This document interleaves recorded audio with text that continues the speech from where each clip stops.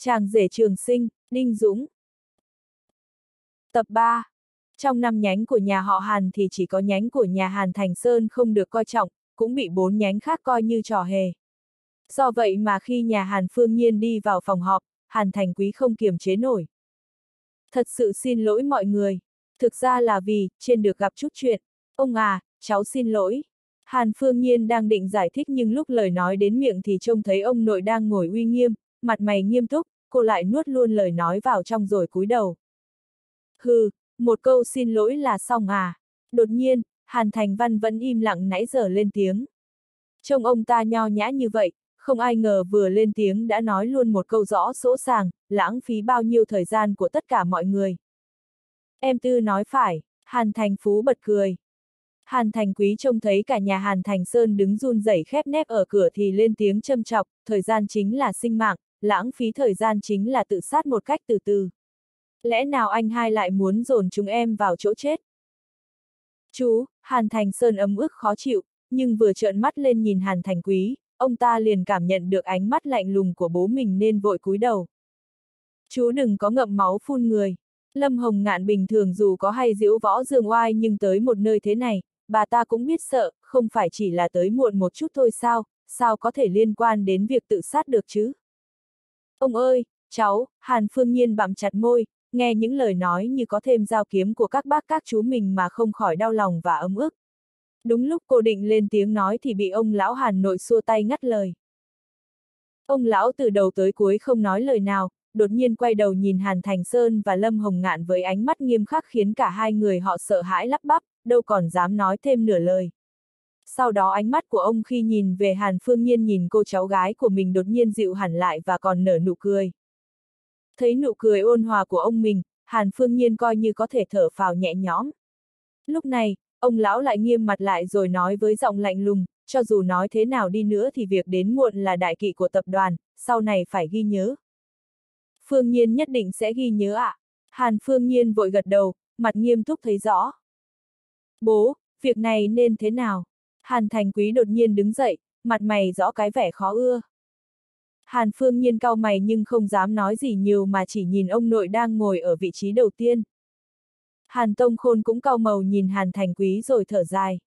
Lúc này Hàn Thành Võ đang ngồi cạnh Hàn Tông Khôn đứng lên rồi lạnh lùng nói, anh ba, anh có thái độ gì thế? Được rồi, cuộc họp quan trọng. Lúc này Hàn Tông Khôn khoát tay bảo hai người kia ngồi xuống rồi lại nhìn sang Hàn Phương Nhiên, Phương Nhiên, các con cũng ngồi đi. Trước khi cuộc họp lần này bắt đầu, ta tuyên bố một chuyện. Hàn Tông Khôn nói xong thì nhìn sang Hàn Thành Võ. Từ trước đến giờ ông ta rất coi trọng Hàn Thành Võ, không chỉ vì cái đầu kinh doanh của Hàn Thành Võ và tầm nhìn chính trị rất xa mà còn vì Hàn Thành Võ còn là người chuyên tâm tu luyện võ thuật hiếm có của nhà họ Hàn. Con người Hàn Thành Võ như cái tên của mình vậy. Ông ta đã luyện võ từ sớm, và đã nhanh chóng đạt tới tầng thứ 9. Có thể nói khả năng thiên bẩm, đặc biệt là ở một xã hội cá lớn nuốt cá bé thế này thì thực lực của Hàn Thành Võ lại càng là chỗ cậy nhờ cứu lấy nhà họ Hàn. Thế nhưng những việc này, Hàn Tông Khôn lại không tiết lộ với những người khác cho nên những năm gần đây, mấy đứa con của ông ta vẫn phê phán ông ta, cho rằng Hàn Tông Khôn bất công. Lần này, sau khi trải qua nhiều lần cân nhắc của Chủ tịch Hội đồng Quản trị, cuối cùng cũng quyết định cho công ty tú thủy của Hàn Phương Nhiên sát nhập vào tập đoàn Hàn Thị. Đồng thời, là công ty con của tập đoàn Hàn Thị và cũng là hạng mục có tiềm năng nhất hiện tại. Tập đoàn sẽ dốc sức hỗ trợ. Hàn Thành Võ nhìn Hàn Phương Nhiên rồi nhếch miệng cười, sau đó tiếp tục nói, việc hợp tác với bất động sản đỉnh kim vô cùng quan trọng, hy vọng tất cả mọi người đều dốc hết tâm hết sức, đừng để hạng mục xảy ra sai sót. Nghe vậy, Hàn Phương Nhiên trột dạ, đến thở thôi cũng thấy gấp gáp hơn. Nếu như nhận được sự hỗ trợ của tập đoàn, vậy thì Tú Thủy nhất định có thể dựa vào việc hợp tác với bất động sản đỉnh kim lần này mà như cá vượt vũ môn, trở thành doanh nghiệp hàng đầu ở thành phố Kim Châu. Chấm. Ninh Dũng xử lý mọi việc xong xuôi thì lái xe đi sửa, sau đó anh đạp xe về trung tâm thành phố Kim Châu. Thiên Hương Các, cái tên hay, từ xa, Đinh Dũng đã trông thấy một căn nhà có phong cách cổ xưa. Trông ba chữ viết hoa như rồng bay phượng múa, anh không khỏi trầm trồ tán thưởng. Xin hỏi quý khách đã đặt trước chưa ạ? À? Ninh Dũng còn chưa vào cửa đã có một nhân viên phục vụ tiến lên hỏi. Người này mặc một chiếc áo sơ mi màu trắng, trông khôi ngô tuấn tú, nho nhã và lễ phép vô cùng. Nhưng sau khi nhìn Đinh Dũng một lượt, hắn ta lại cười với vẻ khinh khi, châm chọc thiên hương các chúng tôi có quy định với hội viên. Chỉ mở cửa với hội viên, nếu không phải là hội viên thì xin lỗi, chúng tôi không tiếp. Theo như hắn thấy thì trông bộ dạng Đinh Dũng lúc này từ trên xuống dưới không khác gì hàng bày bán vỉa hè. Có lẽ cả người anh cộng lại cũng chẳng nổi 300 tệ, tuyệt đối không thể là hội viên ở đây được. Đinh Dũng quả thực không phải là hội viên ở đây. Anh cũng không quan tâm tới thái độ châm chọc đó của nhân viên phục vụ mà chỉ bần thần một lát rồi lên tiếng, tôi thật sự không biết quy định ở đây. Tôi tới đây là vì có bạn tôi hẹn tới. Phiền cậu giúp tôi báo một tiếng. Anh có bạn ở đây. Nói ra mà cũng không sợ người ta cười dụng hàm à. Anh có biết hội viên của chúng tôi mỗi tháng bỏ ra bao nhiêu không? Một trăm nghìn tệ đấy. Một năm của anh kiếm có nổi chỗ này không? Gã nhân viên phục vụ kia nghe Đinh Dũng nói xong thì không nhịn được mà bật cười. Theo như hắn thấy thì một kẻ nghèo kiết xác như Đinh Dũng chỉ cần nhìn là biết đến đây để ngó nghiêng rồi quay về chém gió với bạn bè của mình. Loại người thế này hắn gặp quá nhiều. Đinh Dũng cau mày, nhưng anh cũng không tức giận. Sống trên đời hơn 5.000 năm, anh đã quen với loại người ức hiếp kẻ yếu, sợ kẻ mạnh rồi. Nếu như vì chút việc vặt này mà tức giận thì anh đã chết vì tức từ lâu rồi. Phiền cậu đi thông báo một tiếng. Bạn của tôi tên là Lục Tử, Đinh Dũng nhướng mày nghĩ một lát. Sáng nay Đinh Dũng đột nhiên nhận được điện thoại của Kim Tiểu Lục bảo anh phải đến đây gặp mặt. Tiểu Lục nói có việc cần anh giúp. Đinh Dũng chẳng còn cách nào khác nên đành phải tới nơi mà Kim Tiểu Lục nói. Ôi chao, Lục Tử, ha ha ha, gã nhân viên phục vụ kia không nhịn được mà bật cười ha hả. Hắn vừa cười vừa khoát tay, chỗ chúng tôi không có vị khách nào là Lục Tử hết. Mời anh về cho. Thái độ của hắn ta cuối cùng cũng khiến Đinh Dũng cau mày. Anh nhìn bộ dạng cười cợt ngặt nghẽo của hắn rồi lạnh lùng nói, tôi khuyên cậu tốt nhất là kiểm tra lại đi, nếu không lại đắc tội với người không nên đắc tội. E rằng hậu quả cậu không gánh nổi đâu. Hừ, hội viên chỗ chúng tôi vừa giàu có lại cao quý. Bất cứ ai là hội viên của chỗ chúng tôi thì danh tiếng lẫy lừng, đều là nhân vật tai to mặt lớn. Tôi chưa bao giờ nghe nhân vật máu mặt nào có cái tên lục tử hết, mặt gã nhân viên phục vụ biến sắc. Hắn cười lạnh lùng rồi nói tiếp, không muốn đi phải không? Vậy tôi đi kiểm tra, nhưng nếu như kết quả không có thì mời anh lập tức cút khỏi đây cho tôi nhờ. Nghe nhân viên phục vụ kia nói vậy, Đinh Dũng chỉ cười nhạt rồi nheo mắt lại, nói tiếp, nếu có thì sao? Nếu có thì tôi quỳ xuống gọi anh một tiếng, ông. Nhưng nếu không có thì anh phải cuộn lại như quả bóng, cút ngay khỏi chỗ chúng tôi. Nhân viên phục vụ châm biếm. Hắn ta thuộc lào lào thông tin của từng vị khách đến đây và chưa bao giờ nghe đến tên người nào là tiểu lục cả. Chuyện gì vậy? Đúng lúc này, một cô gái mặc đồng phục đi tới cau mày lên tiếng nói. Trông cô ta rất xinh đẹp, khuôn mặt trái xoan đường nét sắc sảo, làn da trắng ngần, lại thêm bộ đồng phục công sở trên người cô ta rất hợp với vóc dáng, trông hết sức phong cách. Quản lý, có một tên nghèo kiết xác muốn vào chỗ chúng ta tìm người. Nhân viên phục vụ thấy cô gái thì đột nhiên nghiêm mặt trở lại và chỉ Đinh Dũng đang đứng ở cửa. Nghe nhân viên kia nói lại, cô gái cao mày rồi nhìn về phía cửa. Quỳnh Hy là quản lý của Thiên Hương Các, ngày nào cô ta cũng gặp đủ thể loại người, đương nhiên cũng có không ít người muốn vào Thiên Hương Các nhưng lại không có tiền đóng quỹ hội viên. Cô ta nhìn Đinh Dũng một lượt và chẳng nhận ra anh có gì đặc biệt, chính vì vậy cô ta lên tiếng, xin lỗi quý khách, Hải Thiên Các chúng tôi làm theo quy định hội viên. Tôi chỉ đến tìm người, có người hẹn tôi tới Hải Thiên Các này. Đinh Dũng ngắt lời Quỳnh Hy, anh hít vào một hơi thật sâu rồi lạnh lùng nói, cho nên, phiền hai người đi báo giúp tôi một tiếng. Hả, Quỳnh Hy lặng người, cô ta nhìn bộ dạng thẳng thắn đó của Đinh Dũng rồi tỏ vẻ kinh ngạc, và lại nhìn nhân viên phục vụ đang đứng sau mình rồi mới lên tiếng hỏi, là vậy sao? Chuyện này, nhân viên phục vụ mặt mày trắng bệch, hắn trợn tròn mắt lên nhìn Đinh Dũng rồi mới nói tiếp, quản lý, người mà anh ta muốn tìm tên là Tiểu Lục. Khách hàng của chúng ta đều là những người có thân phận cao quý. Làm gì có ai tên là Tiểu Lục, cho nên tôi mới. Không đợi hắn ta nói xong, khuôn mặt Quỳnh Hy chợt biến sắc. Cô ta cau mày rồi đột nhiên nhớ ra trên sổ hội viên hôm nay, cô ta đã nhìn thấy tên một vị khách. Cô ta thở gấp rồi nói với Đinh Dũng, xin, xin đợi một lát. Quản lý, gã nhân viên phục vụ trong bộ dạng này của cô quản lý thì đột nhiên trợn tròn mắt lên. Quỳnh Hy vội vàng quay về văn phòng lấy ra chiếc máy tính bảng rồi đi ra ngoài. Cô ta đi về phía cửa rồi tra thông tin hội viên trên bảng danh sách. Hình như sáng nay cô ta quả thực có nhìn thấy một cái tên rất kỳ lạ. Sau khi nhìn thấy quản lý cầm chiếc máy tính bảng ra, mặt gã nhân viên kia cũng thay đổi hẳn. Hắn có một dự cảm chẳng lành. Hắn quay đầu nhìn Đinh Dũng với vẻ mặt bất an thấp thỏm. Đinh Dũng cảm nhận được ánh mắt đó của gã nhân viên phục vụ, khóe miệng anh nhếch lên rồi cười tự tin. Sau đó, Đinh Dũng nhìn về phía Quỳnh Hy chờ đợi câu trả lời. Hỏng rồi, tên tiểu tử nghèo kiết xác này nói không chừng có bạn ở đây thật. Sắc mặt gã phục vụ khó coi vô cùng. Hắn nắm chặt tay, đầu không ngừng suy nghĩ đối sách. Nếu như Đinh Dũng thật sự có bạn ở đây thì vừa rồi, hành động làm khó của hắn chắc chắn sẽ bị quản lý nạt nộ. Lúc này, Quỳnh Hy nhìn thấy một hàng thông tin trên bảng danh sách hội viên, cô ta rít lên kinh ngạc. Ôi, có người này thật! Quỳnh Hy nhìn thông tin trên bảng danh sách hội viên rồi nuốt ực một cái. Cô ta nhìn Đinh Dũng và lên tiếng hỏi với thái độ hết sức thận trọng, xin hỏi bạn của anh tên đầy đủ là gì ạ? Lục tử, họ Kim, có khả năng tên đầy đủ là Kim Tiểu Lục. Kim Lục Tử, Đinh Dũng lặng người một lát rồi nhún vai đáp lời. Quỳnh Hy nghe Đinh Dũng trả lời xong thì giật mình. Cô ta vội vàng đặt máy tính bảng xuống rồi đáp, xin chào quý khách. Ở đây chúng tôi quả thực có một vị khách tên là Kim Tiểu Lục. Vị khách này đang ở phòng thiên tự nhất hiệu. Xin mời quý khách đi lối này. Đợi đã, vừa rồi những gì cậu nói có tính không? Ninh Dũng cười rồi quay đầu lại nhìn nhân viên phục vụ.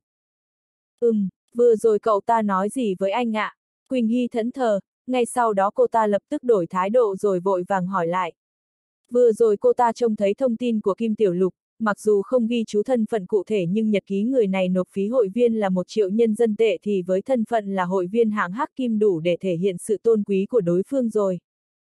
Đây, đây, gã nhân viên phục vụ đan tay lại với nhau rồi nhìn Đinh Dũng với vẻ mặt sợ hãi. Hắn nghiến răng, quỳ phịch xuống đất và run rẩy lên tiếng, xin, xin lỗi, là cái mắt chó của tôi không biết nhìn người. Xin anh đại nhân đại lượng tha cho tôi cái mạng này. Nếu bắt hắn quỳ trên đất gọi Đinh Dũng một câu, ông, thì thật sự hắn không làm được. Nhưng rõ ràng Đinh Dũng không muốn bỏ qua cho hắn. Người có thể là hội viên ở đây thì tuyệt đối không phải là người mà hắn có thể đụng tới. Thôi, bỏ đi, thấy gã nhân viên phục vụ quỳ trên đất, Đinh Dũng lắc đầu bất lực rồi nói với Quỳnh Hy. Mặc dù Quỳnh Hy cũng không biết đã xảy ra chuyện gì nhưng thái độ của nhân viên phục vụ đó rất rõ ràng, chắc chắn vừa rồi hắn ta đã nói gì đó khiến Đinh Dũng khó nghe. Do vậy cô ta vội vàng cúi người lên tiếng, thưa quý khách, xin quý khách yên tâm. Lát nữa tôi sẽ xử lý cậu ta nghiêm khắc. Ừm, Đinh Dũng gật đầu, không nói thêm gì nữa. Rất nhanh chóng, Quỳnh Hy đã đưa Đinh Dũng tới nơi sâu nhất của thiên hương các. Ở cửa của căn phòng VIP với lối kiến trúc cổ xưa. Trên biển tên của căn phòng này còn có bốn chữ như rồng bay phượng múa thiên tự nhất hiệu. Người bạn của quý khách ở phòng này ạ. À? Quỳnh Hy lại cúi người cười nói với Đinh Dũng và làm tư thế, mời, bằng tay. Đinh Dũng hít vào một hơi thật sâu rồi thu ánh mắt về, không nhìn biển tên của căn phòng nữa. Anh khẽ gõ cửa. Cạch, cạch, cạch, cánh cửa được làm từ gỗ hương đỏ, có một mùi hương rất đặc biệt, âm thanh trầm nhưng rất thanh. Chẳng mấy chốc, có một người thanh niên trẻ tuổi đi tới, sau khi nhìn thấy Đinh Dũng, người này cau mày rồi lên tiếng hỏi, anh là... Tôi tìm Kim Tiểu Lục, Đinh Dũng nhếch miệng cười đáp. Người này được Kim Tiểu Lục cho đi theo bên mình thì chắc chắn là thân tín của Kim Tiểu Lục, cũng có thể coi là người của mình. Thế nhưng điều khiến Đinh Dũng không ngờ tới đó là anh vừa dứt lời, người thanh niên cường tráng kia đột nhiên cau mày lại, đang định lên tiếng nạt nộ anh thì đột nhiên có một giọng nói giả nua vang lên, mau, mau mời vào. Mời vào, nghe thấy tiếng nói kia, người thanh niên cường tráng đột nhiên thay đổi sắc mặt rồi nhìn Đinh Dũng thật kỹ càng, sau đó mới làm động tác mời. Quỳnh Hy thấy Đinh Dũng được mời vào thì cũng thở phào một hơi. Cô ta lại nở nụ cười tươi giói, cười với người thanh niên kia, sau đó mới quay người rời đi. Thiên tự nhất hiệu, cả căn phòng VIP phải rộng đến cả trăm mét vuông, bên trong căn phòng vượt ngoài sức tưởng tượng của Đinh Dũng. Căn phòng này không những được bày trí tỉ mỉ công phu mà cả căn phòng còn mang phong vị cổ xưa, xung quanh còn trồng rất nhiều loài hoa, cỏ. Ở giữa căn phòng còn có một bàn trà được làm bằng đá xanh. Một cụ già ăn mặc giản dị đang ngồi bên chiếc bàn trà bằng đá xanh. Sau khi trông thấy Đinh Dũng, ông lão lập tức đứng dậy, mặt đầy cảm kích, rồi lên tiếng với giọng run run, sư, sư phụ. Mặc dù người trước mắt này trông không ra làm sao, và lại khác biệt hoàn toàn về vẻ bề ngoài với sư phụ trong lòng ông lão nhưng thần thái trong đôi mắt và khí chất của người này thì không sao che giấu được. Ông lão chắc chắn rằng người trước mặt chính là sư phụ của mình. Nghe giọng già nua của Kim Tiểu Lục, Đinh Dũng chợt giật mình. Anh hít vào một hơi thật sâu rồi nhanh chân sải bước vào trong đỡ Kim Tiểu Lục dậy và nói với giọng ân cần Tiểu Lục, ngồi đi. Vốn dĩ Đinh Dũng còn thấy không mấy hài lòng vì Kim Tiểu Lục tự đến tìm mình nhưng sau khi trông thấy Kim Tiểu Lục, mọi thứ đều tiêu tan hết cả. Lúc này, người thanh niên trẻ tuổi kia cũng đi tới. Khi nhìn thấy Đinh Dũng đỡ Kim Tiểu Lục, hắn ta không khỏi cau mày, nhưng vẫn nín nhịn không nói những gì đang nghĩ trong đầu ra. Hắn ta cứ thế lặng thầm đứng bên cạnh Kim Tiểu Lục. Sao tự dưng con lại tới Kim Châu vậy? Ngồi trước bàn trà bằng đá xanh, Đinh Dũng nhấp một ngụm trà hơi nguội rồi cau mày hỏi. Nghe Đinh Dũng hỏi vậy, Kim Tiểu Lục hít vào một hơi thật sâu, nhìn người thanh niên vạm vỡ bên cạnh rồi giải thích, sư phụ, người yên tâm, lần này chỉ có con và Tống Long đến đây thôi. Ừm, Đinh Dũng gật đầu. Đây là một đồ đệ của con, tên là Tống Long, Kim Tiểu Lục nhìn Đinh Dũng một cách cung kính và lên tiếng giải thích với Đinh Dũng sau đó ông lão quay qua liếc Tống Long một cái, nói còn không mau tới chào sư tổ. Con chào, sư tổ. Mặt mày Tống Long rõ cái vẻ kỳ quái. Người trước mặt này rõ ràng cũng hai mươi mấy tuổi gì đó, sao lại là sư tổ của mình được? Hắn có nghĩ thế nào cũng không thông. Nhưng lời của Kim vô đạo thì hắn lại không dám làm trái. Ừm, thực lực không tồi, đã đạt tới tầng thứ 9 rồi à? Ninh Dũng cười rồi gật đầu. Vừa nhìn Tống Long là đã nhận ra thực lực. Vốn dĩ Tống Long còn cảm thấy có chút gì đó không phục, nhưng lúc này, sau khi nghe Đinh Dũng nói thẳng ra về thực lực của mình thì hắn không khỏi kinh ngạc. Hôm nay con đến tìm ta rốt cục là có chuyện gì? Nói đi, sau khi uống hai chén trà với Kim Tiểu Lục, Đinh Dũng cười nói. Nghe Đinh Dũng nói vậy, Kim vô đạo vội vàng đứng dậy. Mặc dù ông lão đã hơn 70 tuổi nhưng cơ thể lại khỏe khắn vô cùng. Lúc này ông lão chỉ biết thở dài bất lực, nói chắc sự phụ cũng biết tư kỳ chứ ạ. À. Ừ, một cô gái rất tốt, Ninh Dũng gật đầu, không biết Kim vô đạo định nói gì. Ninh Dũng không nói gì thêm mà chỉ cầm ấm trà trên bàn trà lên rồi đem ấm trà nóng hổi trên mặt bàn đổ nước nóng lên trà sủng với hình rồng xanh uốn lượn. Thân rồng vốn có màu nâu xám, sau khi được đổ nước nóng lên thì nhanh chóng chuyển thành màu xanh lục, trông vô cùng sinh động bắt mắt. Kim vô đạo trầm ngâm một lúc rồi mới hít vào một hơi thật sâu, nói tối hôm kia, nó bị ám sát. Nghe lời Kim vô đạo nói, Đinh Dũng lặng người một lát rồi lập tức đặt ấm trà trong tay xuống. Anh nhìn về Kim vô đạo, nói tiểu lục à, hiện giờ nhà họ Kim của con đến một hậu bối cũng không bảo vệ nổi sao. Điều tra ra là ai làm chưa? Đinh Dũng vừa dứt lời, Tống Long lập tức cau mày rồi nắm chặt tay, không biết hắn đang nghĩ gì. Nếu như có thể điều tra ra thì tiểu lục cũng không đến phiền sư phụ ạ. À. Kim vô đạo cười khổ. Ông lão nhìn vào chiếc ghế đối diện có Đinh Dũng đang ngồi với vẻ ung dung, sau đó thở dài nói, con cũng đã có phỏng đoán nhưng không có chứng cứ, và lại cách ám sát của sát thủ đó rất kỳ lạ. Mời sư phụ xem. Nói tới đây, Kim vô đạo rút chiếc điện thoại ra rồi bật mở một clip lên. Trong clip, Kim Tư Kỳ đang nằm trên giường bệnh, khuôn mặt tái nhợt đi, miệng không còn đỏ hồng, đôi mắt nhắm chặt và khuôn mặt rõ ràng đang cảm thấy đau đớn. Trông là thấy không bình thường. Chú Ấn, Ninh Dũng lắc đầu than thở hỏi, hiện giờ con bé thế nào? Để sư phụ phải bận lòng rồi ạ. À.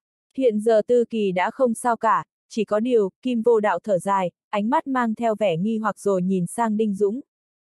Không sao cả, Đinh Dũng thử người một lát rồi nhìn sang Kim vô đạo, hỏi chữa khỏi ở viện hay là có người khác ra tay.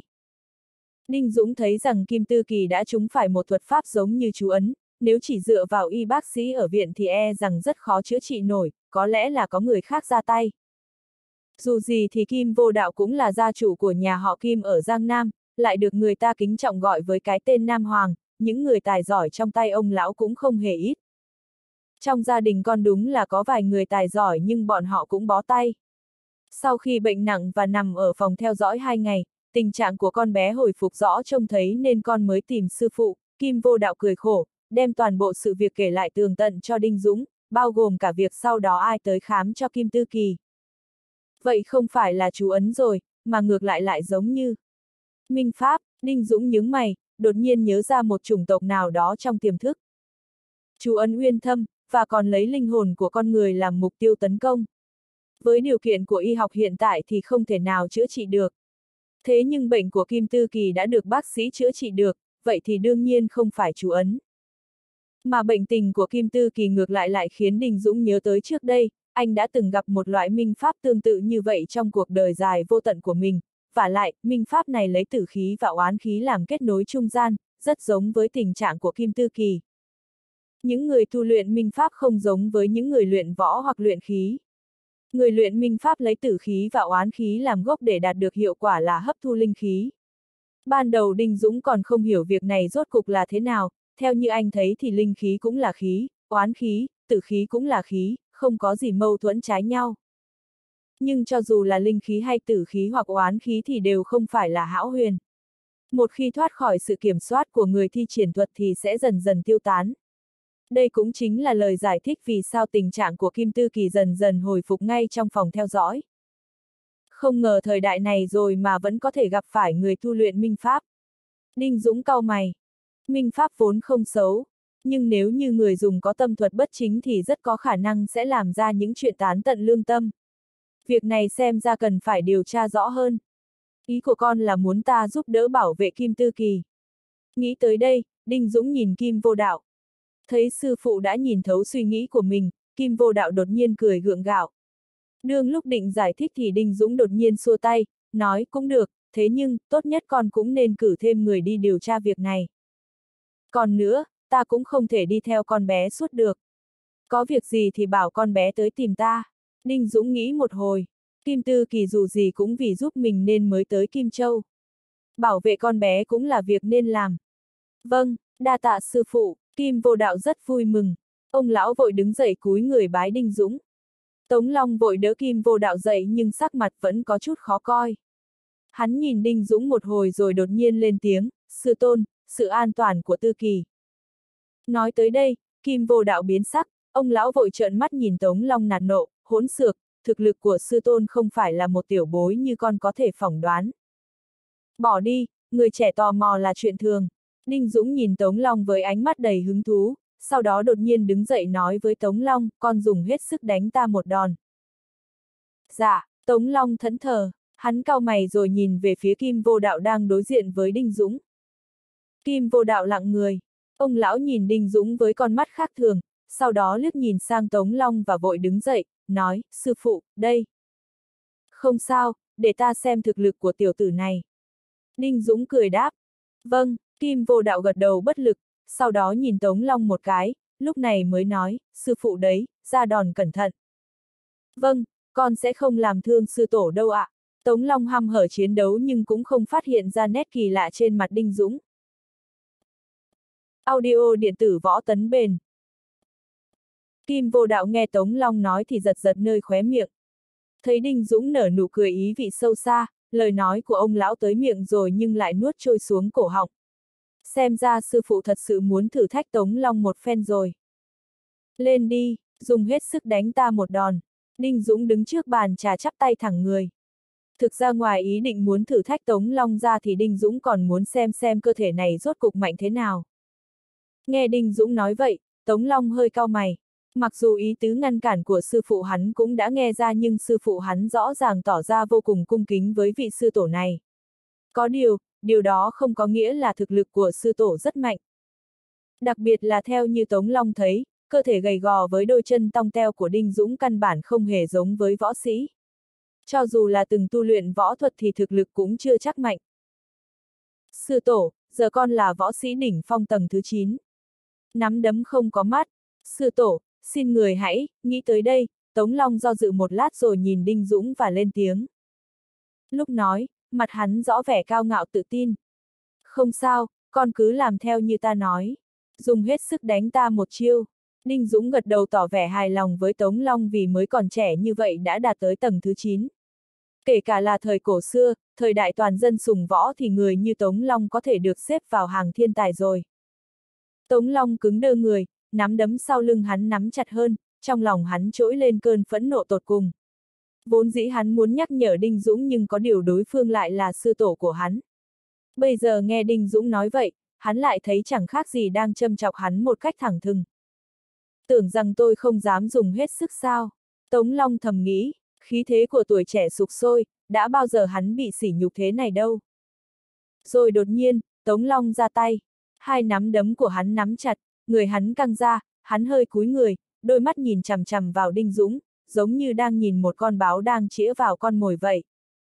Ha ha ha, một âm thanh gằn giọng đột nhiên vang lên, cơ thể Tống Long như mũi tên rời khỏi cánh cung, lao về phía Đinh Dũng.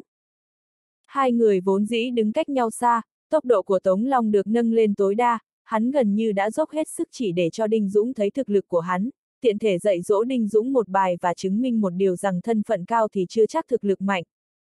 Thế nhưng từ đầu tới cuối, Đinh Dũng vẫn ung dung đứng ở chỗ cũ, thậm chí khi thấy Tống Long xông về phía mình, khóe miệng anh còn nhếch lên nở nụ cười đầy ý tứ. Có điều phản ứng của Đinh Dũng trong mắt Tống Long lại như thể vì tốc độ của Tống Long quá nhanh nên Đinh Dũng chưa kịp phản ứng lại.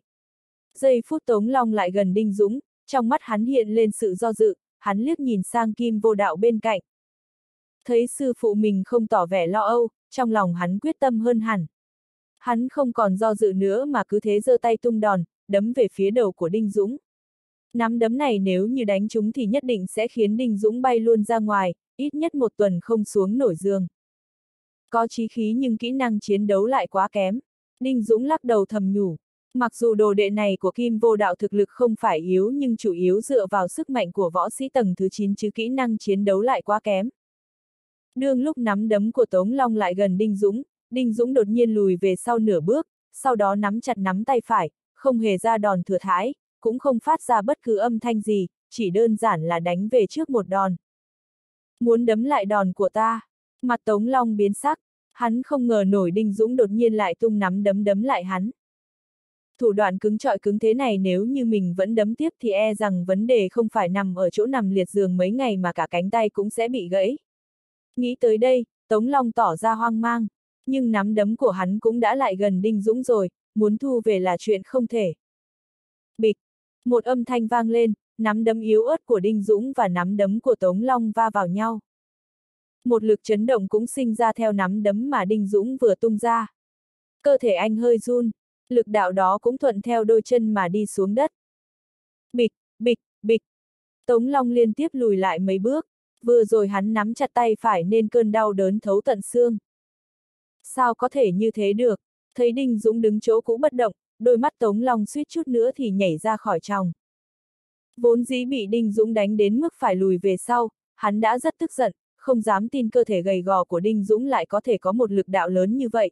Thế nhưng lúc này khi nhìn Đinh Dũng sau khi ra đòn với mình mà bước chân vẫn không hề nhấc lên di chuyển thì hắn đột nhiên ý thức được một điều rằng vị sư tổ trước mắt này e rằng không phải đơn giản như vẻ bề ngoài.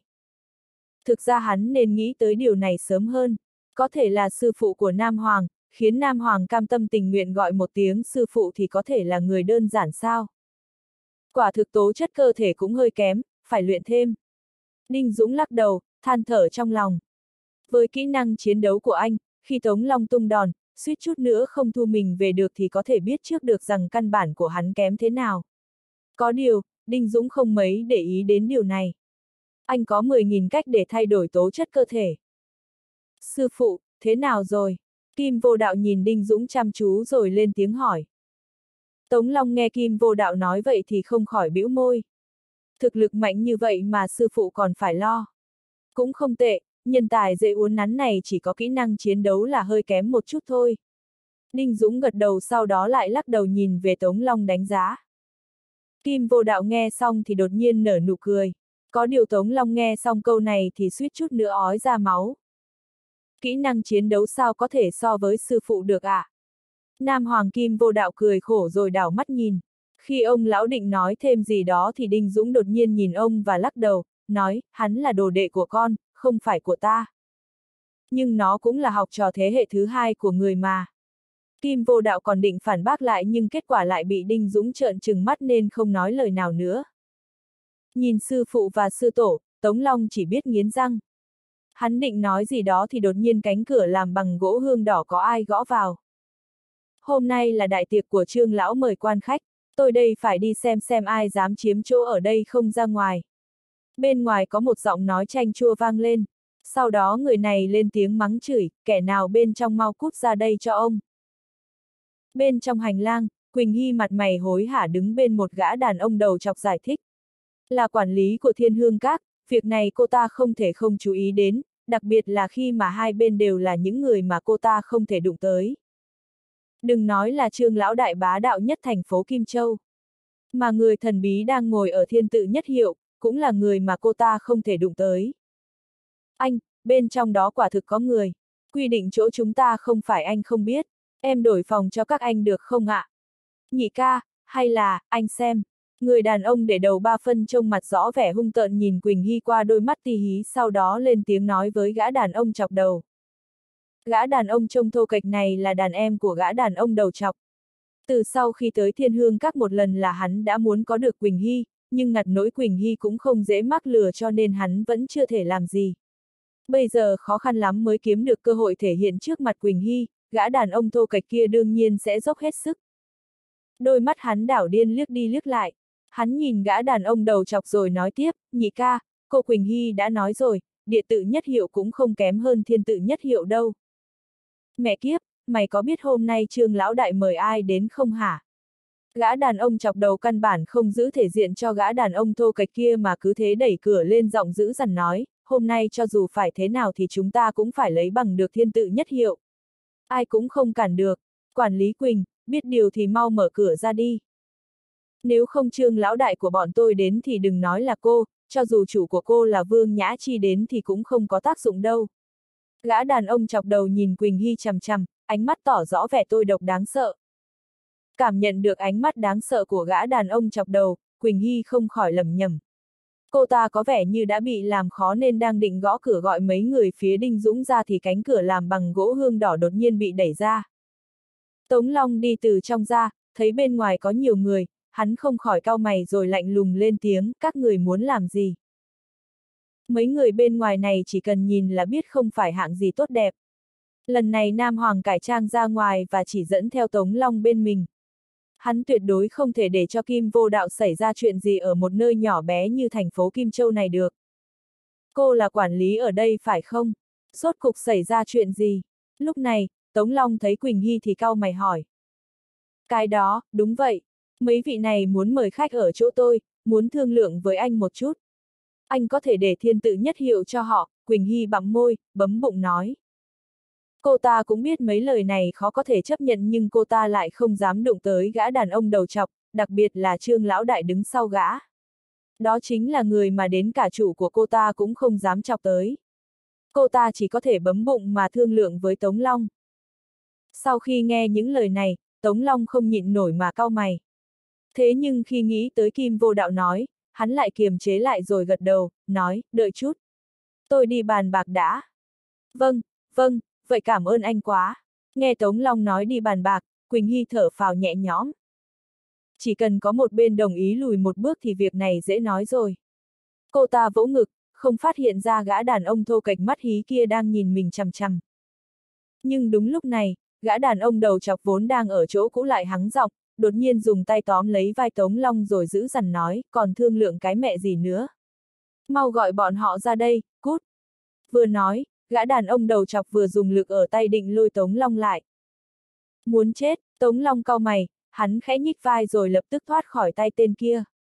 Sau đó Tống Long quay phát người, đạp một đạp vào bụng gã đàn ông đầu chọc. Có điều đúng lúc này, hắn lại nhớ lại những gì Kim vô đạo nói, vì để tránh Kim vô đạo gặp phải phiền phức, hắn đành thu chân về. Mẹ kiếp, dám đạp ông đây à? Gã đàn ông đầu chọc nhìn Tống Long thu chân về, hắn ta còn cho rằng Tống Long sợ hắn nên bật cười với vẻ mặt hống hách thấy dỗ. Hắn giơ tay vỗ vỗ về phía mặt của Tống Long rồi cười giảo hoạt, mẹ kiếp, gan mày không vừa nhỉ. Đánh cho tao. Thằng khốn khiếp, dám vô lễ với nhị ca tao à? Muốn chết phải không? Giết nó. Cả đám người cùng xông lên nhìn Tống Long với vẻ mặt bất thiện. Quỳnh Hy thấy thế thì sợ hãi, cô ta vội lùi sau hai bước, nói, nhị ca, đừng ra tay, có gì từ từ nói. Nói cái mẹ gì mà nói. Trương lão đại đến chỗ các cô dùng bữa đã là cho các cô thể diện rồi. Gã đàn ông chọc đầu hằn học nhìn Quỳnh Hy, sau đó lập tức nhìn Tống Long và nói với giọng mỉa mai, biết tao là ai không hả? Dám đạp tao, mày muốn chết phải không? Anh em, giết chết nó cho tôi. Đợi đã, Tống Long nắm chặt tay nhìn chằm chằm vào bảy tám gã đàn ông đang vây quanh mình, sau đó hắn dừng lại ở gã đàn ông đầu chọc. Hắn định nói, mày có biết bên trong là ai không? Nhưng hắn biết rằng Kim vô đạo không muốn ai biết ông lão tới Kim Châu, nên hắn chỉ có thể nghiến răng rít lên, tao đi hỏi đã. Cùng lắm thì đổi phòng cho bọn mày thôi. Muộn rồi, gã đàn ông chọc đầu cười ha hả, hắn giơ tay ra vỗ vào mặt Tống Long, bây giờ biết sợ rồi à? Vừa rồi mày to gan lắm cơ mà. Mày đừng có ức hiếp người quá đáng. Tống Long nheo mắt lại, giọng lạnh lùng thấy rõ. Bắt nạt mày thì đã sao? Gã đàn ông đầu chọc đột nhiên ra tay rồi lao về phía Tống Long. Nói thì lâu mà chuyện xảy ra lại nhanh. Khi tay gã đàn ông đầu chọc sắp chạm vào mặt Tống Long, Tống Long đột nhiên giơ tay lên bóp chặt cổ tay gã đàn ông đầu chọc. Rắc, một âm thanh chói tai vang lên. Mặt hắn ta đột nhiên biến sắc, chán hắn ứa ra mồ hôi lạnh toát, giọng nói cũng theo đó mà thay đổi theo A, đau, đau, đại ca, xin tha mạng. Chúng mày còn ngây ra đấy làm gì? Còn không cứu tao, mặt mày gã đàn ông đầu chọc tái mét, hắn gào thét. Lúc này bảy tám gã đàn ông hắn đưa theo vội vàng xông lên. Thế nhưng chúng còn chưa kịp lại gần thì Tống Long đã tóm lấy gã đàn ông đầu chọc rồi ấn hắn về phía trước sau đó bóp cổ hắn và lạnh lùng nói, cút hết cho tao, nếu không tao bóp gãy cổ nó.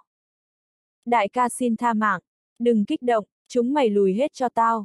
Cảm thấy được ý tứ lạnh lùng của Tống Long, gã chọc đầu cuối cùng cũng biết sợ. Nghe gã ta nói, cảm đám người không dám chậm trễ, chúng đưa mắt nhìn Tống Long khó chịu nhưng không thể không lùi về sau.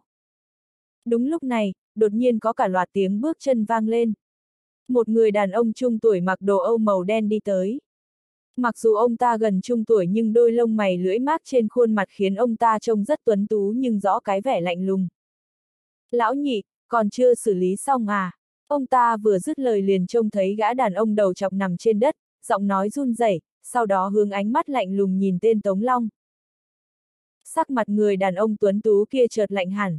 Ông ta nheo mắt lại nhìn Tống Long chằm chằm rồi lạnh lùng nói, bỏ hắn ra.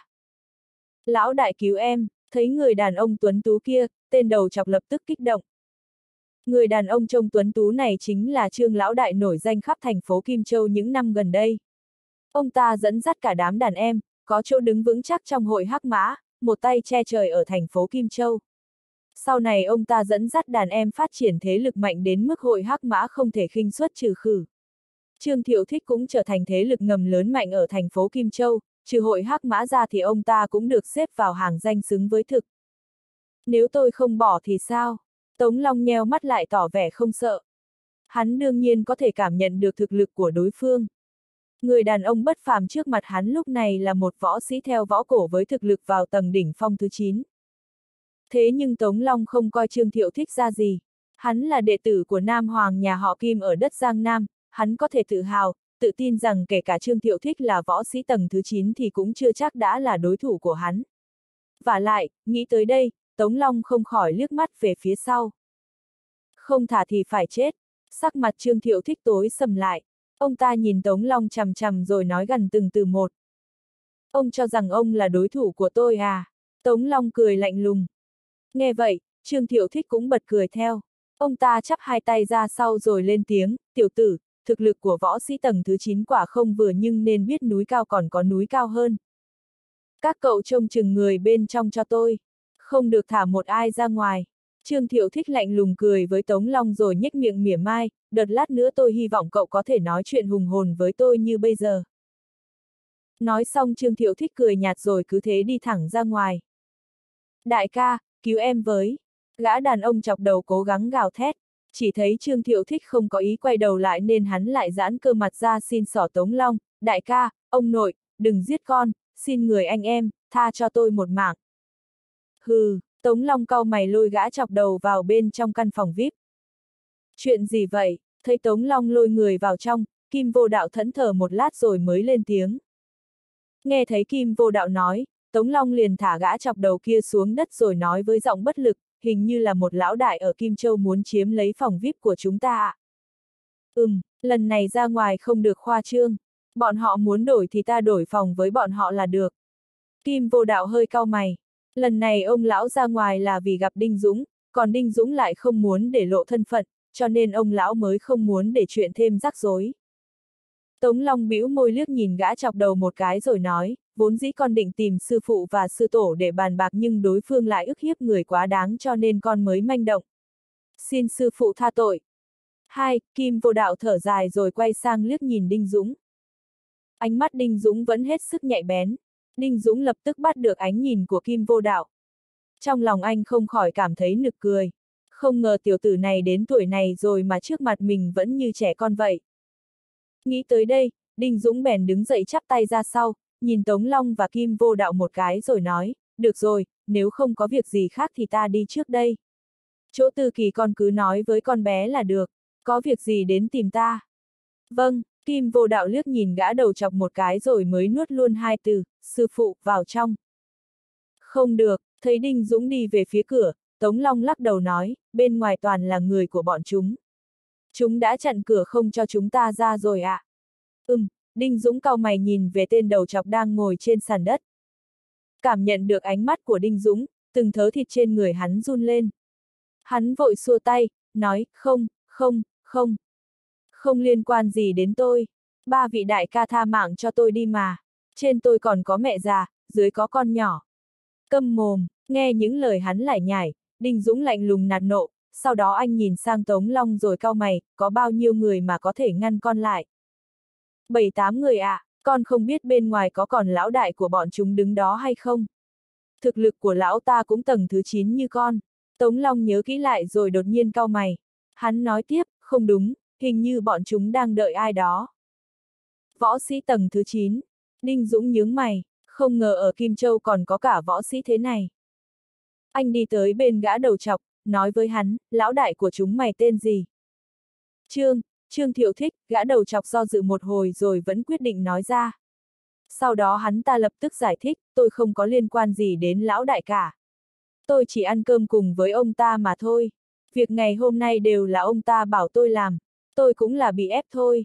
Ba đại ca tha cho tôi cái mạng này đi mà. Đừng có vô duyên vô cớ đòi xin tha mạng như thế. Tao bảo giết mày chưa? Tống Long khó chịu đạp cho hắn một cái. Ồ, Trương Lão Đại, tao hỏi mày, có phải hắn có một đứa con trai tên là Trương Bồi Sơn không? Nghe gã chọc đầu nói xong, Đinh Dũng cau mày, bóp lấy cổ hắn và lạnh lùng hỏi. Tên kia giật giật mí mắt, sao hắn có thể biết được tên con trai của Trương Lão Đại được chứ? Thấy phản ứng của gã đầu chọc, trong lòng Đinh Dũng cũng đã có đáp án. Anh không hỏi nhiều mà đứng dậy chắp tay nói, ta đi trước, hai người cũng mau chóng rời khỏi đây đi. Tống Long còn định nói thêm gì đó nhưng thấy Đinh Dũng với bộ dạng thản nhiên như thường thì lời nói đến miệng chợt ngưng lại, và lại nghĩ tới thực lực thâm sâu khó dò của Đinh Dũng, hắn không nói thêm gì nữa.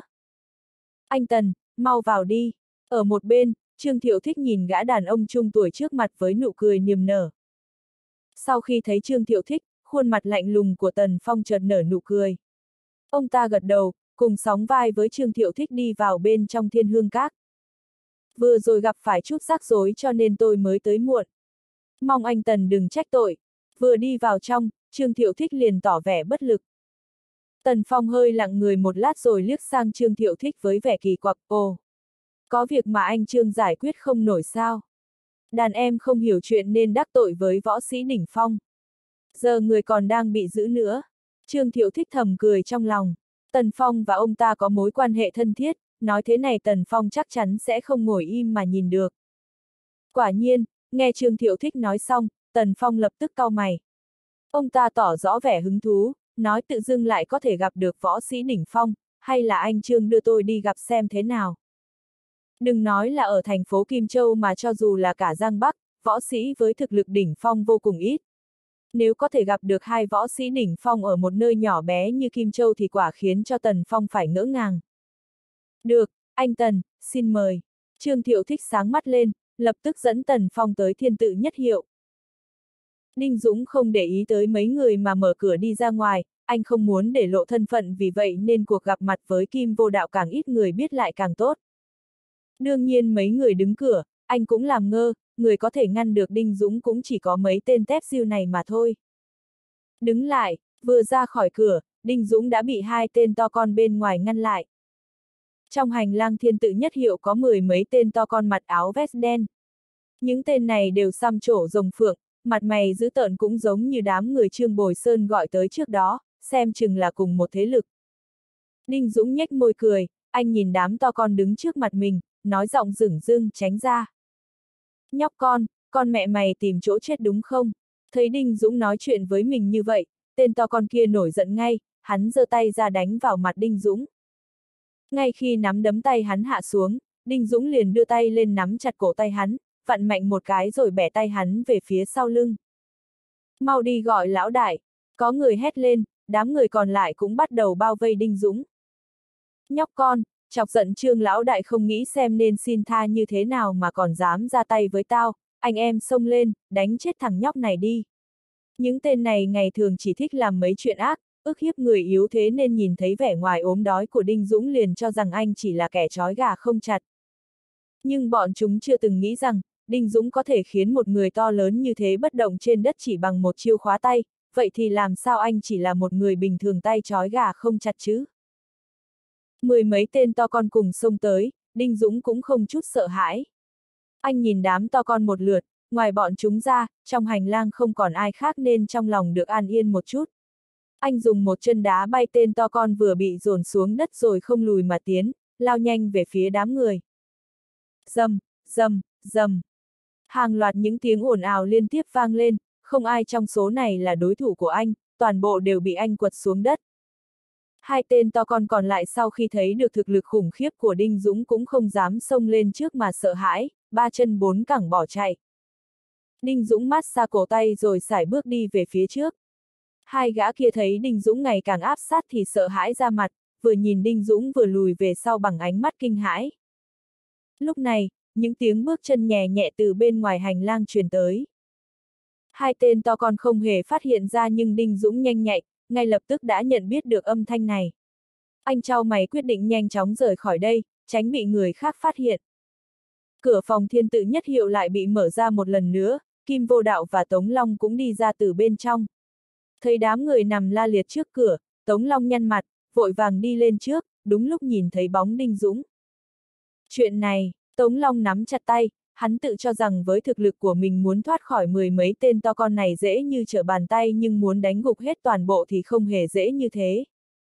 Từ lúc Đinh Dũng ra khỏi phòng VIP cũng chưa tới một phút, vậy tức là trong một phút này, anh ta đã hạ gục xong hết đám vệ sĩ to con này. Thực lực của Đinh Dũng hoàn toàn nằm ngoài dự đoán của Tống Long. Anh Tần, mời đi bên này. Bên kia hành lang, Trương Thiệu Thích đang dẫn Tần Phong tới, Trương Bồi Sơn và hai gã áo đen theo sau. Thỉnh thoảng Trương Bồi Sơn lại liếc nhìn người đàn ông mặc áo dài gấm đang đi cùng bố mình, người mà ngay cả bước đi cũng mang một khí chất đặc biệt, trong lòng hắn có chút hy vọng.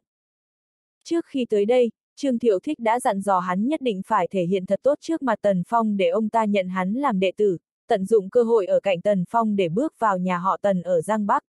Như vậy mới thực sự hiện thực hóa giấc mơ cá chép vượt long môn. Đừng để tao gặp lại mày, nếu không tao nhất định sẽ đánh gãy chân mày. Trương Bồi Sơn nghiến răng mắng thầm trong lòng, đầu hắn tự nhiên hiện ra hình ảnh của Đinh Dũng. Chính lúc này, hai tên to con mặc áo vest đen từ trong góc chạy ra, mặt mày hoảng hốt, hớt ha hớt hải chạy về phía này. Chuyện gì? Trương Thiệu thích nhìn người của mình, mặt liền biến sắc lạnh lùng hỏi, hớt ha hớt hả, ra thể thống gì? Lão, lão đại, ở đó có quái vật, nhìn thấy Trương Thiệu thích, một người trong đó vui mừng ra mặt vội vàng quay người chỉ về góc kia. Tên còn lại thì sợ tới vỡ mật, không thèm quan tâm tới Trương Thiệu Thích và những người khác mà hoảng hốt chạy vụt qua. Ông đây ghét nhất là lính bỏ chạy, hai người các người, đi xử hắn đi. Nhìn thấy gã đàn ông cứ vậy mà bỏ chạy, Trương Bồi Sơn giữ dằn nói với hai tên mặc vest phía sau mình. Đột nhiên một bóng người đi ra từ trong góc. Đinh Dũng cúi người đi ra bên ngoài, kết quả vừa bước ra khỏi góc hành lang đã nhìn thấy đám người Trương Thiệu Thích. Có chút bản lĩnh, hơn hẳn võ sĩ đỉnh phong, bán bộ đại sư. Đinh Dũng liếc nhìn Tần Phong, ngay lập tức nhìn ra thực lực của ông ta. Thực lực của Tần Phong thực sự khiến Đinh Dũng có hơi kinh ngạc, dù gì ở nơi nhỏ bé như Kim Châu mà có thể gặp được người có cảnh giới bán bộ đại sư, thật không dễ dàng. Phải biết rằng, vào thời kỳ toàn dân sùng võ trước đây, một bán bộ đại sư đã đủ để uy chấn tứ phương bởi vì người chạm tới cửa võ học đại sư, chỉ cần vượt qua bậc này là có thể trở thành đại sư võ học, người bình thường thực sự cách biệt quá lớn. Khi Đinh Dũng nhìn Tần Phong, ông ta cũng đang quan sát Đinh Dũng nhưng cho dù ông ta có dò xét thế nào thì người thanh niên này cũng không có lấy chút khí chất của kẻ luyện võ. Cậu là ai? Trương Thiệu thích ngây người nhưng lát sau khi đã phản ứng lại, ông ta liền nhìn chằm chằm Đinh Dũng nói tiếp, cậu chính là người trong phòng VIP thiên tự nhất hiệu. Trong lúc đó, Trương Bồi Sơn cũng nhận ra Đinh Dũng, hắn cười lạnh lùng, thiên đường có lối mày không vào, địa ngục không cửa mày cứ đòi đi. Bố à, hắn chính là người con nói với bố. Trương Bồi Sơn ghé sát vào tai Trương Thiệu Thích nói. Nghe con trai nói vậy, Trương Thiệu Thích ngay lập tức chú ý Đinh Dũng. Mặc dù ông ta cũng không phát hiện ra thực lực của Đinh Dũng nhưng vừa nghĩ tới chuyện anh có thể khiến đám vệ sĩ mình cử đi bị kiểm soát chỉ bằng tay không, ông ta dám chắc anh không phải kẻ tầm thường. Đúng là oan ra ngõ hẹp mà. Trương Thiệu Thích gật đầu lạnh lùng cười nhìn Đinh Dũng rồi nói giọng lạnh nhạt, nghe nói cậu từng ra tay với con tôi à, tôi khuyên cậu đừng cố chống trả mà không biết sợ nữa, ngoan ngoãn giơ tay chịu trói đi. Bây giờ cậu quỳ xuống đất dập đầu ba cái, chưa biết chừng tâm trạng tôi tốt sẽ tha cho mấy người. Nói xong, Trương Thiệu Thích cười nhạt, sắc mặt có hơi dữ tợn. Chỉ dựa vào ông cũng xứng bảo tôi quỳ, nếu như tôi quỳ, ông cũng nhận không nổi. Giọng đinh dũng lạnh tanh, anh nhìn Trương Thiệu Thích, xua tay nói giọng rửng rưng, không muốn chết thì cút ra. Mặt Trương Thiệu Thích biến sắc, gương mặt sáng sủa khi nãy đang tối sầm xuống nhìn chằm chằm Đinh Dũng. Ông ta cười nghiến răng nghiến lợi rồi nói từng từ, cậu thanh niên này, nói chuyện phải nghĩ tới hậu quả. Tôi nói lại lần nữa, tránh ra. Giọng Đinh Dũng cũng rất lạnh lùng, anh nhìn Trương Thiệu Thích nói. Tần Phong đứng bên cạnh Trương Thiệu Thích nhìn Đinh Dũng có vẻ thích thú. Mặc dù từ đầu tới giờ, ông ta không nhìn ra thực lực của Đinh Dũng nhưng ông ta cảm nhận được rằng Đinh Dũng chắc chắn không giống như bề ngoài, là kẻ không chút võ công. Tự tìm chỗ chết, Trương Thiệu thích thấy Tần Phong không có ý ra tay nên hét lớn, xông thẳng về phía Đinh Dũng. Chuyện ngày hôm nay cho dù thế nào cũng không thể giải quyết tốt đẹp, đàn em của ông ta đều bị Đinh Dũng hạ gục rồi, bây giờ cũng chỉ còn một mình Trương Thiệu thích, trừ khi Trương Lão Đại như ông ta không cần mặt mũi mà bỏ chạy, nếu không dù thế nào cũng nhất định phải xông lên. Xem mày tự tìm cái chết như thế nào. Mặc dù biết thân thủ của Đinh Dũng không đơn giản nhưng Trương Thiệu Thích cũng rất tự tin với thực lực của bản thân. Rất nhanh sau đó, Trương Thiệu Thích đã tới gần Đinh Dũng, nắm đấm mạnh mẽ như vũ bão nhằm vào lồng ngực Đinh Dũng. Nếu như bị trúng quyền này, người bình thường không chết cũng bị thương nặng. Thấy nắm đấm của mình sắp đánh vào người Đinh Dũng mà anh vẫn không có bất cứ động thái nào, những người khác đều cho rằng Đinh Dũng không kịp phản ứng. Mặt Trương Thiệu thích lộ rõ vẻ tàn độc như thể vừa tưởng tượng ra cảnh Đinh Dũng vỡ ngực, khẩn thiết kêu van.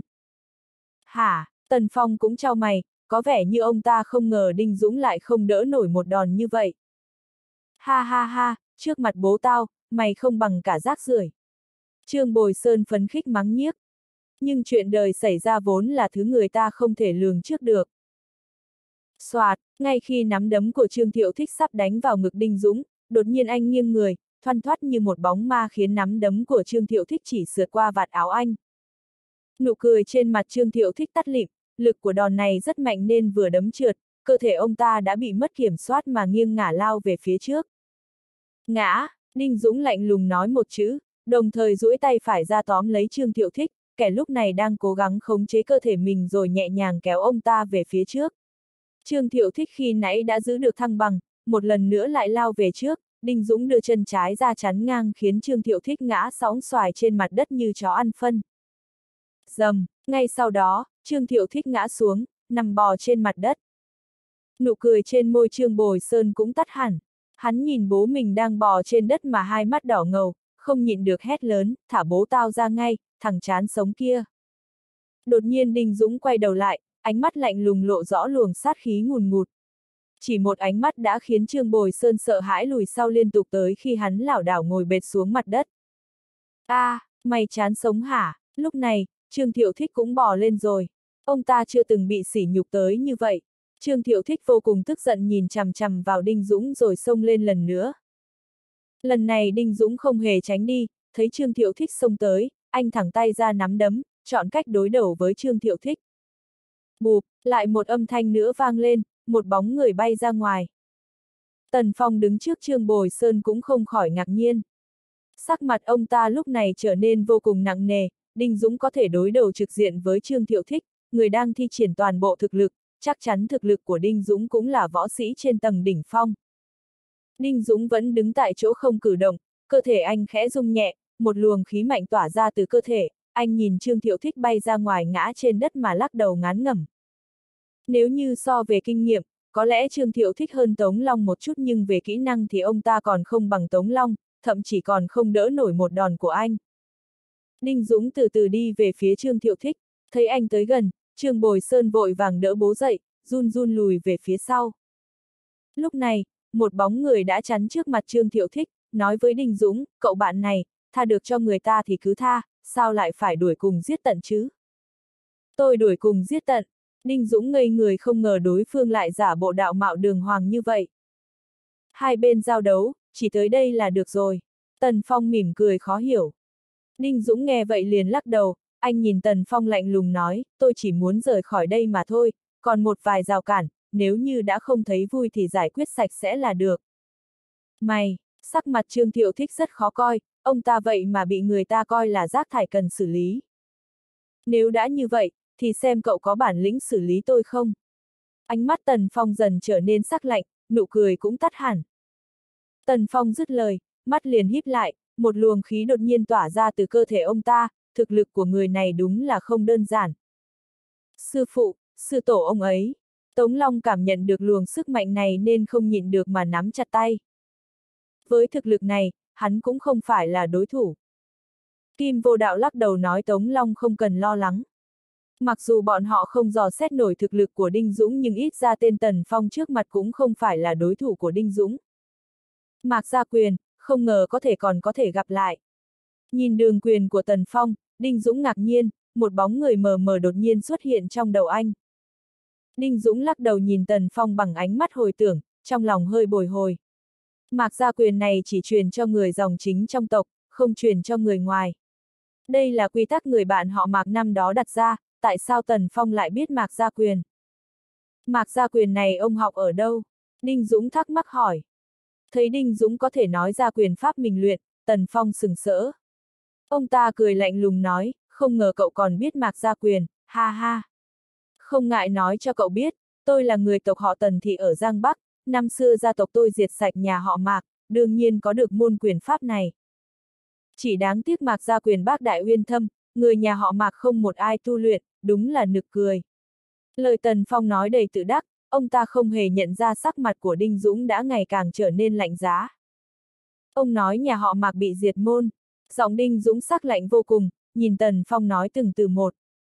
Chuyện này người trong giới đều biết, sao hả? Cậu quen biết nhà họ Mạc, Tần Phong trao mày như đoán ra gì đó. Đinh Dũng nắm chặt tay, ánh mắt phủ đầy sát khí. Thế kỷ trước, anh từng là bạn thân của một tông sư họ Mạc, nghe tin con cháu đời sau của ông bị diệt môn, trong lòng anh khó giữ nổi bình tĩnh.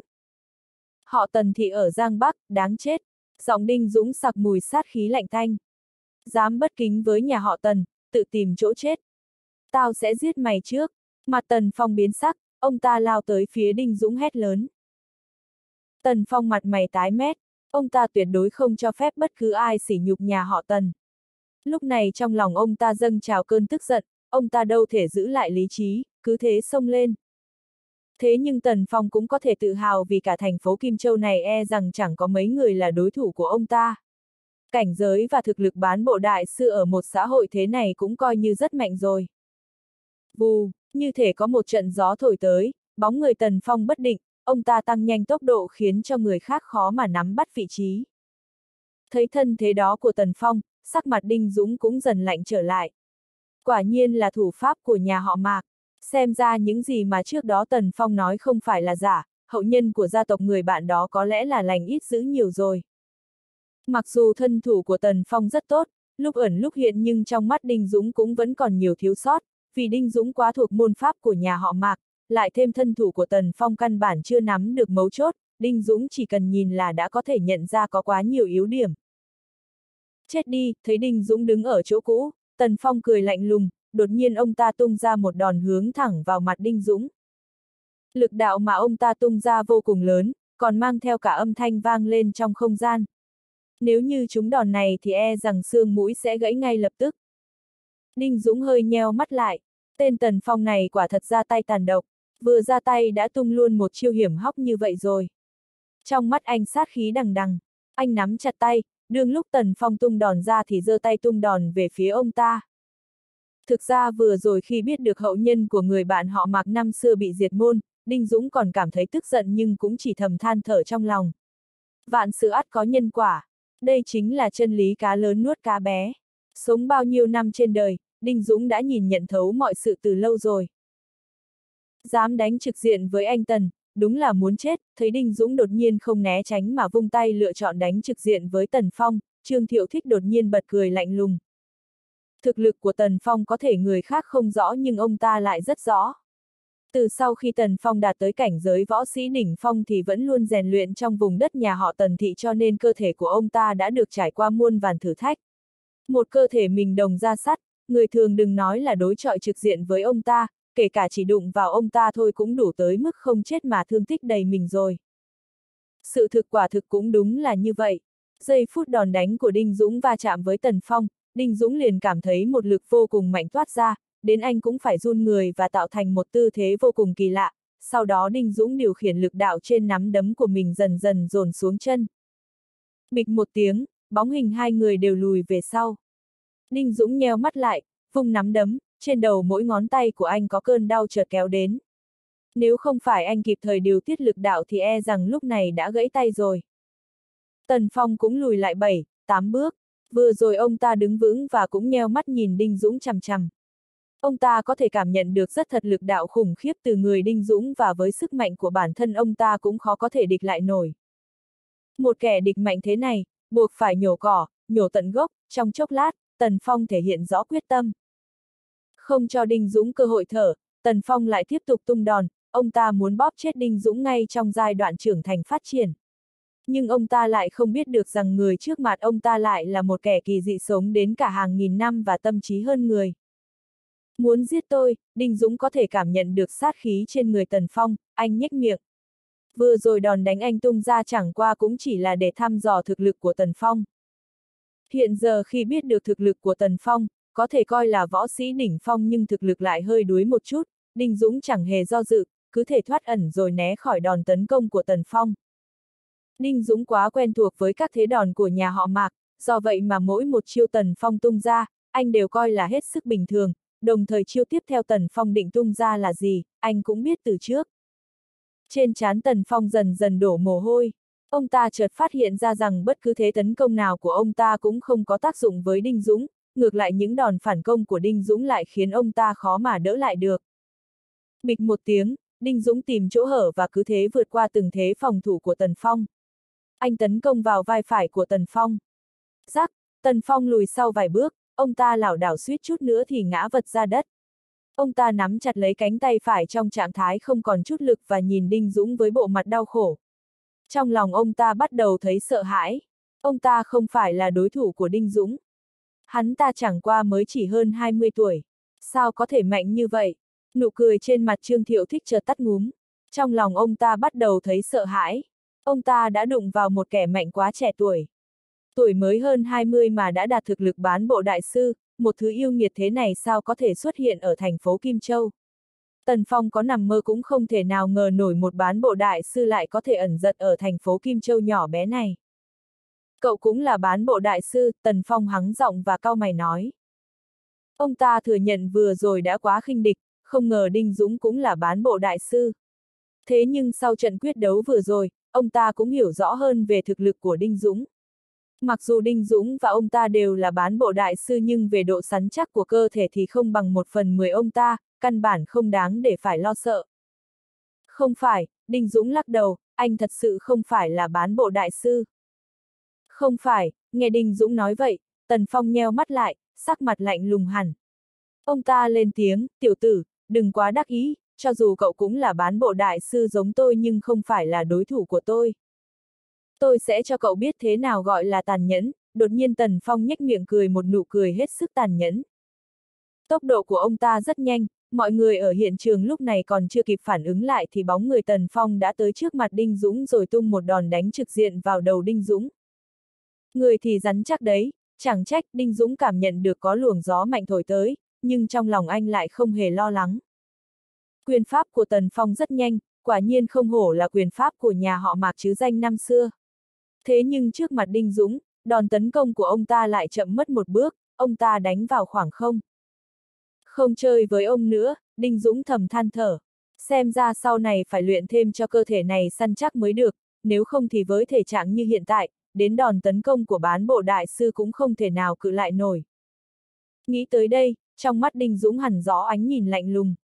Trong giây phút Tần Phong công kích lần nữa, anh né người sang bên cạnh Tần Phong rồi tung ra một đòn đánh vào phần nách của Tần Phong. Cộp, cộp, cộp, Tần Phong lùi sau mấy bước. Nhưng đương lúc bóng người ông ta còn chưa đứng vững thì Đinh Dũng đột nhiên đã lao lên, tóm chặt lấy cánh tay ông ta, đẩy ông ta về phía trước. Ngay sau đó, cánh tay còn lại của anh đã nắm chặt lại, đấm thẳng vào phần yết hầu của Tần Phong. Hự, a, à, Tần Phong gằn lên đau đớn. Ông ta ngã vật ra đất, mồm đầy máu tươi. Ninh Dũng phẩy vạt áo nhìn Tần Phong. Anh trao mày rồi lại nhìn Trương Thiệu Thích. Lúc này, Trương Thiệu Thích đang chuẩn bị đưa Trương Bồi Sơn chuồn đi, kết quả, bọn họ còn chưa đi được hai bước đã cảm nhận được ánh mắt băng giá phía sau. Hai người dừng bước, Trương Thiệu Thích hít một hơi thật sâu rồi đẩy Trương Bồi Sơn về sau để bảo vệ. Lúc này ông ta mới nhìn Đinh Dũng nói, không ngờ Kim Châu lại có người mạnh như cậu. Tôi rất tò mò, người có thực lực như cậu, tại sao phải chịu thiệt thòi ở lại nơi nhỏ bé như vậy chứ? Trương Thiệu Thích nắm chặt tay run run hỏi. Ninh Dũng nheo mày nhìn Trương Thiệu Thích cười lạnh nhạt, anh không trả lời ông ta mà hỏi ngược lại, có liên quan gì tới ông sao? Này nhóc, còn muốn đối phó với tao nữa không? Nói xong, Đinh Dũng đưa mắt nhìn Trương Bồi Sơn. Mặt Trương Bồi Sơn tái nhợt, hắn ta không ngờ ngay cả bố mình và Tần Phong cũng không phải đối thủ của Đinh Dũng nên lúc này hắn vô cùng hoảng loạn, làm gì dám nói thêm câu nào, chỉ biết nhìn bố xin sự trợ giúp. Cảm nhận được ánh mắt của con trai, sắc mặt của Trương Thiệu Thích cũng rất phức tạp, ông ta than dài một hơi, kéo Trương Bồi Sơn qua rồi khẽ trách, khốn kiếp, còn không mau xin lỗi đại ca đây đi. Con, Trương Bồi Sơn ngẩn người, ngạc nhiên nhìn bố mình, trước giờ hắn chưa từng thấy bố mình phải luồn cúi như vậy. Hắn run rẩy trong lòng, quỳ dạp xuống nói với Đình Dũng, đại ca, xin lỗi anh, là em sai rồi, tha cho em đi. Nhìn Trương Bồi Sơn quỳ dưới đất xin tha, Trương Thiệu thích siết chặt nắm đấm nhưng không nói thêm câu nào. Phế vật, chẳng làm lên trò chống gì. Tần Phong đứng ở một bên trao mày nhổ nước bọt xuống đất mắng nhiếc.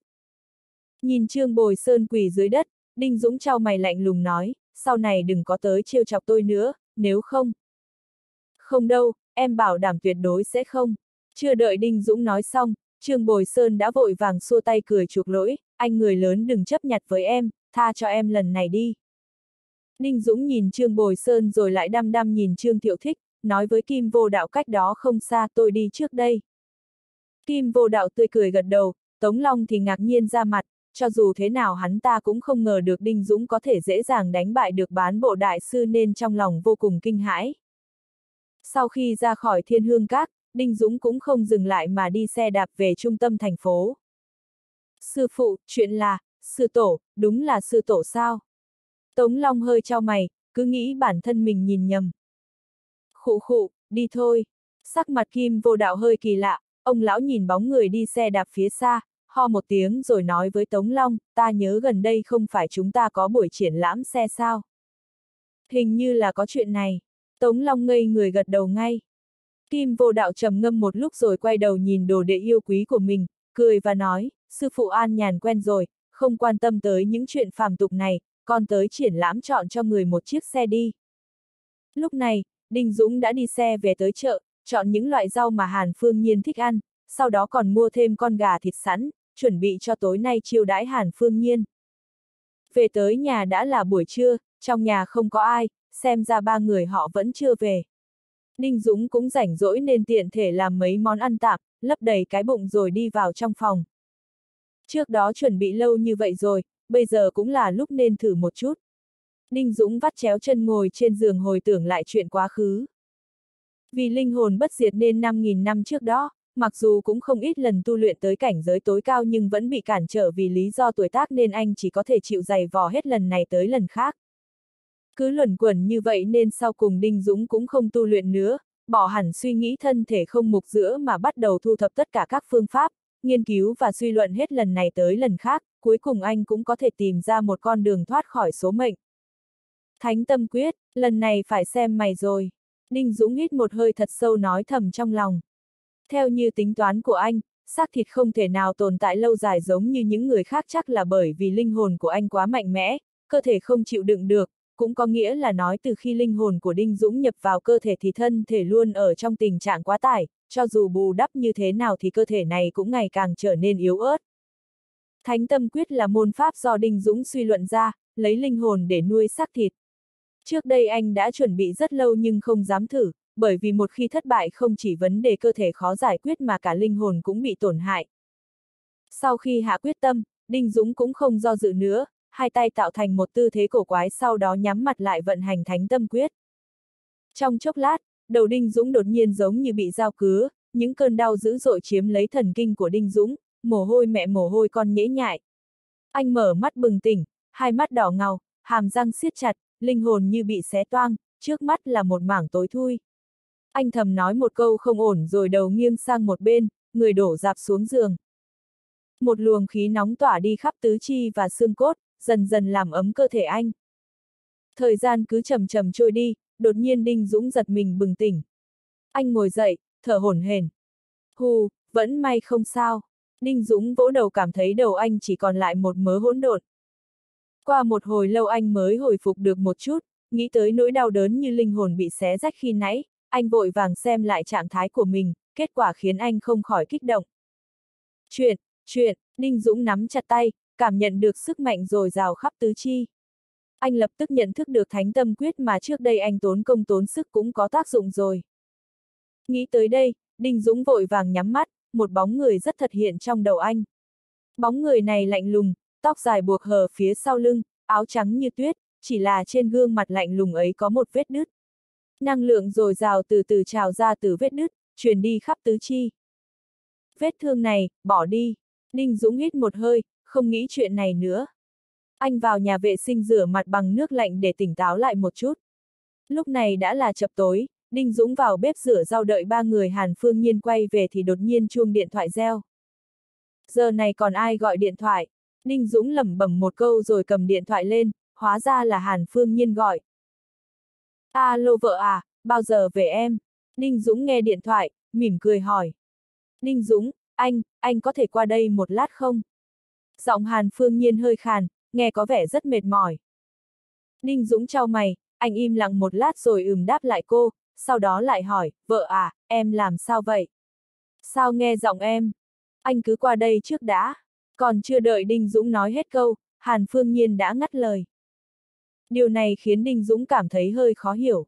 Anh cúp máy rồi lấy áo đi ra ngoài, đạp xe nhanh như bay về phía nhà họ Hàn. Nhà tổ họ của nhà họ Hàn ở Cảng Kỵ Long thành phố Kim Châu, chiếm diện tích tương đối lớn nhưng vì những hạng mục xây dựng không khai thác ở nơi này nên xung quanh có hơi hoang tàn. Giấc mơ cả đời của ông lão Hàn chính là có thể chuyển nhà tổ đi, hiện nay giá nhà đất cao ngất trời, muốn có một mảnh đất ở khu vực xa hoa, không nghĩ cũng biết khó tới mức nào. Với thực lực của nhà họ Hàn hiện tại, vốn không đủ để dọn đi. Lúc này trong nhà tổ họ Hàn có không ít người đang bận rộn, Lâm Hồng ngạn kéo Hàn Phương Nhiên ra đứng một góc, tận tình khuyên bảo, nhiên nhiên à, con cứ gọi thằng vô dụng đó đến làm gì. Mẹ à, dù gì anh ấy cũng là người nhà của chúng ta, mẹ có thể đừng lên tiếng là vô dụng gì đó không? Hàn Phương Nhiên khó chịu ra mặt, mặc dù Đinh Dũng không có bản lĩnh gì nhưng trên danh nghĩa, anh cũng là chồng cô. Nghĩ kỹ mà xem, suốt mấy năm qua, mặc dù Đinh Dũng chưa từng làm chuyện gì khiến cô phải ngưỡng mộ nhưng rất ít khi làm cô tức giận, ngày nào cũng làm cơm đợi cô về, không được cô cho phép, không vượt qua giới hạn. Sắc mặt Lâm Hồng Ngạn hơi khó coi, bà ta không quan tâm tới xung quanh mà kéo Hàn Phương Nhiên, nói con cũng biết, thằng vô. Ninh Dũng tới đây cũng sẽ bị các chú, các bác chê cười, tới lúc đó, người mất mặt là chúng ta, con chỉ. Mẹ, mẹ cứ nói như vậy là con giận đấy. Hàn Phương Nhiên hừ lạnh một tiếng làm bộ tức giận nói, nói thế nào con cũng không quan tâm, sao chúng ta có thể giống bọn họ chứ? Thấy Hàn Phương Nhiên nổi giận, Lâm Hồng Ngạn cũng làm tới, cũng hầm hực chống tay nói, mẹ không biết, tóm lại nó có đến, bị người ta chê cười cũng đáng đời, tới lúc đó đừng làm chúng ta cũng mất mặt theo, nếu không thì đừng trách mẹ không nể tình.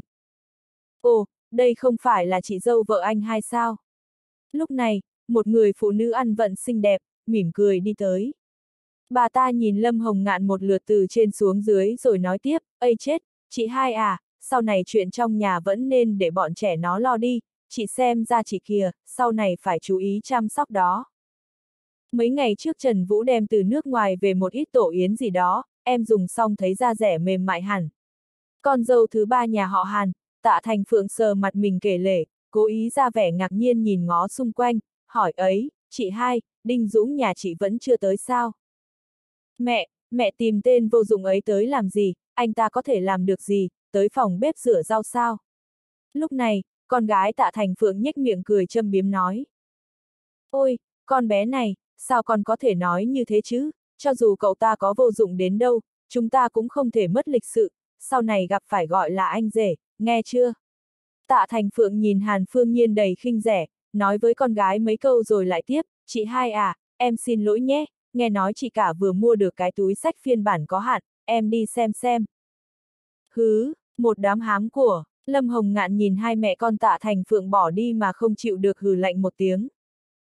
Hàn Phương Nhiên cắn môi, mặc dù cô biết những chú, bác của mình đều xem thường Đinh Dũng nhưng không ngờ lại trắng trợn tới mức sỉ nhục Đinh Dũng ngay trước mặt cô như vậy.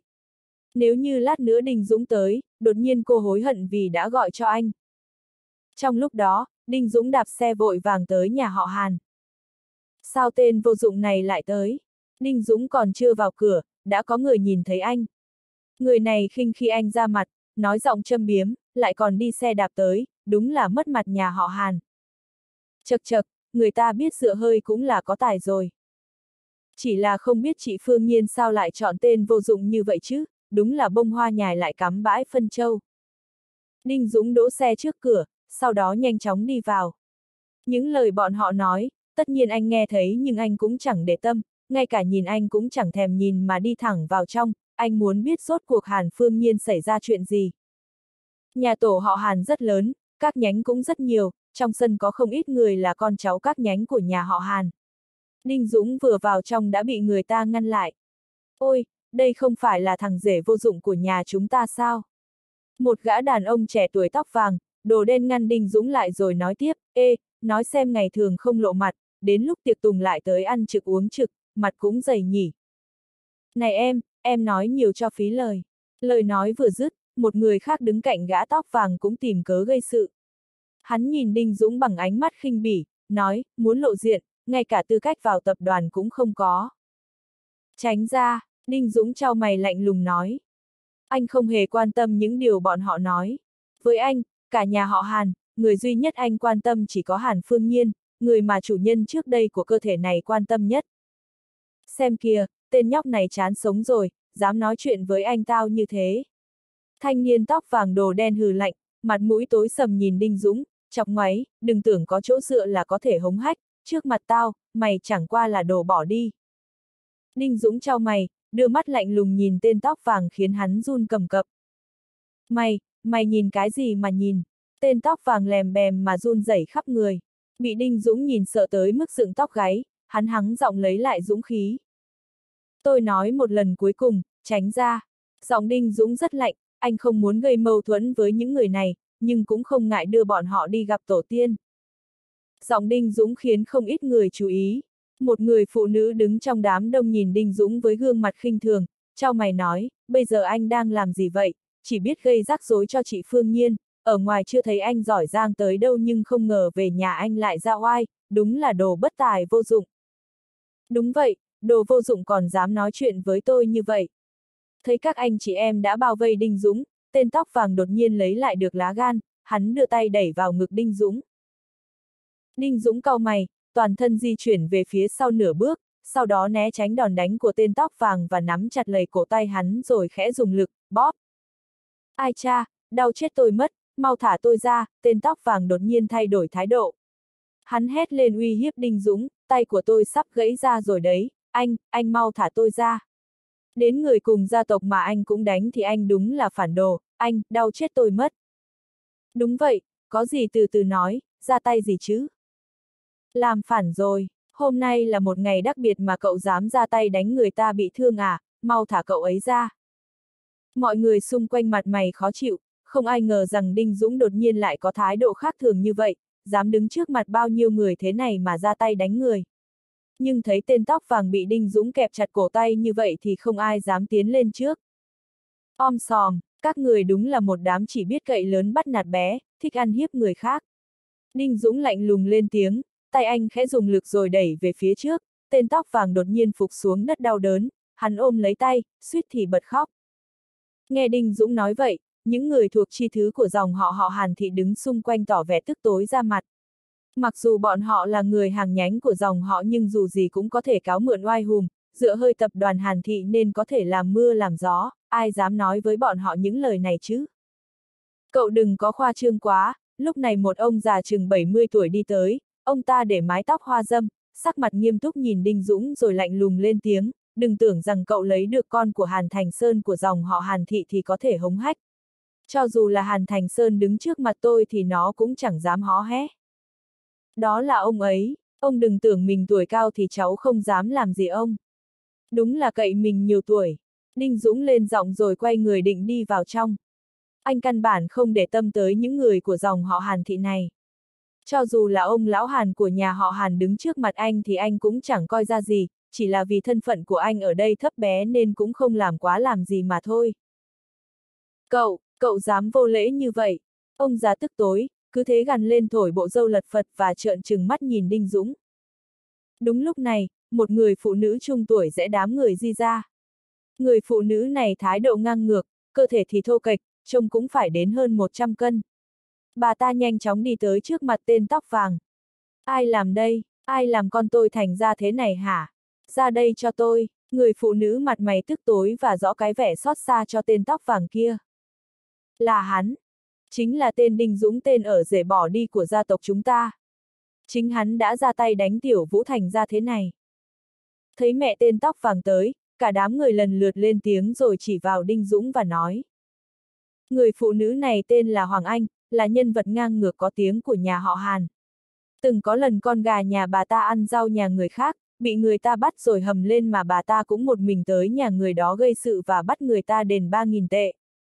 Thằng kia, mày đứng đấy cho tao, nghe mọi người nói vậy, Hoàng Anh lập tức nhìn chằm chằm Đinh Dũng rồi nạt nộ. Đinh Dũng đương nhiên biết bà ta, nghe thấy tiếng bà ta mà không khỏi đau đầu. Đinh Dũng không nhịn nổi bèn day day chán than thở, rồi không ngừng tăng nhanh tốc độ đi vào trong.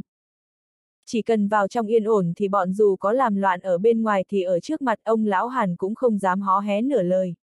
Bên trong không cho phép người của chi thứ đi vào cho nên Đinh Dũng hiểu rằng chỉ cần mình vào được trong đó thì có thể thoát khỏi rắc rối. Mau đuổi theo, nó muốn đi vào bên trong nhà. Gã đàn ông khi nãy đứng bên cạnh tên tóc vàng thấy Đinh Dũng đi nhanh hơn thì vội chỉ vào Đinh Dũng rồi hét lớn. Đúng vậy, Hoàng Vũ, mẹ kiếp, nếu để nó vào trong kia thì chúng ta hết cách đó. Ông già tóc hoa dâm lên tiếng, vừa rồi Đinh Dũng còn nói năng bất kính với ông ta, ông ta tức tối nên bảo Hoàng Anh đuổi theo dạy dỗ cho Đinh Dũng một phen. Sân trong và sân ngoài cách nhau không xa, Đinh Dũng đã nhanh chóng bước vào cửa sân trong thì đột nhiên đằng sau vang lên một loạt những tiếng bước chân nặng nề. Đinh Dũng biến sắc quay đầu lại nhìn thì chỉ thấy một bóng hình to kịch xông tới và đó chính là Hoàng Anh với khuôn mặt hung tợn hầm hầm. Thấy cảnh này, Đinh Dũng nhanh như mũi tên chạy ngay vào sân trong. Anh không sợ Hoàng Anh nhưng dù gì đây cũng là người nhà họ Hàn, lại là đàn bà con gái, nếu anh ra tay với bà ta thì sẽ bị chỉ trích. Vào sân trong thì đã sao? Tôi không tin cậu đánh người rồi thì ông lão Hàn có thể bênh cậu được, thấy Đinh Dũng đi vào sân trong, Hoàng Anh vẫn không hề có ý định dừng lại mà cứ thế xông vào bên trong. Đinh Dũng thấy Hoàng Anh xông vào thì cau mày. Bà ta vẫn luôn không giữ phép tắc thế này sao? Đến cả người dòng chính nhà họ Hàn mà cũng không coi ra gì. Sốt cục bà muốn làm gì? Thấy Hoàng Anh xông vào, Đinh Dũng cau mày rồi lạnh lùng lên tiếng. Hừ, muốn gì à? Tao muốn hỏi mày thì sao nào? Đánh con tao thành ra như vậy, tao không tin ông lão Hàn có thể bênh vực mày. Hoàng Anh tự tin lên tiếng ép người, bà ta lên giọng gần với Đinh Dũng. Sân trong không rộng lắm, giọng nói của Hoàng Anh lại như chuông đánh, lập tức kéo theo sự chú ý của tất cả mọi người. Chuyện gì vậy? Mau đi xem, ông Lão Hàn và những người khác đang nói chuyện với nhau thì đột nhiên nghe thấy tiếng ồn ào bên ngoài. Ông Lão cau mày rồi đứng dậy đi ra ngoài. Là ai không có mắt thế hả? Giờ là lúc nào mà còn ở bên ngoài om sòm, mấy người phía Hàn Thành Văn và Hàn Thành Võ đều nghiêm mặt. Ông Lão Hàn thực sự tức giận rồi đấy. Bọn họ chỉ có thể cầu không phải là do con cháu nhà mình gây ra mà thôi. Vốn dĩ Hàn Thành Sơn còn đang ngồi uống trà, thấy ông lão Hàn đột nhiên đi ra ngoài với vẻ mặt nghiêm trọng thì ông ta cũng vội đứng dậy đi theo và cười nói, bố, bố đang làm. Hừ, lẽ nào các con không nghe thấy tiếng ồn ào bên ngoài? Nghe Hàn Thành Sơn nói vậy, ông lão Hàn lạnh lùng lên tiếng. Hàn Thành Sơn tỏ vẻ ngượng ngùng, ông ta vội vàng đứng thẳng dậy đáp lời, con nghe thấy rồi, giờ con ra ngoài xem xem là ai. Không cần, bố tự đi xem. Nói rồi, ông lão Hàn lập tức đi ra ngoài. Hừm, có người đen đuổi rồi. Hàn Thành Phú đi tới, nhìn Hàn Thành Sơn rồi nói với giọng tức tối. Mặc dù Hàn Thành Sơn là người không được nhà họ Hàn coi trọng nhưng bốn người còn lại trong nhà họ Hàn cũng thường xuyên đấu đá lẫn nhau vì dù gì thì người chủ chốt nắm giữ cả tập đoàn Hàn Thị chỉ có một. Ông lão Hàn dẫn người đi ra phía cửa sân liền thấy Đinh Dũng đứng ở cửa và Hoàng Anh đang vỗ ngực bịch bịch, mặt mày khóc lóc làm loạn. Mấy người đang làm gì thế hả? Ông lão Hàn vốn dĩ không thích kẻ ở rể như Đinh Dũng nên lúc này nhìn thấy anh và Hoàng Anh làm om sòm ở cửa thì mặt ông trông rất khó coi. Thấy Đinh Dũng, sắc mặt Hàn Thành Sơn lập tức méo sạch. Vừa rồi ông ta còn đang chắc mẩm và cho rằng không thể nào là người nhà mình gây chuyện vì dù gì thì Lâm Hồng Ngạn và Hàn Phương Nhiên cũng rất hiểu biết, không thể nào làm ra những việc thế này được. Đinh Dũng, sao cậu lại ở đây? Hàn Thành Sơn mặt mày khó coi, ông ta lên tiếng nạt nộ Đinh Dũng. Nghe giọng nói vang lên phía sau mình, Đinh Dũng bất lực thở dài, anh quay người lại nhìn Hàn Thành Sơn rồi lại nhìn sang ông lão Hàn. Đinh Dũng phủi tay rồi nói, con cũng muốn biết vì sao mà bác này cứ đuổi theo con vào đây. Nghe Đinh Dũng nói vậy, ánh mắt của tất cả mọi người nhà họ Hàn đều dừng lại trên người Hoàng Anh vì dù sao thì những người ở sân ngoài không được vào sân trong. Đây là quy định mà đích thân ông lão Hàn đặt ra. Hiện giờ Hoàng Anh đột nhiên làm trái quy định, có nghĩa là không nể mặt ông lão Hàn. Đây là người của nhánh nào? Lẽ nào không biết quy định của nhà họ Hàn? Thấy ánh mắt ông lão Hàn di chuyển tới phía Hoàng Anh, Hàn Thành Văn lập tức lên tiếng nạt nộ. Hoàng Anh vốn dĩ còn đang đấm ngực, thấy ông lão Hàn thì liền nghiêm túc lại rồi ngồi xuống phịch xuống đất khóc lóc thảm thiết, đúng là không có đạo lý gì cả. Đánh người còn muốn bỏ chạy. Ông cố ơi, ông phải làm chủ cho cháu với. Ai đánh người? Rốt cục là có chuyện gì? Hàn Tông khôn cau mày nhìn Hoàng Anh chằm chằm. Hoàng Anh cảm nhận được ánh mắt của ông lão Hàn nên lập tức giơ tay chỉ vào Đinh Dũng, chính là nó, thằng bỏ đi này đánh con trai cháu. Bây giờ nó còn không muốn nhận, ông cố, ông phải lấy lại công bằng cho cháu với. Đinh Dũng, cháu ra tay với người ta ở nhà ngoài à, nghe xong, Hàn Tông Khôn không nói lời nào mà Hàn Thành Văn lại là người nhảy vào trước. Nếu như nói người ghét Đinh Dũng và Hàn Thành Sơn nhất thì có lẽ phải kể đến Hàn Thành Văn. Ông ta chỉ mong có thể khiến cả nhà Hàn Thành Sơn vĩnh viễn không bao giờ có thể bước chân vào nhà họ Hàn, lúc này thấy cơ hội đến nên đương nhiên ông ta không thể bỏ qua. Cho dù là sân trong hay sân ngoài thì đều là người của nhà họ Hàn.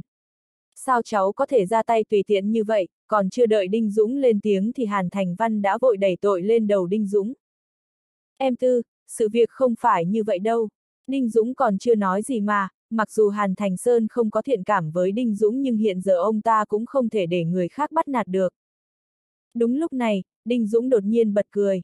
Anh thấy những thành viên trong gia tộc Hàn Thị phía sau Hàn Thành Văn và Hàn Tông Khôn đang bày ra bộ dạng xem trò hay thì không khỏi khó chịu và tỏ ra lạnh lùng. Cháu cười cái gì? Hàn Thành Văn lạnh lùng lên tiếng, sau đó ông ta nhìn sang Hàn Thành Sơn rồi nói tiếp, người ta đã tìm tới tận cửa rồi mà còn có thể là giả sao. Mọi ánh mắt đều đổ dồn lên người Đinh Dũng. Hàn Thành Sơn cũng nhìn sang phía Đinh Dũng và nói với giọng cuống quýt, rốt cục có chuyện gì. Đinh Dũng mau nói với ông nội đi.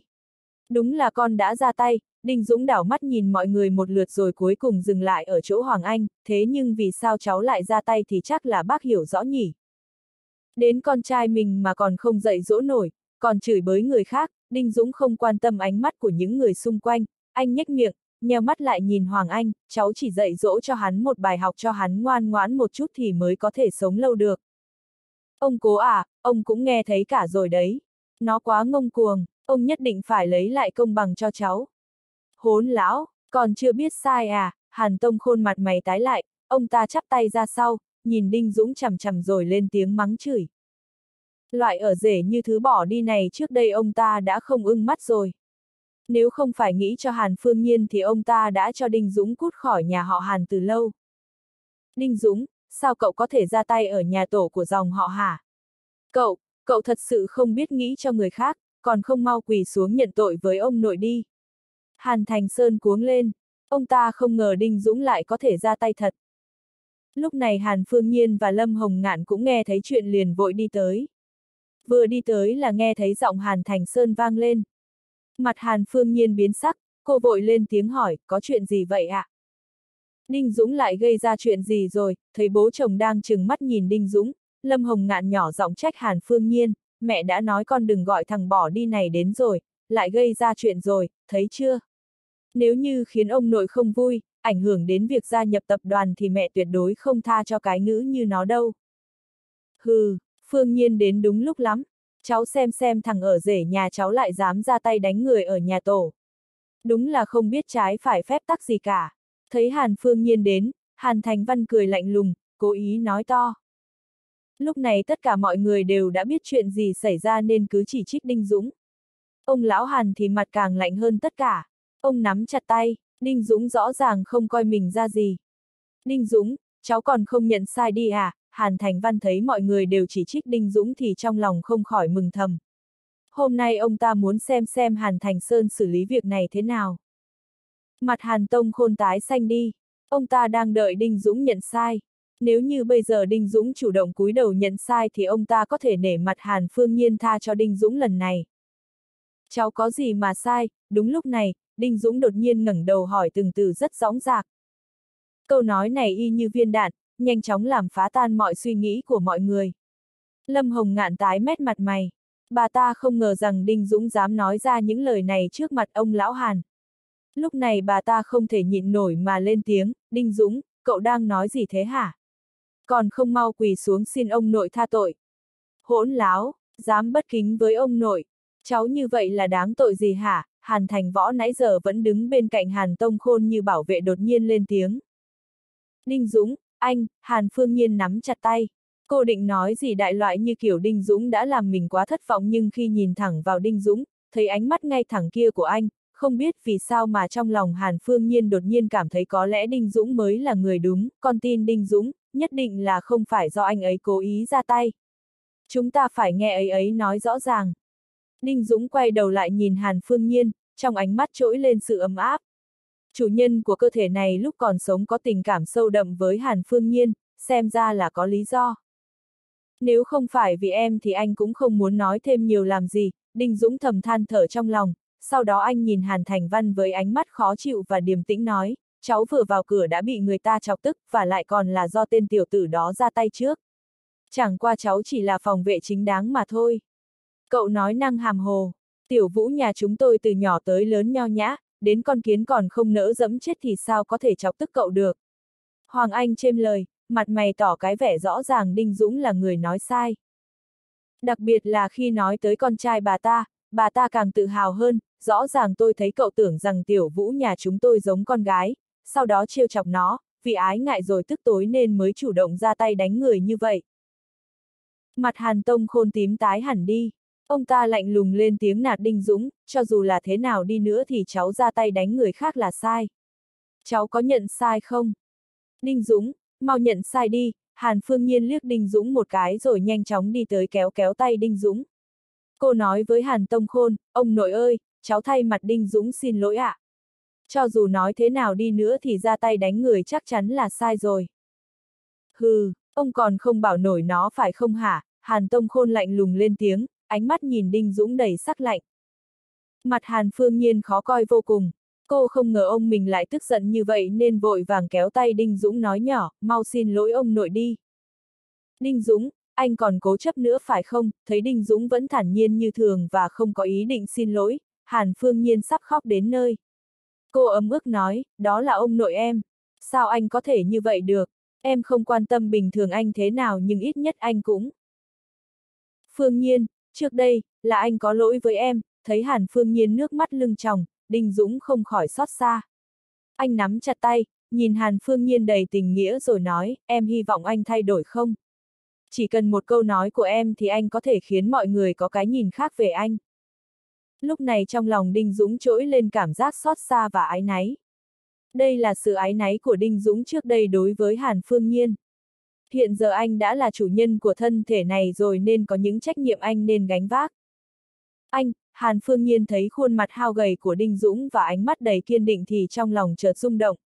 Mặc dù cô biết Đinh Dũng không làm được nhưng cô vẫn cắn răng bặm môi gật đầu dứt khoát. Thấy Hàn Phương Nhiên gật đầu, Đinh Dũng hít vào thật sâu, miệng anh nhếch lên. Xem ra anh cần làm một số việc để thay đổi nhận thức của một số người về mình rồi.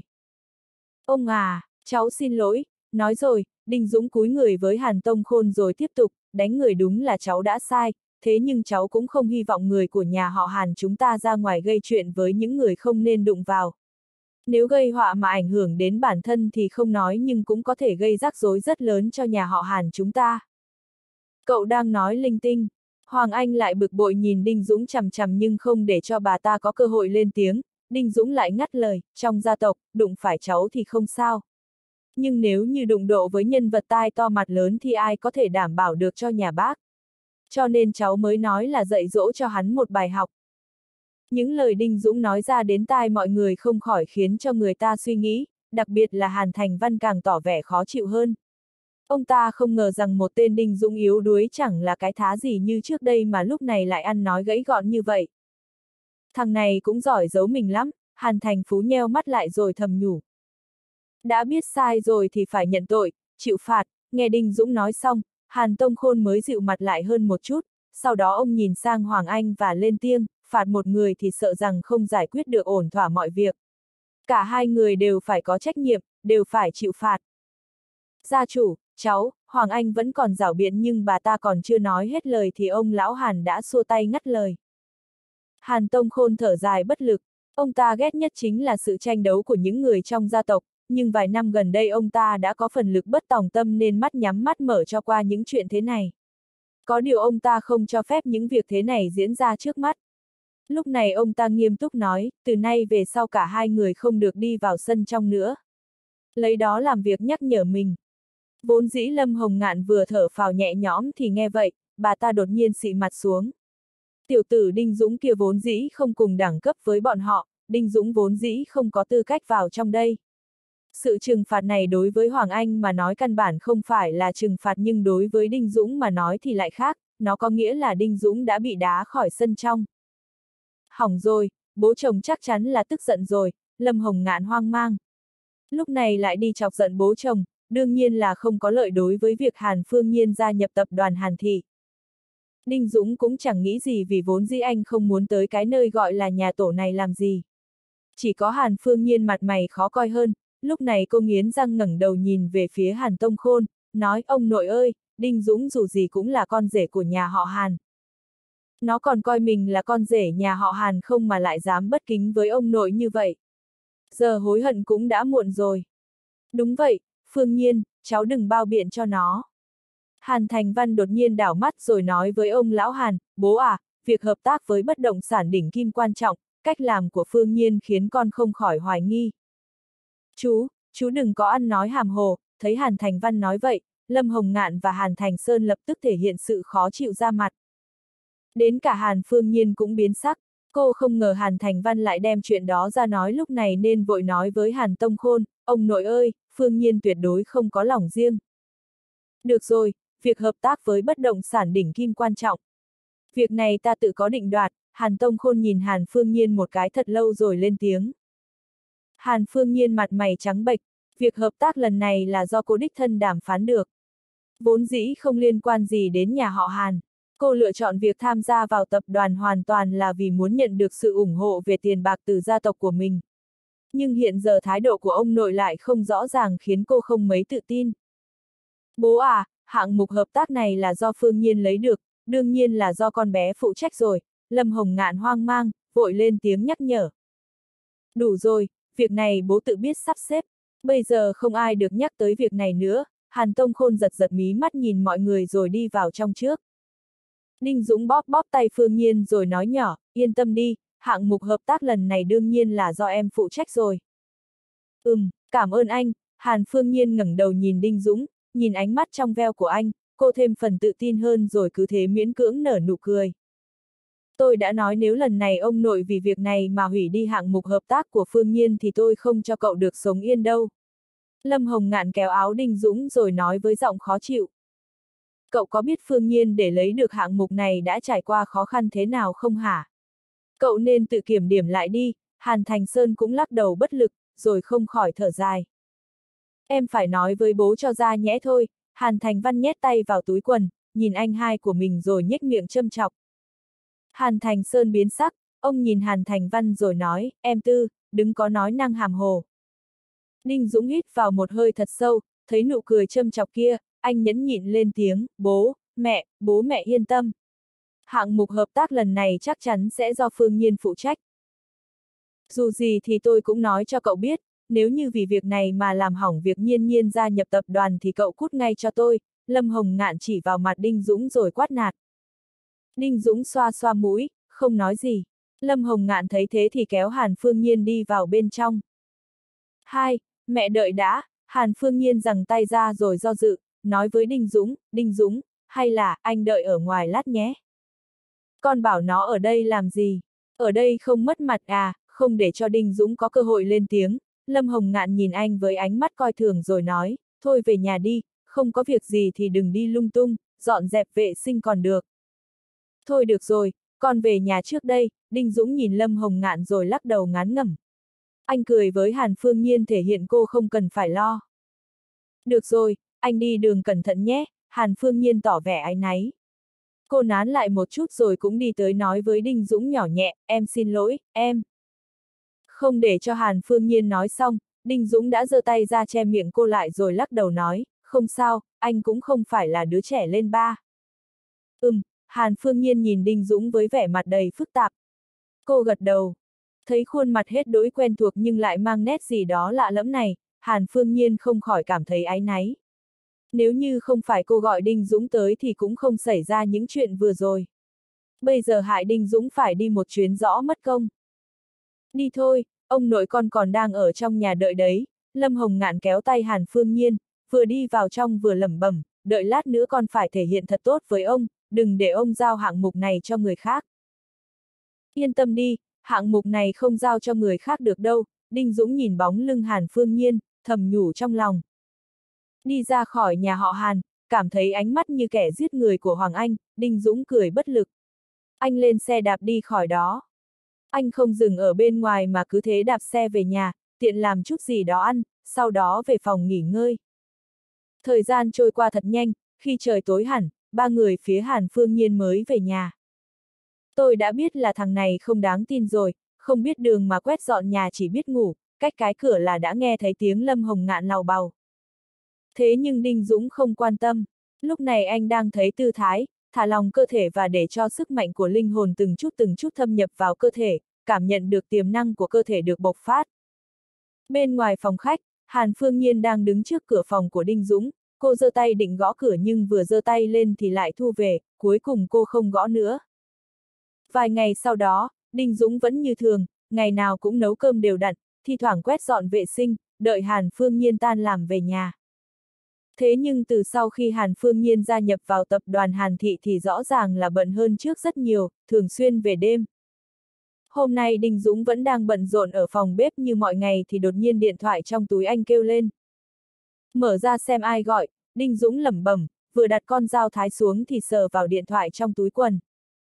Bạn của Đinh Dũng vô cùng ít, bao nhiêu ngày rồi, ngoài Kim Vô Đạo và Hàn Phương Nhiên ra thì thật sự không có ai chủ động gọi điện thoại cho anh.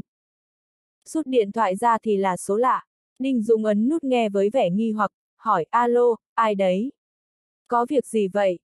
Xin hỏi, là anh Đinh Dũng phải không? Đầu dây bên kia là tiếng của một người con gái, giọng nói rất dễ nghe.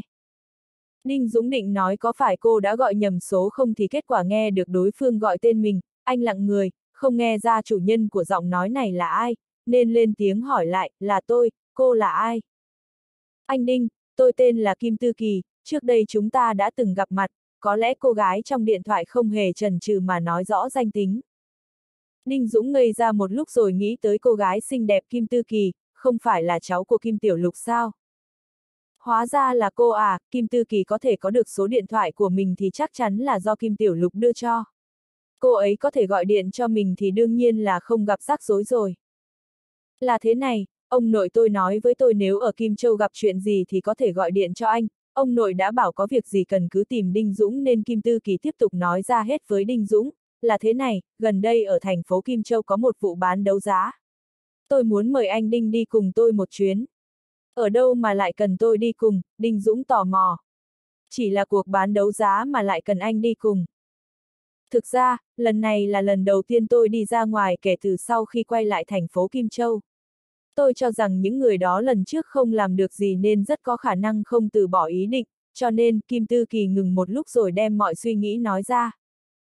Đinh Dũng cũng hiểu lời mời này có nghĩa là muốn anh làm vệ sĩ đi cùng.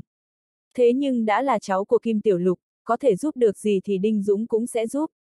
Thế là Đinh Dũng đồng ý, được, cô gửi thời gian và địa chỉ cho tôi. Được, thời gian là vào ngày mai, tới lúc đó tôi sẽ cho người đi đón anh, Kim Tư Kỳ thở phào. Mặc dù cô không biết vì sao ông nội lại bảo mình tìm Đinh Dũng nhưng nghĩ lại thì người mà ông nội xem trọng chắc chắn không hề tầm thường. Trước đây cô sợ Đinh Dũng không đồng ý, lúc này Đinh Dũng đồng ý rồi thì cô cảm thấy nhẹ lòng hẳn. Kim Tư Kỳ nói tiếp, đúng rồi, ông nội tôi còn bảo tôi chuẩn bị cho anh một món quà, tới lúc đó sẽ đưa tới cho anh luôn.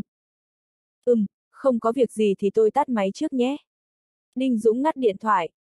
Sau đó anh cũng không nghĩ nhiều về việc này mà cho điện thoại vào túi quần và bận rộn với việc bếp núc. Rất nhanh chóng, bữa tối thịnh soạn đã được bày ra. Lâm Hồng Ngạn và Hàn Thành Sơn ra ngoài ăn tiệc, tối nay không ăn cơm nhà. Ninh Dũng chuẩn bị thịnh soạn một bữa để ăn với Hàn Phương Nhiên. Thấy trời càng lúc càng tối, Hàn Phương Nhiên vẫn chưa về, cơm canh nguội ngắt nên Đinh Dũng thở dài, đem đồ ăn đậy điểm cả lại, chuẩn bị đi tới tập đoàn Hàn Thị tìm Hàn Phương Nhiên.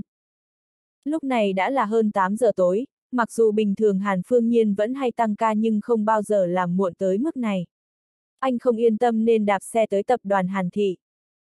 Cả tòa nhà chìm vào im lặng, Đinh Dũng bất giác cau mày, rút điện thoại ra điện cho Hàn Phương Nhiên.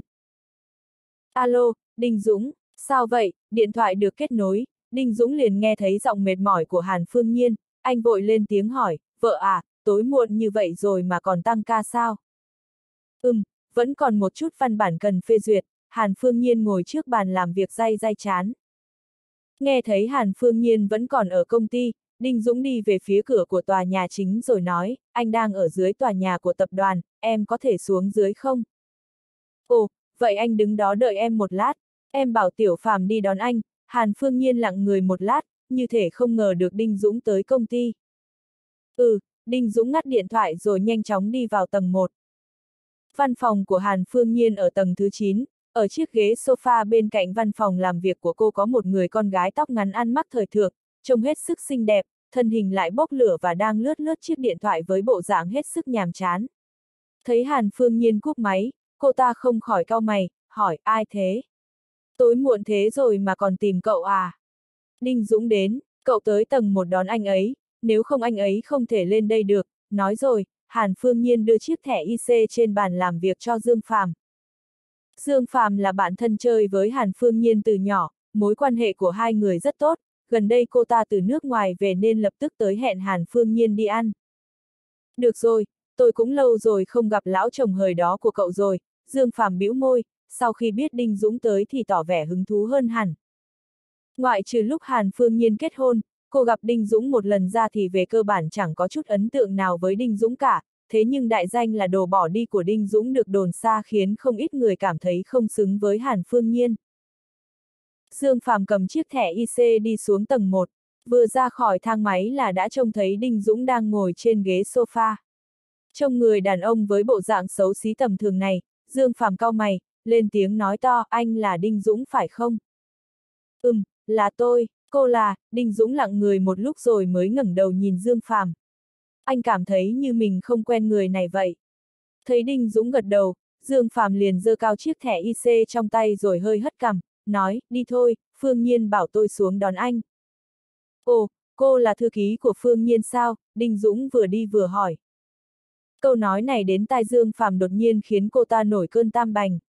Cô ta ưỡn ngực, liếc sang Đinh Dũng, nói anh trông bà cô đây giống thư ký lắm à? Vậy cô chính là bạn của Phương Nhiên rồi. Đinh Dũng chủ động ngó lơ sự phẫn nộ của Dương Phàm rồi hỏi. Hai người rất nhanh đã tới tầng thứ 9, còn chưa vào văn phòng của Hàn Phương Nhiên mà đã thấy cô đi ra. Cô để lại luôn tập tài liệu bên trên chiếc bàn ở ngoài, sau đó nói với Đinh Dũng, đây là Dương Phàm, là bạn thân của em. Trước đó chắc là hai người đã từng gặp nhau. Cô ấy mới từ nước ngoài về, hẹn em đi ăn cơm. Chúng ta đi thôi. Từ sau sự việc vừa rồi, Hàn Phương Nhiên đã thay đổi cách nhìn về Đinh Dũng. Nếu như trước đây thì cô tuyệt đối sẽ không chủ động mời Đinh Dũng đi ra ngoài ăn cùng mình. Ừ, tối nay anh mời, Đinh Dũng gật đầu, cười nói. Thôi xin, anh mà mời là cho hai người chúng tôi chết đói à, Hàn Phương Nhiên còn chưa trả lời thì Dương Phạm đã lên tiếng trách móc trước. Dù thì thì danh tiếng của Đinh Dũng cũng đã quá nổi, một gã ở rể không có lấy chút bản lĩnh gì mà có thể mời cô ăn sao. Tiểu Phàm, Hàn Phương Nhiên liếc Dương Phàm một cái rồi chủ động kéo lấy cánh tay Dương Phàm, nói, đi thôi. Tôi mời cậu tới bất dạ thành ăn một bữa no nê. Thế còn được, Dương Phàm hắng giọng rồi gật đầu. Đi thôi, Hàn Phương Nhiên liếc Đinh Dũng rồi cười nói. Cả ba người đi ra khỏi tòa nhà của tập đoàn Hàn Thị, gọi một chiếc xe đi tới Bất Dạ Thành. Bất Dạ Thành là tên gọi riêng của một nơi phồn hoa bậc nhất Kim Châu. Ở đây gần như lúc nào cũng nhộn nhịp, chỉ cần là những gì mà Kim Châu có thì đều có thể tìm thấy ở nơi này. Trước đó thiên hương các mà Đinh Dũng từng đến cũng ở gần đây. Trước đó Hàn Phương Nhiên đã đặt chỗ xong xuôi rồi. Hiện giờ bọn họ đang đi qua thiên hương các. Dương Phàm hào hứng chỉ tay vào thiên hương các rồi hét lên, oa, mau nhìn kìa đó chính là thiên hương các. Là nhà hàng nổi tiếng bậc nhất Kim Châu. Nếu có cơ hội mà được tới đó ăn một bữa cơm thì chết cũng đáng. Vậy cậu phải phấn đấu nhiều rồi. Tương lai phải lấy một anh chồng giàu có bảo anh ấy cho đi ăn, Hàn Phương Nhiên vuốt tóc mái rồi cười nói. Đinh Dũng nhìn bộ dạng kỳ lạ đó rồi xoa xoa mũi.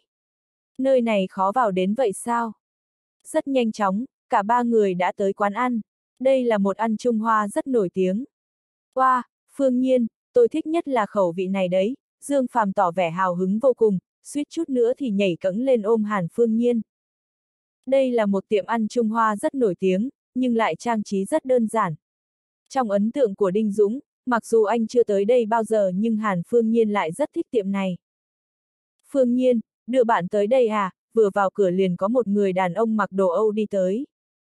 Hàn Phương Nhiên gật đầu cười hiền hòa rồi nói với người đàn ông kia, vâng, anh Lâm, giúp em sắp xếp chỗ nhé. Đi theo anh nhé, người đàn ông mặc đồ Âu dẫn mấy người phía Hàn Phương Nhiên tới một vị trí gần cửa sổ rồi lịch thiệp kéo ghế ra thể hiện ý mời Hàn Phương Nhiên ngồi xuống. Hàn Phương Nhiên nhìn Đinh Dũng một cái, cô không ngồi xuống luôn mà nói với người đàn ông kia, phiền anh Lâm rồi. Anh cứ làm việc của mình đi, sắp xếp cho bọn em một nhân viên phục vụ là được. Người đàn ông mặc đồ Âu kia cười tươi giói rồi cau mày nhìn Đinh Dũng một cái và gật đầu đáp, tôi nghe nói nhà họ Hàn thì có cả người ở rể, cả ngày chẳng có việc gì làm, rất nhàn rỗi, không phải là anh chứ. Người này vừa dứt lời, sắc mặt Hàn Phương Nhiên đột nhiên khó coi hơn hẳn. Cô biết quản lý Lâm Bân của nhà hàng này có ý tứ gì nhưng cô không ngờ Lâm Bân lại thể hiện rõ ràng thái độ khiêu khích như thế với Đinh Dũng. Anh nghe ai nói? Đinh Dũng ngẩng đầu nhìn người đàn ông mặc đồ Âu kia rồi hỏi lạnh nhạt. Cái này, sắc mặt Dương Phàm cũng hơi khó coi. Nhưng câu nói vừa rồi của Đinh Dũng lại khiến cô buồn cười. Dương Phàm không nhịn được nên bật cười. Anh, Dương Phàm cũng bị câu trả lời không khách khí của Đinh Dũng làm cho thẫn thờ, thế nhưng anh ta rất nhanh chóng đã phản ứng lại rồi hắng giọng và nói với Hàn Phương Nhiên, không ngờ lại đúng là thật, Phương Nhiên, sao em có thể lựa chọn cưới một tên bỏ đi thế này? Em nhất định phải chịu khổ đấy. Chỉ cần em lên tiếng, anh. Đủ rồi, mặt Hàn Phương Nhiên tối sầm cả lại. Cô nhìn Lâm Bân rồi nắm chặt tay, nghiến răng, nói quản lý Lâm, đề nghị anh sắp xếp phục vụ và đưa thực đơn cho chúng tôi. Được, nghe Hàn Phương Nhiên nói vậy, Lâm Bân nghiến răng gật đầu. Anh ta lạnh lùng nói với Đinh Dũng, chỉ biết trốn sau lưng đàn bà, đúng là hèn. Đinh Dũng, anh đừng để ý, Hàn Phương Nhiên nghiến răng bặm môi. Cô không ngờ rằng Lâm Bân lại có thể nói ra những lời thế này nên trong lòng không khỏi ái náy. Cô vội ngồi xuống rồi cười miễn cưỡng nói, mau ngồi xuống thôi. Yên tâm đi, anh không sao, Đinh Dũng lắc đầu đáp lời. Anh sẽ không để ý tới chuyện này nhưng tên này mà còn tiếp tục gây sự thì Đinh Dũng phải nói rõ ràng với hắn. Cái ý đồ đen tối của Lâm Bân, Đinh Dũng biết thừa. Muốn cướp vợ anh phải hỏi nắm đấm của anh trước cái đã. Cát, người ta còn đè đầu cưới cổ anh thế rồi mà anh còn không quan tâm à. Thật không biết anh có phải là đàn ông nữa không, thấy Đinh Dũng đột nhiên thản nhiên như vậy, Dương Phàm bĩu môi châm chọc. Nghe Dương Phàm nói thế, Đinh Dũng nhướng mày nhìn cô nghiêm nghị, nói, liên quan tới cô à? Không liên quan nhưng tôi và Hàn Phương Nhiên, Dương Phàm bất bình, không ngờ Đinh Dũng lại có thể nói với mình bằng giọng điệu như vậy nên cô rất tức giận. Thế nhưng còn chưa kịp nói xong thì đã bị Đinh Dũng ngắt lời, đã không liên quan thì im đi, ăn thêm và bớt lời mới sống lâu được. Anh, anh, anh, Phương Nhiên, cậu xem anh ta kìa, Dương Phạm bĩu môi nhìn sang Hàn Phương Nhiên cầu xin sự trợ giúp. Hàn Phương Nhiên cười bất lực rồi gõ gõ vào đầu Dương Phạm. được rồi, Đinh Dũng chỉ là trêu cậu chút thôi. Hừ, ai bảo anh ta trêu đùa chứ, Dương Phạm bĩu môi hắng giọng, mặt mày bất bình. Thấy nụ cười bất lực của Hàn Phương Nhiên, Đinh Dũng thở dài. Xem ra mối quan hệ của cô ta và Hàn Phương Nhiên rất thân thiết. Có phải vừa rồi mình hơi hung không? Nghĩ tới đây, Đinh Dũng cầm thực đơn trên bàn lên sau đó đặt trước mặt Dương Phàm, nể tình cô là bạn thân của Phương Nhiên, hôm nay tôi mời, muốn ăn gì cứ gọi. Cát, anh mời à, có thể mời tôi ăn cái gì chứ, Dương Phàm bĩu môi. Tôi nói rồi, cô cứ chọn món đi. Đinh Dũng ngồi xuống, đặt hai tay lên bàn, nhìn Hàn Phương Nhiên nói, Phương Nhiên, sau này em bớt tăng ca đi. Mặc dù công việc quan trọng nhưng cũng phải chú ý đến sức khỏe. Anh chắc chắn để tôi gọi món chứ? Anh có trả nổi không? Dương Phàm nhìn Đinh Dũng rồi hỏi rất nghiêm túc tuy nhiên bộ mặt lại hết sức trêu người, tới lúc đó không phải anh bảo Hàn Phương Nhiên trả tiền chứ. Tôi ghét nhất chính là loại không có tiền mà giả bộ đấy. Cô nói nhiều thật đấy, bảo cô gọi thì cứ gọi đi. Cô quan tâm việc trả tiền làm gì, Đinh Dũng cau mày. Nếu không phải nể mặt cô ta là bạn thân của Hàn Phương Nhiên thì anh đã rằng lấy thực đơn về rồi. Nghe Đinh Dũng nói vậy, Dương Phàm ngồi thẳng người rồi cầm thực đơn, lạnh lùng lên tiếng, gọi thì gọi, ai sợ ai chứ? Tới lúc đó không trả được tiền, tôi xem anh định làm gì. Nói rồi, cô ta bắt đầu cầm thực đơn lên rồi ngoặc điên cuồng lên đó. Lúc này ở cửa ra vào của cửa hàng có ba người đàn ông vạm vỡ đi tới, bọn họ còn chưa vào cửa là đã hét gọi Lâm Bân, Bân Tử, mau sắp chỗ cho mấy anh đây. Ôi chao, anh xà, anh đến rồi ạ, à. nghe thấy tiếng gọi, Lâm Bân vội vàng quay đầu nhìn, thấy ba gã đàn ông đang đi tới thì sắc mặt anh ta thay đổi hẳn. Anh xà là tên du côn có tiếng gần đây, chuyên ỉ mạnh bắt nạt yếu. Lâm Bân chỉ là một quản lý còn con, không dám đắc tội với một đại ca như vậy. Ba gã đàn ông đều mặc quần đùi áo đen, cánh tay xăm trổ hoa hòe hoa sói, cầm đầu là anh xà, thân hình lực lưỡng, trên cánh tay hắn còn có rất nhiều sẹo dài và còn xăm trổ hình con rồng đen. Trông đã thấy hung tợn lắm rồi. Hai anh em của anh đây muốn ăn món tủ của nhà hàng chứ không phải đến chơi không, anh xà nheo mắt lại vỗ vào vai Lâm Bân rồi nói tiếp, còn không mau sắp chỗ cho mấy anh đây. Đây, chỗ em hiện giờ hết chỗ rồi ạ, à, Lâm Bân nói với vẻ bị làm khó. Hôm nay buôn may bán đắt, các chỗ đã hết sạch, vị trí mà Đinh Dũng và Hàn Phương Nhiên ngồi là do anh ta hứng về được để chiêu đãi Hàn Phương Nhiên. Ai ngờ tên anh xà này lúc này lại tới đây. Cái gì, hết chỗ rồi, anh xà cao mày, vỗ vào vai Lâm Bân rồi nói với giọng lạnh tanh, ý của cậu là bảo mấy anh này đi về à? Bị anh xà tóm vai lại, Lâm Bân ứa mồ hôi chán. Anh ta sợ hãi nhìn anh xà, mắt đảo một vòng rồi lại nhìn sang chỗ Đinh Dũng và nghiến răng nói, vốn dĩ em để chỗ cho các anh rồi nhưng vừa có người đến đòi bằng được chỗ đó. Em không đụng được tới người ta nên. Câu nói cuối cùng Lâm Bân không định nói ra. Anh xà nghe tới đây liền tức tối ra mặt. Hắn ta điên lên, dẫn anh mày đi xem xem. Sốt cục là đứa nào mà to gan vậy? Dám cướp chỗ của lão xà này đây. Thực ra trong lòng anh xà cũng biết rõ không thể nào giữ chỗ cho mình được nhưng Lâm Bân đã nói vậy rồi thì hắn ta chỉ có thể thuận nước đẩy thuyền, lấy lại chỗ ngồi đó về, nếu không thì chắc chắn sẽ bị người ta cười vào mặt.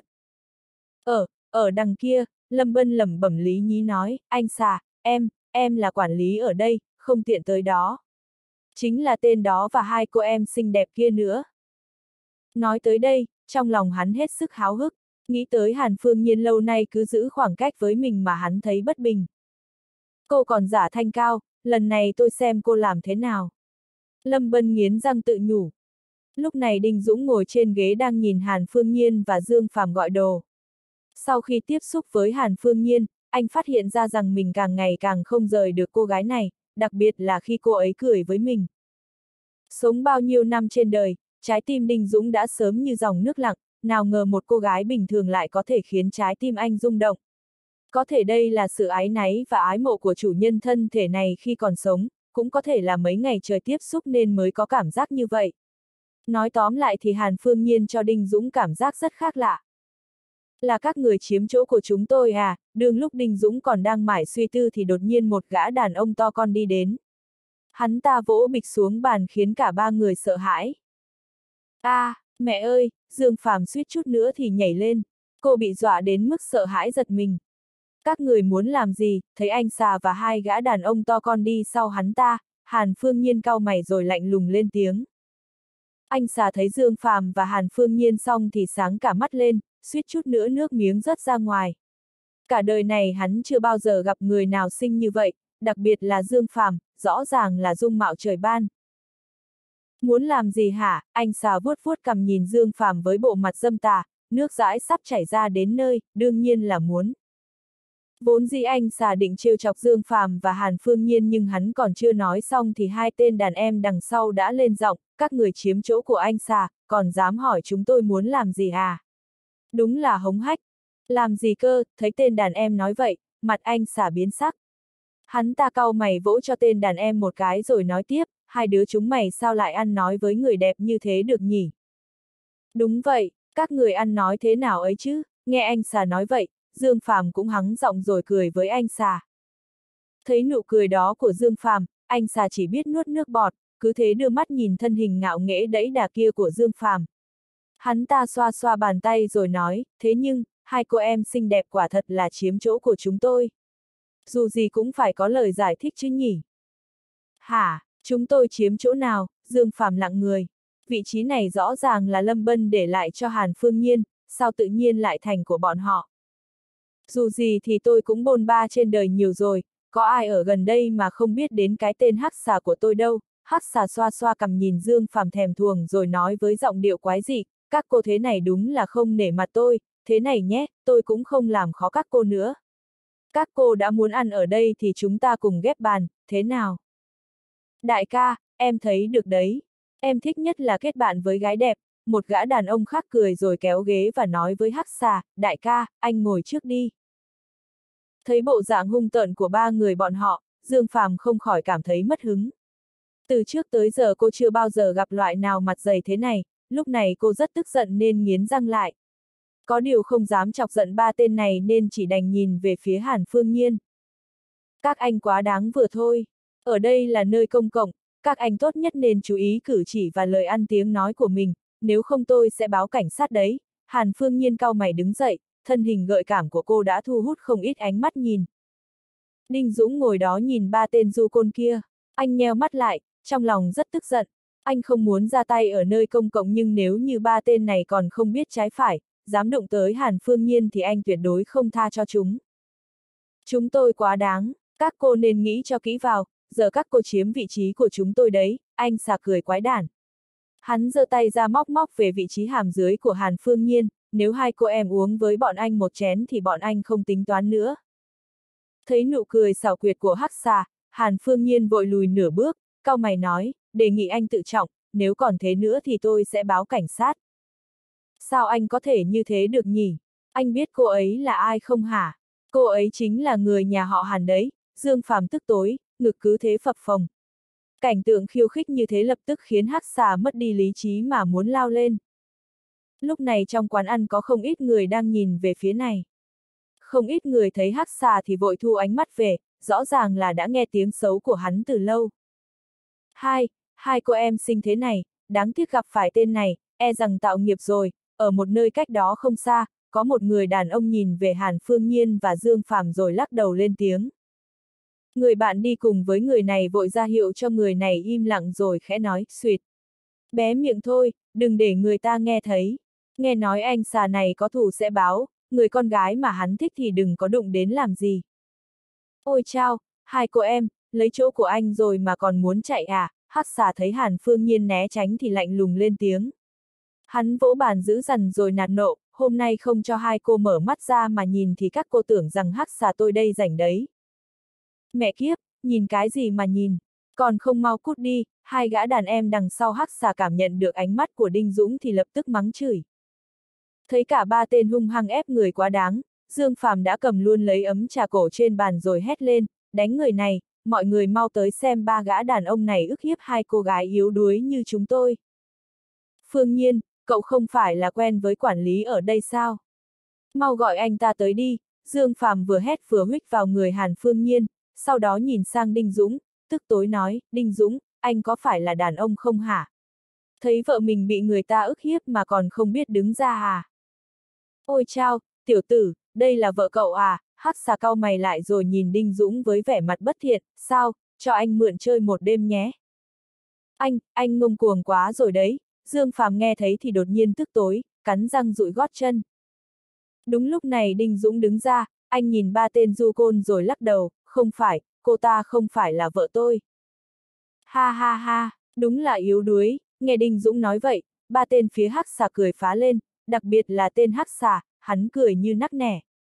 Hắn cho rằng Đinh Dũng sợ nên không dám thừa nhận nên thản nhiên nói với Dương Phàm, theo cái loại ăn bám này thì có tương lai gì. Em đi theo anh, anh đảm bảo em được ăn ngon mặc đẹp. Hừ, Đinh Dũng, anh không phải là đàn ông, mặc dù Đinh Dũng không liên quan gì đến mình nhưng Dương Phàm cũng chẳng nghĩ gì nhiều. Cô cho rằng Đinh Dũng sợ hãi nên mới nói như vậy. Hàn Phương Nhiên bặm môi nhìn Đinh Dũng không nói gì nhưng trong khóe mắt cô thể hiện sự thất vọng. Bây giờ cô và Dương Phàm bị người ta trêu chọc mà Đinh Dũng lại đứng nhìn. Thấy phản ứng của mọi người, Đinh Dũng không khỏi cau mày. Anh liếc qua ba tên du côn kia rồi lập tức nhìn về phía Dương Phàm và Hàn Phương Nhiên. Bọn họ, hình như đã hiểu nhầm ý mình rồi. Hai người hiểu nhầm rồi, thực ra, nghĩ tới đây, Đinh Dũng chỉ biết thở dài. Mặc dù anh rất tức giận, nhưng sống bao nhiêu năm trời rồi, Đinh Dũng đã quen với việc không thích thể hiện gì khi đang tức giận do vậy anh mới nói thế để ba tên kia hoang mang và cho rằng anh đang sợ hãi. Thằng kia, đúng là hèn. Mau cút đi, không đợi Đinh Dũng nói xong, anh xà lạnh mặt hẳn lại rồi khạc nhổ đờm vào người Đinh Dũng. Ninh Dũng dịch người né tránh. Hai tên đàn em của hắc xà thấy thế thì hùng hổ xông lên, mẹ kiếp, mày còn dám né à? Tao thấy mày chán sống rồi đấy. Trên đời này có đứa nào dám đối đầu với anh xà? Mẹ kiếp, mày là thằng đầu tiên, hai tên kia mắng chửi rồi rút côn ra đập về phía Đinh Dũng. a à, Dương Phàm sợ hãi che mặt lại. Hàn Phương Nhiên tái mét mặt mày, cô hét lên, Đinh Dũng, cẩn thận. Đương lúc mọi người còn cho rằng Đinh Dũng sẽ bị hai tên đàn em của Hắc xà xử lý thì Đinh Dũng đã không hoang mang gì mà lùi sau nửa bước, sau đó anh mới giơ chân lên đạp về phía trước. Bịch, chân Đinh Dũng di chuyển chính xác, đạp thẳng vào phần bụng dưới của tên đang lao lên đầu kia khiến hắn bay ra ngoài rồi va vào tên đằng sau. Cả hai tên văng ra xa nửa mét, ngã ra nền đất. Không biết tự lượng sức, thấy hai tên bị đạp ngã ra đất, Đinh Dũng cười lạnh lùng, nhìn tên hắc xà rồi nói, đây là quán ăn, hoặc là ăn uống cho tử tế, hoặc là cút đi, đừng làm nhảm ồn ào bên cạnh tôi. Thằng kia, tao thấy mày chán sống rồi đấy, hắc xà tối sầm mặt lại, cũng không biết hắn lấy dũng khí ở đâu ra mà đột nhiên giơ tay lấy luôn bình hoa trên bàn nện về phía đầu Đinh Dũng. Bình hoa này bằng thủy tinh, bên trong còn cắm một bông hoa, tạo hình của chiếc bình rất tinh xảo, nếu như thật sự đập vào đầu Đinh Dũng thì e rằng sẽ chảy máu lênh láng. Đinh Dũng, Hàn Phương Nhiên vội hét lớn. Cô vội giơ tay ra kéo Đinh Dũng nhưng đã muộn, bình hoa kia đã đập thẳng vào đầu Đinh Dũng. Đúng lúc này, Đinh Dũng đột nhiên giơ tay trái lên che đầu, bình hoa thủy tinh đập vào tay anh. Chỉ nghe toang, một tiếng, bình hoa vỡ tan, những mảnh thủy tinh sắc nhọt rơi đầy nền đất. Đi chết đi, tên hắc xà cười rảo hoạt, hắn lại lấy nửa chiếc bình hoa chưa vỡ lên, không màng tới vết thương ở tay mà cứ thế đâm về phía bụng Đinh Dũng. Cảm nhận được cơn đau trên cánh tay, Đinh Dũng tức tối xông lên. Mặc dù anh quay về chưa lâu, thực lực còn chưa hồi phục hết, không muốn để kẻ khác nắm đằng chui, nhưng không có nghĩa là anh không dám ra tay. Đúng lúc nguy hiểm, Đinh Dũng giơ tay trái ra rồi bóp nát nửa còn lại của bình hoa thủy tinh. Mảnh thủy tinh sắc nhọn cứ thế đâm vào lòng bàn tay trái của anh. Nhưng Đinh Dũng không hề chớp mắt, tay còn lại lập tức như con rắn độc tìm mồi, nắm chặt lấy cổ họng hắc xà rồi dùng lực bóp. Hắc xà lùi về sau vài bước, bị Đinh Dung ấn lên mặt bàn, mảnh thủy tinh trong tay cũng bị cướp đi, sắc mặt hắn ta tái nhợt. Hắn không ngờ Đinh Dũng lại biết đánh nhau, lúc này hắn hoang mang vô cùng, vội hét lớn, hai đứa chúng mày còn ngây ra đấy làm gì, còn không mau xử nó cho tao. Bỏ anh xà ra, hai tên đàn em nghe thế thì không dám chậm trễ, lập tức xông lên. Nhưng Đinh Dũng đâu thể cho chúng cơ hội tới gần. Anh nới lỏng tay đang bóp cổ hắc xà rồi tung nắm đấm, đấm cho hắn một cái, sau đó quay người nhanh chóng đạp vào mặt một tên đang xông lên khiến tên này bay thẳng ra ngoài. Tên này bị đạp xong thì mũi cũng gãy, máu tươi bắn ra. Tên còn lại thấy thế thì chẳng còn can đảm xông lên nữa. Bọn chúng căn bản không phải là đối thủ của Đinh Dũng. Đinh Dũng lạnh lùng nhìn chúng, sát khí đằng đằng hằn trong đôi mắt. Quả thực chúng đã bị dọa cho hồn bay phách lạc. Lúc này anh mới quay đầu lại nói với tên hắc xà vừa bị đánh cho một đòn cứng đơ người kia, nghe nói mày lợi hại lắm, ở đây còn xương vương xương bá à? Mày, mày muốn làm gì hả? Tao nói cho mày biết, đánh người là phạm pháp, nhìn thấy ánh mắt lạnh lùng của Đinh Dũng, hắc xà run sợ. Trước đó chỉ có hắn mới đi bắt nạt người khác, từ sau khi phục tùng trương lão đại, hắn chưa bao giờ bị người ta bắt nạt nhưng lúc này hắn phải run run nói, đừng có làm bừa, nếu không tao báo cảnh sát bắt mày. Ôi chao, Dương Phạm và Hàn Phương Nhiên ngỡ ngàng. Dương Phạm không nhìn được nên bật cười. Cô nhìn Đinh Dũng với ánh mắt sùng bái, đâu còn thể hiện vẻ khinh thường như trước. Trong đôi mắt Dương Phạm chỉ toàn là sao lấp lánh, oa, Đinh Dũng, anh khí chất thật đấy. Giỏi lắm, đúng là đàn ông, em thấy em yêu anh luôn rồi đấy.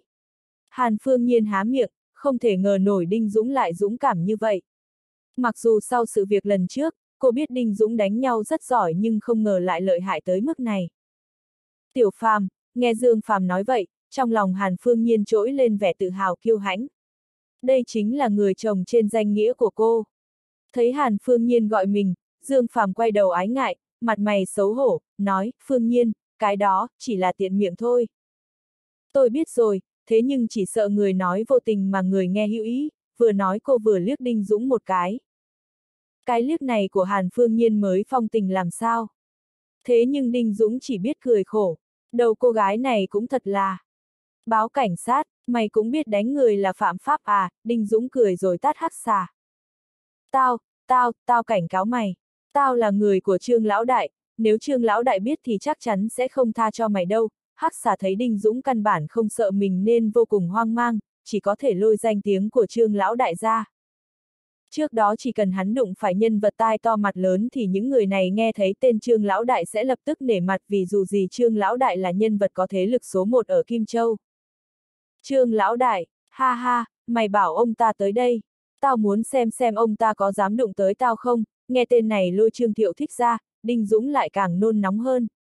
Anh thả hắc xà ra rồi bóp nát bình hoa nát dưới đất, sau đó vẩy vẩy máu ở tay và lạnh nhạt nói. Nghe Đinh Dũng nói vậy, hắc xà đột nhiên lặng người. Hắn không ngờ rằng Đinh Dũng dám hống hách với cả cứu tinh của mình như vậy. Hắn đứng cách xa Đinh Dũng rồi mới hằn học nói, hừ, đúng là không biết trời cao đất dày. Nếu trương lão đại mà đến thì e rằng mày không biết sẽ chết thế nào đâu. Vừa nói, hắc xà vừa rút điện thoại ra bấm số gọi. Với thân phận của hắn thì không có tư cách gọi trương lão đại ra, nhưng hắn lại quen với trương Bồi Sơn, con trai trương Thiệu Thích. Trương thiếu gia nhất định sẽ không ngó lơ chuyện này.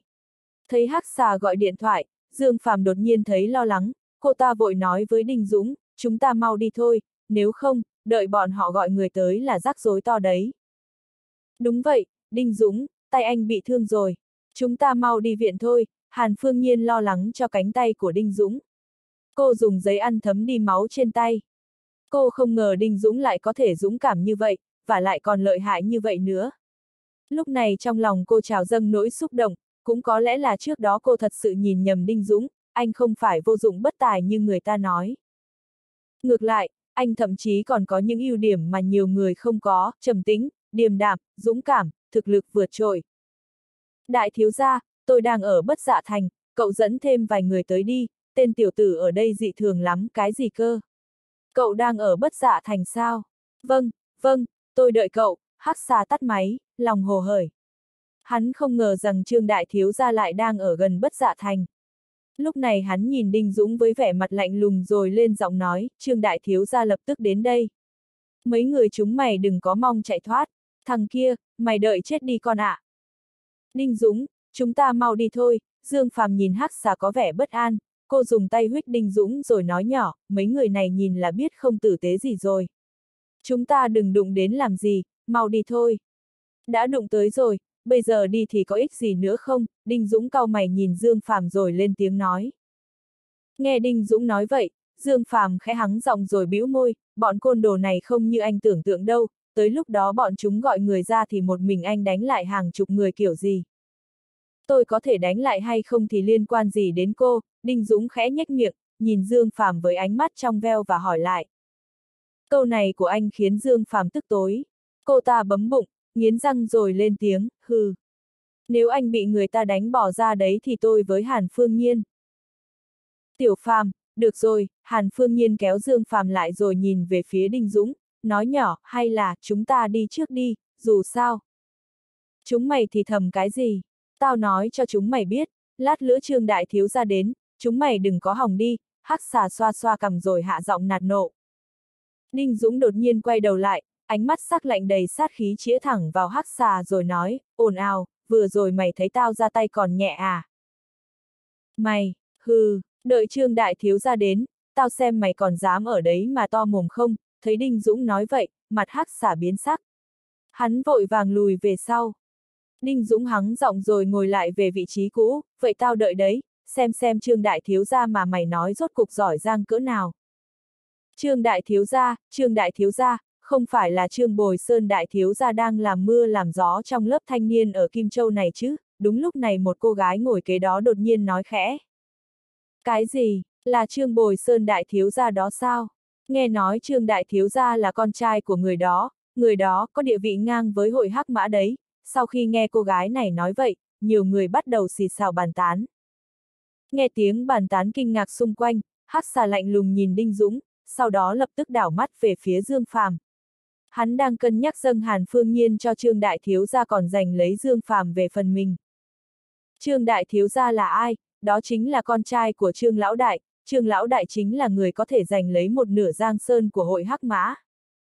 Hắc xà không hề hoài nghi thực lực của Trương Đại Thiếu Gia. Hắn tin rằng trước mặt Trương Đại Thiếu Gia thì đám người Đinh Dũng chẳng qua cũng chỉ là hạng tép diêu, và trong đầu hắn đã nghĩ tới cảnh mấy người phía Đinh Dũng phải quỳ xuống trước mặt Trương Đại Thiếu Gia xin tha. Nghĩ tới đây, Hắc xà không nhịn được mà bật cười quái dị, đặc biệt là nghĩ tới cảnh đoạt được Dương Phàm, hắn không nhịn được mà trộn rộn trong người. Đinh Dũng, tên Trương Đại Thiếu Gia kia vừa nghe là biết không phải loại dễ đụng tới rồi. Hay là chúng ta, Hàn Phương Nhiên nhìn Đinh Dũng với vẻ lo lắng. Cô ngồi bên cạnh anh nói nhỏ. Đinh Dũng quay đầu lại nhìn cô rồi thở dài bất lực, nói tới bây giờ lão bạn kia của em cũng chưa ra mặt, còn không biết là vì sao à. Giờ chúng ta muốn đi cũng đã muộn rồi. Mặc dù ba tên này không phải là đối thủ của anh nhưng nếu như muốn kéo dài thời gian thì cũng không thành vấn đề. Chúng ta nhất định không tránh được rắc rối đâu. Chỉ bằng giải quyết một lần cho xong, Đinh Dũng nhún vai bất lực rồi liếc sang Dương Phàm một cái và nói với Hàn Phương Nhiên, trừ phi, đánh chết cả ba tên đó. Đừng, giết người là phạm pháp đấy, nghe Đinh Dũng nói vậy, Hàn Phương Nhiên kinh ngạc vội lên tiếng luôn. Ôi chao, Đinh Dũng thấy Hàn Phương Nhiên phản ứng như vậy thì buồn cười, không nhịn được mà cười phá lên, em yên tâm đi, vì em, anh sẽ không ngồi tù đâu. Hàn Phương Nhiên cứng đơ người, kể cả khi phản ứng lại thì mặt cô cũng đỏ hẳn lên. Cô quay khuôn mặt nửa tức giận nửa xấu hổ kia sang một bên, trong lòng cảm thấy thật khác thường. Không biết từ bao giờ cô hình như thấy rằng lão chồng được người ta gọi là kẻ bỏ đi này lại không đáng ghét như trước nữa. Đúng lúc này, đột nhiên bên ngoài có hàng loạt âm thanh nhốn nháo, ngay sau đó là tiếng bước chân rồn dập vang lên. Hắc xà, tôi nói anh cũng quen bố tôi rồi, sao mấy việc vặt này lại không giải quyết được, khi còn ở xa đã nghe thấy giọng nói của Trương Bồi Sơn. Trương Đại Thiếu Gia, cuối cùng cậu cũng đến rồi, hắc xà chạy ngay tới phía Trương Bồi Sơn với vẻ mặt nịnh bợ, trong chốc lát hắn ta nhìn về Đinh Dũng như thể nói rằng Đinh Dũng chết đến nơi rồi. Xong rồi, xong rồi. Hàn Phương Nhiên, cậu nghe thấy chưa? Người ta nói tên này chính là con trai của lão đại ở Hắc Bang, chúng ta phải làm sao? Phải làm sao đây, nghe người bàn bên nhắc tới thân phận của Trương Bồi Sơn, Dương Phạm hoang mang. Sắc mặt của Hàn Phương Nhiên vô cùng khó coi. Mặc dù trong lòng cô đã có sự chuẩn bị từ trước nhưng khi đối phương xuất hiện, cô vẫn không khỏi hoang mang, cô vô thức đưa mắt nhìn sang Đinh Dũng. Thấy Đinh Dũng vẫn thản nhiên như không, chẳng thể hiện sự lo lắng gì, Hàn Phương Nhiên cao mày, muốn nhắc nhở Đinh Dũng rằng núi cao còn có núi cao hơn. Thế nhưng vừa nghĩ tới những gì mà Đinh Dũng làm, cô lại nuốt những lời đó vào trong. Đinh Dũng không phải là người thích phô trương, anh đã điềm tĩnh như vậy thì có lẽ là đã nắm chắc phần thắng. Là cơn gió nào đưa cậu tới đây thế ạ? À? Mời cậu vào, thấy Trương Đại Thiếu gia dẫn người tới, Lâm Bân vội vàng ton hót nịnh bợ chạy đến đón. Ai biết được Trương Đại Thiếu gia đến nhìn còn chẳng nhìn anh ta lấy một cái mà cứ thế đi qua rồi đi theo đường hắc xả dẫn, tới phía Đinh Dũng đang ngồi. Lần này Trương Bồi Sơn không dẫn theo quá nhiều người, chỉ có 5, 6 người và đều là những vệ sĩ thân cận của hắn. Từ lần trước, sau khi bị Đinh Dũng dạy dỗ, Trương Thiệu Thích đã sắp xếp vài vệ sĩ giỏi bên cạnh để bảo vệ hắn. Trương Đại Thiếu Gia, chính là bọn họ, cậy mình biết ít võ mà không coi chúng tôi ra gì, hắc xà thêm mắm dặm muối tố cáo tội ác của Đinh Dũng rồi chỉ vào Đinh Dũng và cười lạnh lùng. Anh không báo tên tôi à, Trương Bồi Sơn lên tiếng. Từ sau khi hắn theo bố mình tới thành phố Kim Châu, chưa bao giờ gặp người nào dám đối đầu cả.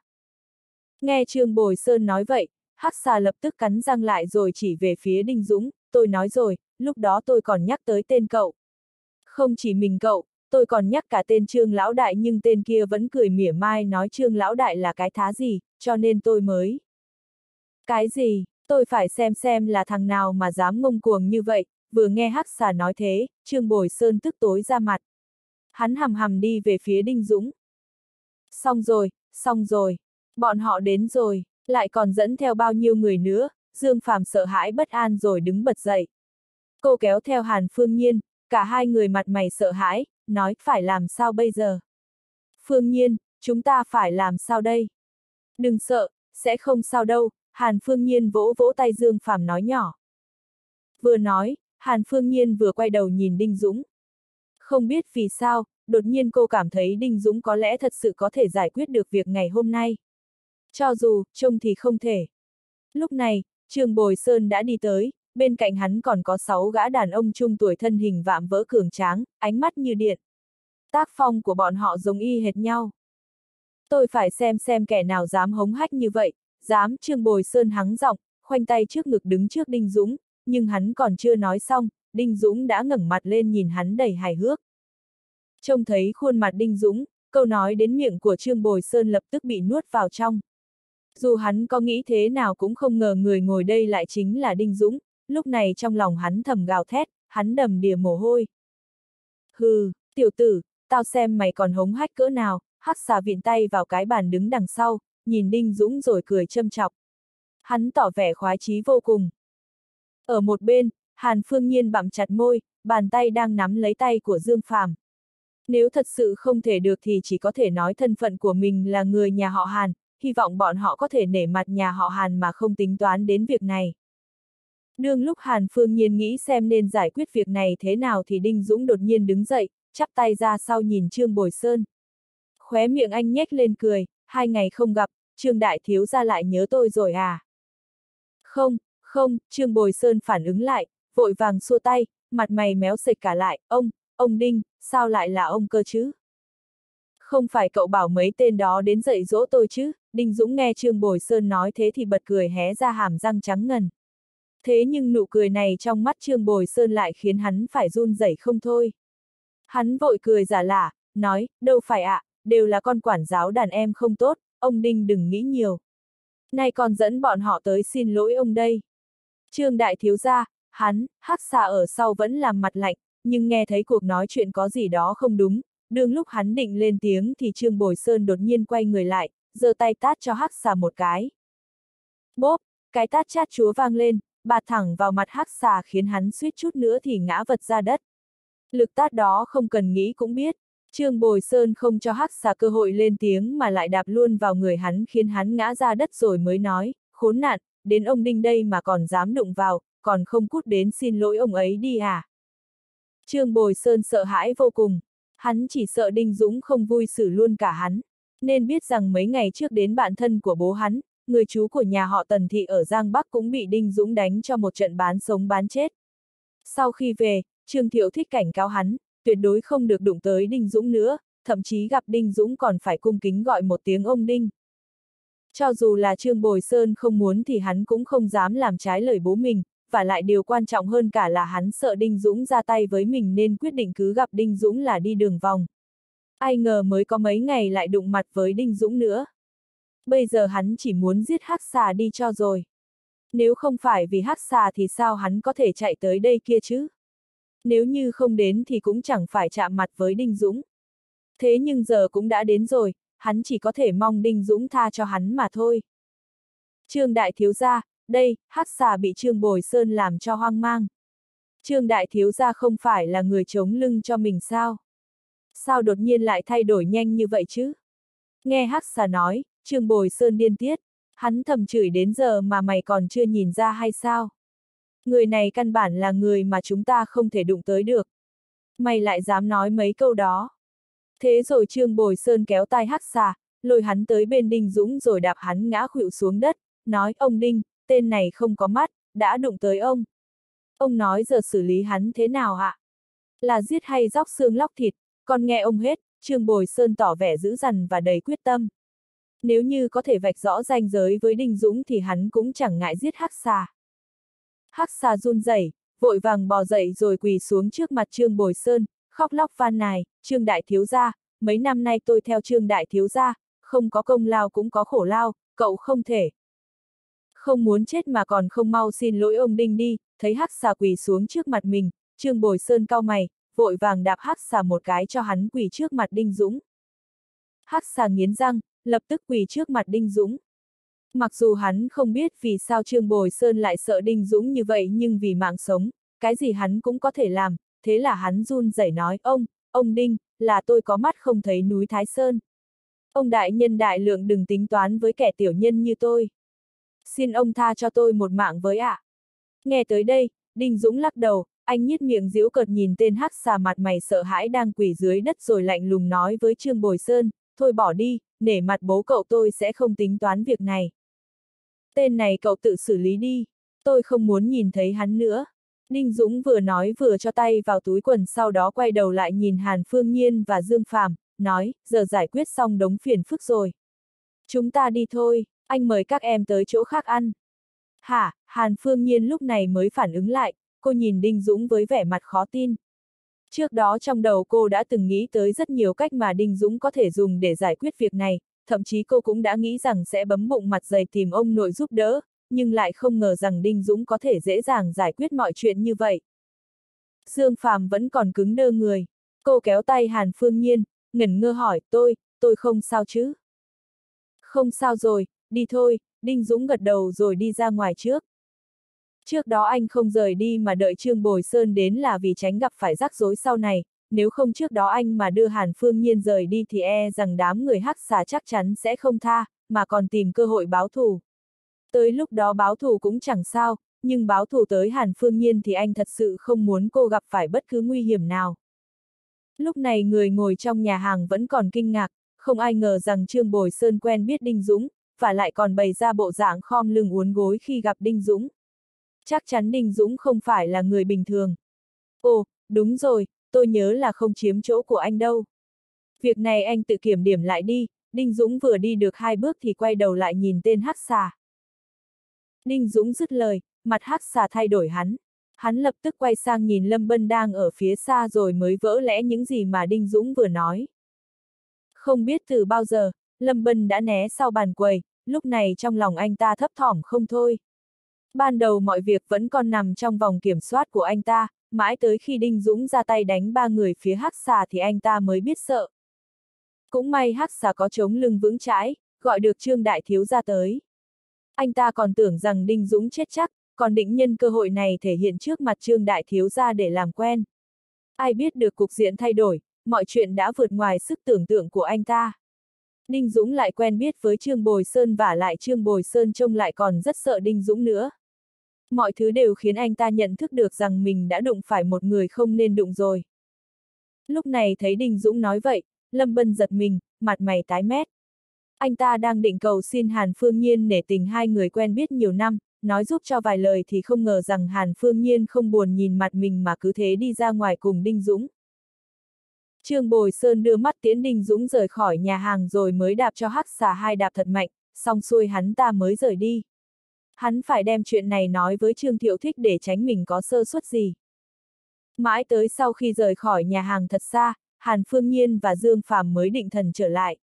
Hai người nhìn sang Đinh Dũng lên tiếng, Đinh Dũng, anh, vừa rồi. Ha ha, Trương Đại Thiếu Gia là bạn học của anh.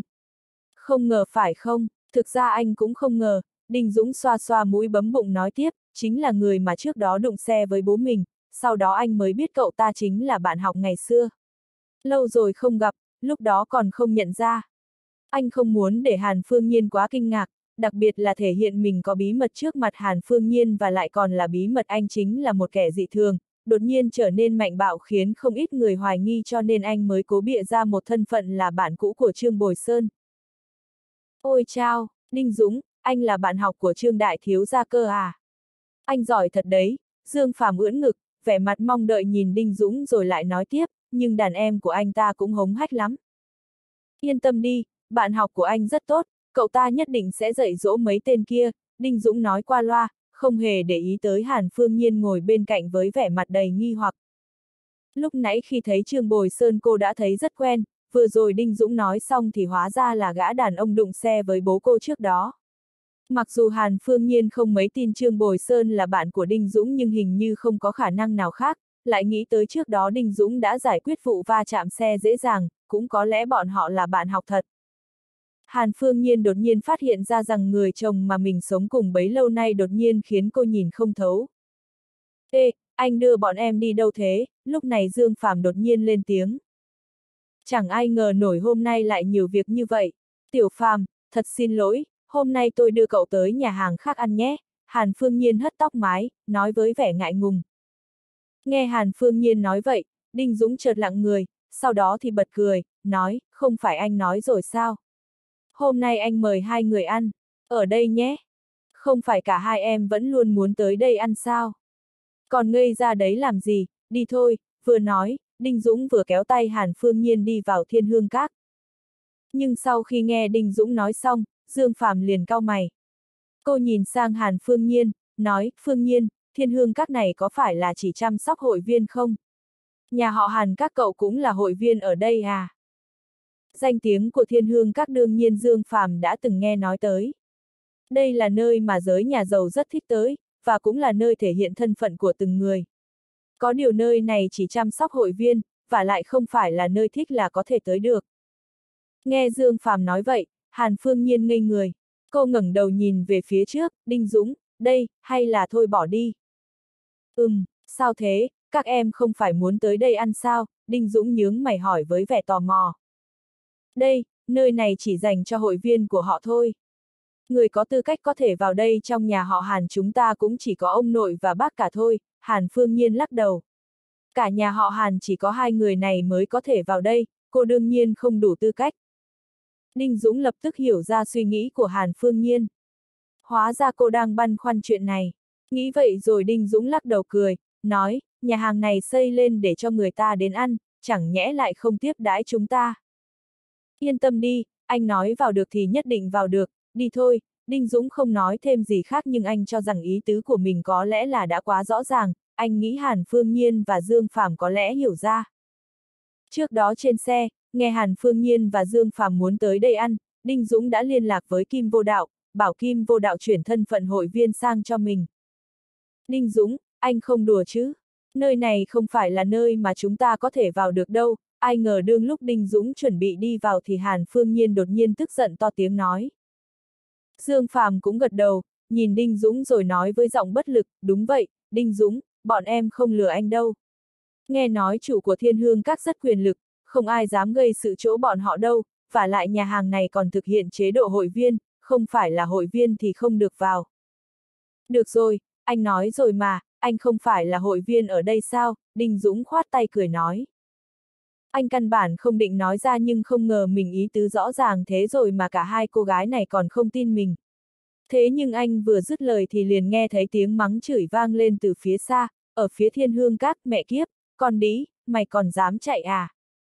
a à, cứu tôi với, một cô gái mặc bộ đồ trắng chạy ra khỏi thiên hương các. Mày còn muốn chạy à? Con đĩ kia, viên thiếu gia bảo mày tới uống rượu cùng mà mày còn dám chạy à? Ngay sau đó liền vang lên một loạt tiếng chửi chói tai và tiếng kêu của một cô gái. Cảnh tượng này lập tức thu hút sự chú ý của ba người phía Đinh Dũng. Đương lúc Đinh Dũng nhìn thấy bộ dạng của cô gái mặc đồ trắng thì đột nhiên biến sắc. Ánh mắt anh lạnh hẳn lại, trong lòng trào dâng cơn phẫn nộ. Bỏ cô ấy ra, Đinh Dũng lạnh lùng xông về phía trước. Đinh Dũng, anh làm gì thế hả? Thấy Đinh Dũng xông lên, Hàn Phương Nhiên hoảng hốt, cô vội chạy theo. Dương Phàm cũng cuống quýt hét vội, Đinh Dũng, anh đừng chuốc thêm phiền phức, đừng có lo chuyện bao đồng. Trước cửa thiên hương các có một người thanh niên mặc chiếc áo sơ mi hồng, trông bộ dạng là lướt y như con gái. Người thanh niên này khuôn mặt hàn học đang lôi một cô gái chừng 17, 18 tuổi lại rồi lên giọng nạt nộ. Bên cạnh hắn còn có vài nam nữ ăn mặc hoa hòe loè loẹt. Những người này chỉ đứng nhìn, ánh mắt lạnh lùng, thậm chí không ít người còn bày ra bộ mặt châm chọc, như thể trong mắt bọn họ cô gái đang cố gắng vùng vẫy kia rõ ràng đang làm trò cười. Cứu tôi với, cứu, cứu tôi với, quản lý Quỳnh Hy, cô gái vùng vẫy hòng thoát khỏi bàn tay của gã thanh niên. Mấy nhân viên phục vụ phía sau người nào người nấy cúi đầu. Kể cả thấy cô gái kia vùng vẫy nhưng bọn họ vẫn không dám tiến lên. Gã thanh niên kia không phải là người mà bọn họ đụng tới được. Dừng tay, các người đang làm gì thế hả? Đúng lúc này đột nhiên có một người thanh niên tóc ngắn xông từ trong hải thiên các ra. Đinh Dũng vốn dĩ còn lạnh lùng thì đột nhiên khựng lại. Anh cao mày, dừng bước chân rồi nhìn về phía người thanh niên đang chạy ra. Người này trông cũng chừng 17, 18 tuổi, mặt mày trông hãy còn non, cậu ta tức tối xông lên đẩy gã thanh niên mặc áo hồng rồi để cô gái đứng nép sau lưng mình. Đinh Dũng, đừng lo chuyện bao đồng, anh lại muốn chuốc vạ vào thân à, Hàn Phương Nhiên và Dương Phàm đuổi theo. Dương Phàm kéo tay Đinh Dũng lại. Nhưng cái kéo tay này lại làm Dương Phàm bị đau. Thân hình Đinh Dũng vẫn không ngừng di chuyển. Đinh Dũng, Hàn Phương Nhiên cao mày, nắm chặt lấy cánh tay Đinh Dũng. Thế nhưng Hàn Phương Nhiên còn chưa nói xong, Đinh Dũng đã quay đầu lại nhìn, những gì cô định nói ra lại nuốt luôn vào trong. Cô chưa bao giờ thấy Đinh Dũng tức giận như vậy, sự lạnh lùng trong đôi mắt anh thậm chí còn khiến cô phải sợ. Anh không lo chuyện bao đồng, Đinh Dũng hít vào một hơi thật sâu, cố gắng nói với giọng bình tĩnh nhất có thể. Thế nhưng Hàn Phương Nhiên lại nghe ra giọng điệu tức tối, cô hơi lặng người rồi nhìn về phía thiên hương các. Đinh Dũng đã nói không lo chuyện bao đồng thì lẽ nào anh ấy biết mấy người kia? Đương lúc Đinh Dũng và Hàn Phương Nhiên nói chuyện, người thanh niên tóc ngắn đã bị đám bạn của gã thanh niên áo hồng kia vây quanh. Cậu ta bảo vệ cô gái kia rồi nhìn mấy người còn lại bằng con mắt hằn học, hét lên các người rốt cục muốn làm gì. Tiểu tuyết không muốn uống rượu với các người, các người lại cứ muốn ép cô ấy. Trên đời này còn vương pháp không hả? Ha ha ha, vương pháp, mày đang nói vương pháp với tao hả? Gã thanh niên mặc áo hồng nghe vậy thì bật cười. Hắn ta nhìn sang người thanh niên tóc ngắn, tóm luôn cổ cậu ta rồi lạnh lùng lên tiếng, ở đây tao chính là vương pháp. Ha ha ha, buồn cười chết đi mất, thiên hương các này chính là vũ thiếu gia mở đấy, mày lại giảng vương pháp với vũ thiếu gia, một cô gái ăn mặc dườm già đứng bên cạnh gã thanh niên áo hồng lên tiếng châm chọc. Vương siêu cậu đừng lo cho mình, mình không thể liên lụy đến cậu, cô gái mặc đồ trắng nghẹn ngào nói. Không được, tiểu tuyết, cậu làm sao thế? Cậu thanh niên tóc ngắn kia tên là Vương Siêu, nghe cô gái nói vậy thì cuống lên đến mức toát đầm đìa mồ hôi. Thế nhưng gã thanh niên áo hồng lại đang túm cổ cậu ta không buông nên cậu ta chỉ có thể tức tối hét lên, khốn nạn, bỏ tao ra. Tiểu tuyết, cậu không thể đi với bọn nó, Vương Siêu cuống đến mức sắp khóc đến nơi. Đôi lông mày lưỡi mát xô lại với nhau. Hàn Phương Nhiên đứng từ xa nhìn cô gái mặc bộ đồng phục trắng hồi lâu rồi đột nhiên nghe thấy Vương Siêu hét tên cô gái lên, Hàn Phương Nhiên bất chợt giật mình, nhìn sang Đinh Dũng, hỏi, đó, đó chính là Đinh Tuyết. Đinh Dũng gật đầu, nhìn gã thánh niên áo hồng và đám bạn lòng lang dạ sói của hắn với con mắt lạnh lùng rồi tiến về phía trước. Phương Nhiên, mau ngăn anh ấy lại, Dương Phàm thấy Đinh Dũng tiến lên trước thì vội hô Hàn Phương Nhiên, hai người không nghe thấy sao. Tên đó là công tử của thiên hương các này đấy. Chúng ta không đụng tới được đâu. Mau ngăn anh ấy lại đi. Nghe Dương Phàm nói vậy, Hàn Phương Nhiên giơ tay lên nhưng câu nói đến miệng lại nuốt lại lần nữa. Cô lắc đầu và bặm môi nhìn Dương Phàm. Đinh Tuyết là em gái của Đinh Dũng, ban đầu, vì có thể có tiền cho Đinh Tuyết chữa trị, Đinh Dũng mới ở rể nhà họ Hàn. Việc này về sau cô mới biết, vì em gái mình mà Đinh Dũng cam tâm tình nguyện chịu tiếng chửi rủa của người đời, có thể thấy vị trí của Đinh Tuyết trong lòng Đinh Dũng quan trọng tới mức nào. Sự thực cũng đúng là như vậy. Mặc dù Đinh Dũng lúc này không phải là Đinh Dũng như xưa nữa nhưng sâu thẳm trong lòng anh, Đinh Tuyết vẫn là người thân ruột thịt, có cùng huyết thống với anh, là người mà Đinh Dũng quan tâm ngoài Hàn Phương Nhiên ở thành phố Kim Châu này. Viên thiếu gia còn đang đợi ở trong, mau đưa cô ta đi, gã thanh niên mặc áo hồng liếc mắt với mấy người bạn, sau đó nói với hai người đàn ông bên cạnh, hai người còn ngây ra đấy làm gì, còn không bắt hắn lại. Hôm nay tôi phải cho hắn biết thế nào là vương pháp. a à, Đinh Tuyết kêu gào thảm thiết, cô bị một cô gái túm lấy cổ tay rồi lôi vào bên trong thiên hương các. Khốn nạn, mày còn giả bộ ngây thơ à?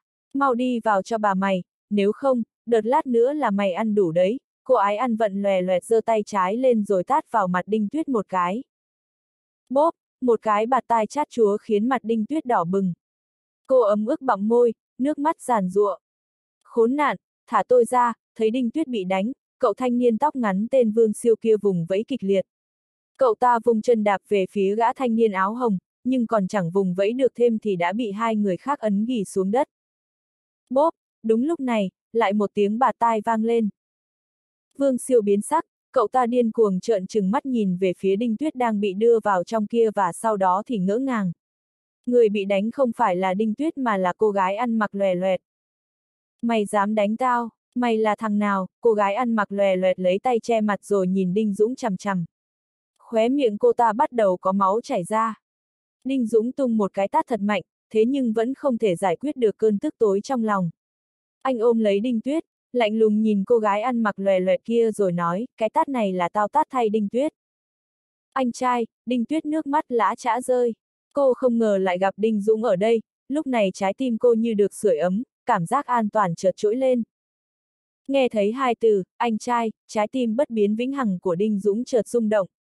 Đó chính là tiếng gọi của huyết thống, ruột thịt, đó chính là tiếng gọi của ký ức. Đinh Dũng ôm chầm lấy Đinh Tuyết rồi khẽ vuốt tóc cô, nhẹ nhàng nói tiểu tuyết, anh đến muộn rồi. Sao em lại ở đây, nghĩ tới đây Đinh Dũng thấy nghi ngờ. Sao Đinh Tuyết không ở trường mà lại chạy tới thiên hương các làm nhân viên phục vụ. Tính thời gian thì vẫn chưa tới lúc truyền dịch lần thứ hai, cơ thể của cô vẫn chưa thể khác hơn được. Nghe Đinh Dũng nói vậy, Đinh Tuyết có vẻ hơi né tránh, giống như đứa trẻ phạm phải sai lầm vậy. Mày dám đánh tao, mẹ kiếp, mày muốn chết à, cô gái ăn mặc lòe loẹt ôm má nhìn Đinh Dũng chằm chằm, ánh mắt hằn học đằng đằng sát khí. Cô ta hét lên với gã thanh niên áo hồng, Vũ thiếu gia, thằng này đánh em. Phế thằng đấy cho tôi, gã thanh niên áo hồng đạp cho Vương Siêu một cái rồi phất tay áo, đi tới bên cô gái ăn mặc lòe loẹt kia và cười nói với giọng nhẹ nhàng, ai hả, ai dám đánh em. Hừ, như vậy mà anh còn cười được, mặt em sưng cả lên rồi đây này, cô gái ăn mặc lòe loẹt bĩu môi, nhìn Đinh Dũng với vẻ mặt tức tối hằn học. Cô ta căm phẫn nói, chính là hắn ta, Vũ thiếu gia, em muốn hắn ta phải chết. Ninh thiếu gia nhìn theo hướng tay cô gái kia chỉ, khi thấy Đinh Dũng đang ôm Đinh Tuyết thì mặt hắn biến sắc. Thế nhưng hắn còn chưa kịp lên tiếng thì đã thấy Dương Phàm và Hàn Phương Nhiên đằng sau Đinh Dũng. Hắn chợt điếng người. Dung mạo của Dương Phàm và Hàn Phương Nhiên cũng không hề thua kém so với Đinh Tuyết, ba người đúng là nghiêng nước nghiêng thành, mỗi người một vẻ. Đinh Tuyết thuần khiết và mềm mỏng còn Hàn Phương Nhiên lại nền nã. Khi đôi mắt của Vũ Thiếu ra hướng tới Dương Phàm, nhìn từng đường cong đốt mắt của cô, hắn cứ thế liếm miệng. Anh là ai? Cô ấy chính là người mà viên thiếu gia đích thân dặn phải đưa tới. Anh còn không giao người ra, Ninh thiếu gia liếm liếm môi rồi nhìn Đinh Dũng với sắc mặt độc đoán. Đinh Dũng, anh đừng lo chuyện bao đồng, Dương Phàm khẽ nói, nhưng cô còn chưa nói xong thì Đinh Dũng đã lạnh nhạt đáp lại, đó là em gái tôi. Hả, em gái anh, Vũ thiếu gia giật mình nhưng ngay sau đó hắn ta lại cười phá lên, anh có lẽ là biết viên thiếu gia chứ. Em gái anh mà đi theo viên thiếu gia thì người làm anh như anh cũng không thiếu đồ ăn ngon, quần áo đẹp đâu. Anh còn là... Câm cái miệng thối của mày lại. Công tử của thiên hương các từ bao giờ lại thành chó săn cho viên thiếu gia hả? Đinh Dũng nheo mắt lại, lạnh lùng lên tiếng, tao thấy thiên hương các chẳng qua cũng chỉ đến thế mà thôi. Nói rồi, Đinh Dũng kéo Đinh Tuyết và Hàn Phương Nhiên đi ra ngoài. Anh đương nhiên biết viên thiếu khang. Cho dù là viên thiếu khang thì anh cũng không coi ra gì chứ đừng nói là công tử hay thiếu gia gì của thiên hương các hết. Cái thiên hương các này theo như anh thấy cũng chỉ đến thế mà thôi.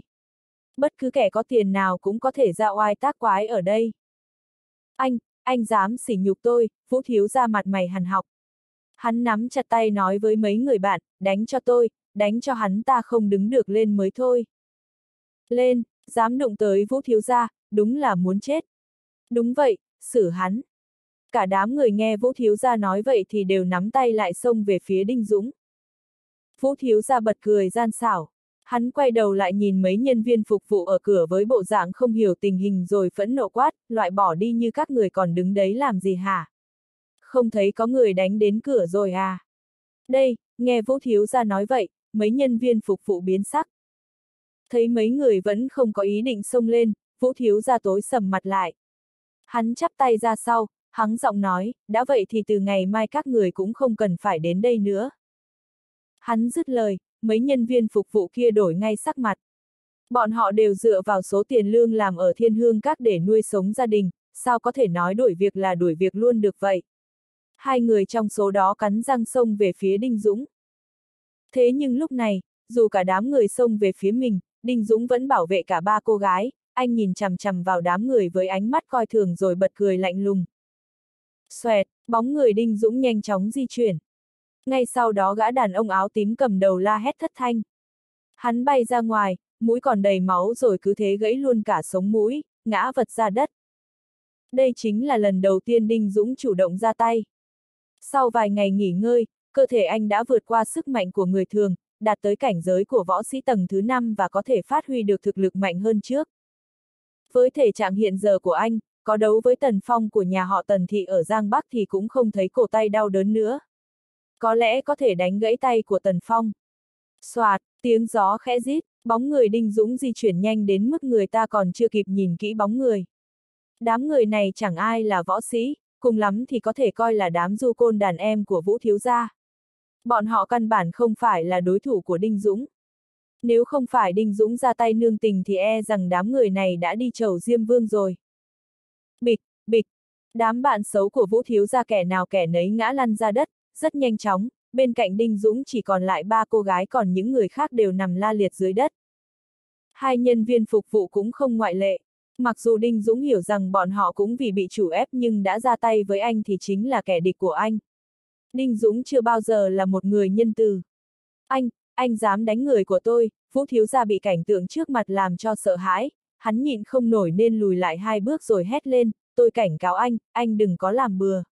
Đánh người là phạm pháp, Trước mặt bao nhiêu người thế này mà anh dám đánh nhân viên của thiên hương các chúng tôi, còn có vương pháp nữa không hả? Không phải cậu nói cậu chính là vương pháp sao? Đinh Dũng nhìn vương siêu đang bị ghi dưới đất rồi lại nhìn sang vũ thiếu gia và cười châm chọc.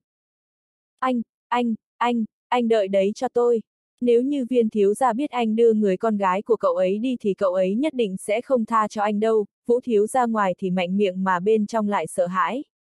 Hắn ta vừa nói vừa đi lùi về phía cửa của thiên hương các. Vũ thiếu gia, tên tiểu tử này, hai tên đàn em thấy chủ của mình như vậy liền chạy ngay đến tỏ vẻ hoang mang và vội lên tiếng hỏi. Vũ thiếu gia thấy Đình Dũng thì nuốt nước miếng rồi vội đi vào thiên hương các, sau đó mới trả lời, hai đứa mày trông chừng bọn đó cho tao. Giờ tao đi gọi viên thiếu gia. Vừa nghe thấy Vũ thiếu gia nói đi gọi viên thiếu gia, hai gã đàn ông kia lập tức phấn chấn lại, nhưng ngay sau đó cả hai người liền thấy hoa mắt vì một bóng hình đã tới trước mặt bọn họ. Mày, mày muốn làm gì? Hai gã đàn ông bị ánh mắt sắc lạnh của Đinh Dũng chĩa vào, không chịu đựng nổi mà lên tiếng lầm bầm. Thả cậu ta ra, Đinh Dũng liếc nhìn hai người sau đó lạnh lùng lên tiếng. Đây, nghe Đinh Dũng nói vậy, hai gã kia nhìn nhau, nuốt nước bọt cái ực. Phú Thiếu Gia vừa dặn dò bọn họ phải canh chừng tên này cẩn thận, nhưng bây giờ Đinh Dũng bắt bọn họ thả người. Quan trọng là, Đinh Dũng không phải là người mà bọn họ đụng tới nổi cơ chứ. Không muốn thả phải không? Chắc là các người không biết sự kiềm chế của tôi có hạn, Đinh Dũng dứt lời thì lập tức nheo mắt lại. Luồng sát khí sắc lạnh toát ra từ trong mắt anh. Hai gã kia run rẩy, chỉ cảm thấy như mình đang tới biển xác, xung quanh lạnh thấu tới tận xương tủy nên bất giác dùng mình. Đinh Dũng giơ tay phải ra túm lấy cổ một trong hai tên và khẽ dùng lực bóp. Chỉ nghe thấy, khập, một tiếng, cổ tên kia đỏ ửng, đôi tay hắn nắm lấy cổ tay Đinh Dũng nhưng hắn chẳng thể dùng nổi sức. Kể cả hắn có cố quay đầu sang hai bên cũng chẳng thể cử động nổi. Mày, mày dám giết người, một tên còn lại cũng ngã ra đất, mặt mày biến sắc. Hắn đâu còn quan tâm tới mệnh lệnh nữa, cứ thế bỏ vương siêu ra rồi chạy trốn. Thế nhưng Đinh Dũng đâu cho hắn cơ hội bỏ trốn. Hắn vừa quay người đi đã bị Đinh Dũng tóm luôn đằng sau gáy rồi khẽ dùng lực bóp. Tên này hôn mê bất tỉnh ngay lập tức. Anh, anh, anh giết người sao? Đinh Tuyết chạy lại ôm lấy Đinh Dũng khóc lóc. Nước mắt cô giàn ruộ chảy trên hai gò má, đều tại em không tốt, đều tại em. Bây giờ phải làm sao? Giết người là phạm pháp. Hàn Phương Nhiên nắm chặt tay, cô cũng không thể ngờ Đinh Dũng manh động như vậy. Lúc này cô nghiến chặt răng nhìn khuôn mặt hao gầy mà kiên định của Đinh Dũng. Hàn Phương Nhiên định nói gì đó nhưng nghe thấy Đinh Dũng hơi cười và lắc đầu nói, sao anh có thể giết người chứ, chỉ vì hai tên này anh không thể ngồi tù được. Vậy bọn họ, Hàn Phương Nhiên lặng người tỏ vẻ nghi hoặc. Đinh Dũng lắc đầu, anh không giết bọn họ. Bây giờ là xã hội thực thi theo pháp luật, đương nhiên không thể tùy tiện giết người. Anh chỉ là đánh ngất hai người bọn họ để cảnh cáo thôi. Bọn họ chưa chết sao, Đinh Tuyết lau nước mắt tỏ vẻ kinh ngạc. Vừa rồi cô còn tưởng Đinh Dũng giết người. Anh trai vì mình nên mới giết người. Nếu như vì chuyện của cô mà hại Đinh Dũng phải ngồi tù thì cô sẽ áy náy cả đời. Cảm ơn anh, Vương Siêu đứng dậy nhìn Đinh Dũng với sắc mặt phức tạp. Đinh Dũng gật đầu rồi cười với Đinh Tuyết, hỏi Tiểu Tuyết, đây là... Anh, Vương Siêu là bạn học cùng với em, Đinh Tuyết cúi đầu tỏ vẻ ngại ngùng, khuôn mặt cô ửng đỏ. Nghe Đinh Tuyết nói vậy, Đinh Dũng liền gật đầu. Những hành động của Vương Siêu theo như Đinh Dũng thấy thì không tồi, anh ậm ừ một lát rồi nhìn sang Vương Siêu hỏi, là em dẫn Tiểu Tuyết tới đây làm thêm à? Em, em chỉ là, Vương Siêu gãi gãi đầu, có vẻ không biết như phải nói thế nào. Mặc dù cậu ta rất thích Đinh Tuyết, cũng đã từng nhiều lần nghĩ tới việc tới gặp bố mẹ Đinh Tuyết, nhưng bây giờ khi đối mặt với Đinh Dũng, cậu ta lại căng thẳng tới mức không nói nổi một câu hoàn chỉnh. Là em, em không muốn anh có áp lực quá lớn nên mới bắt Phương Siêu đưa em tới đây làm thêm, Đinh Tuyết cúi đầu, đôi tay cứ thế vân vê vạt áo. Lúc này, Hàn Phương Nhiên nhìn Đinh Dũng lắc đầu rồi vỗ vai Đinh Tuyết, nói, làm thêm là việc tốt nhưng em cũng phải gắng học tập cho tốt, sau này cần gì cứ nói với chị dâu là được. Hàn Phương Nhiên dứt lời, Đinh Dũng ngạc nhiên nhìn cô. Dương Phàm cũng vậy, cô quay sang nhìn Hàn Phương Nhiên ngay lập tức. Như cảm nhận được ánh mắt kinh ngạc của hai người, Hàn Phương Nhiên mới thấy có gì đó không đúng lắm nên đỏ ửng mặt. Đây là lần đầu tiên cô xưng chị dâu với Đinh Tuyết. Vợ à, cảm ơn em, Đinh Dũng nhếch miệng rồi ghé sát lại gần Hàn Phương Nhiên nói nhỏ. Sau đó, đằng sau đột nhiên vang lên một loạt những tiếng bước chân. Viên thiếu khang dẫn theo người bước ra khỏi thiên hương các. Vừa ra khỏi cửa hắn liền lên giọng nạt nộ, tôi lại muốn xem xem là ai dám cản viên thiếu khang tôi làm việc. Là tôi, nghe viên thiếu khang nói vậy, Đinh Dũng bật cười rồi quay đầu lại đáp lời.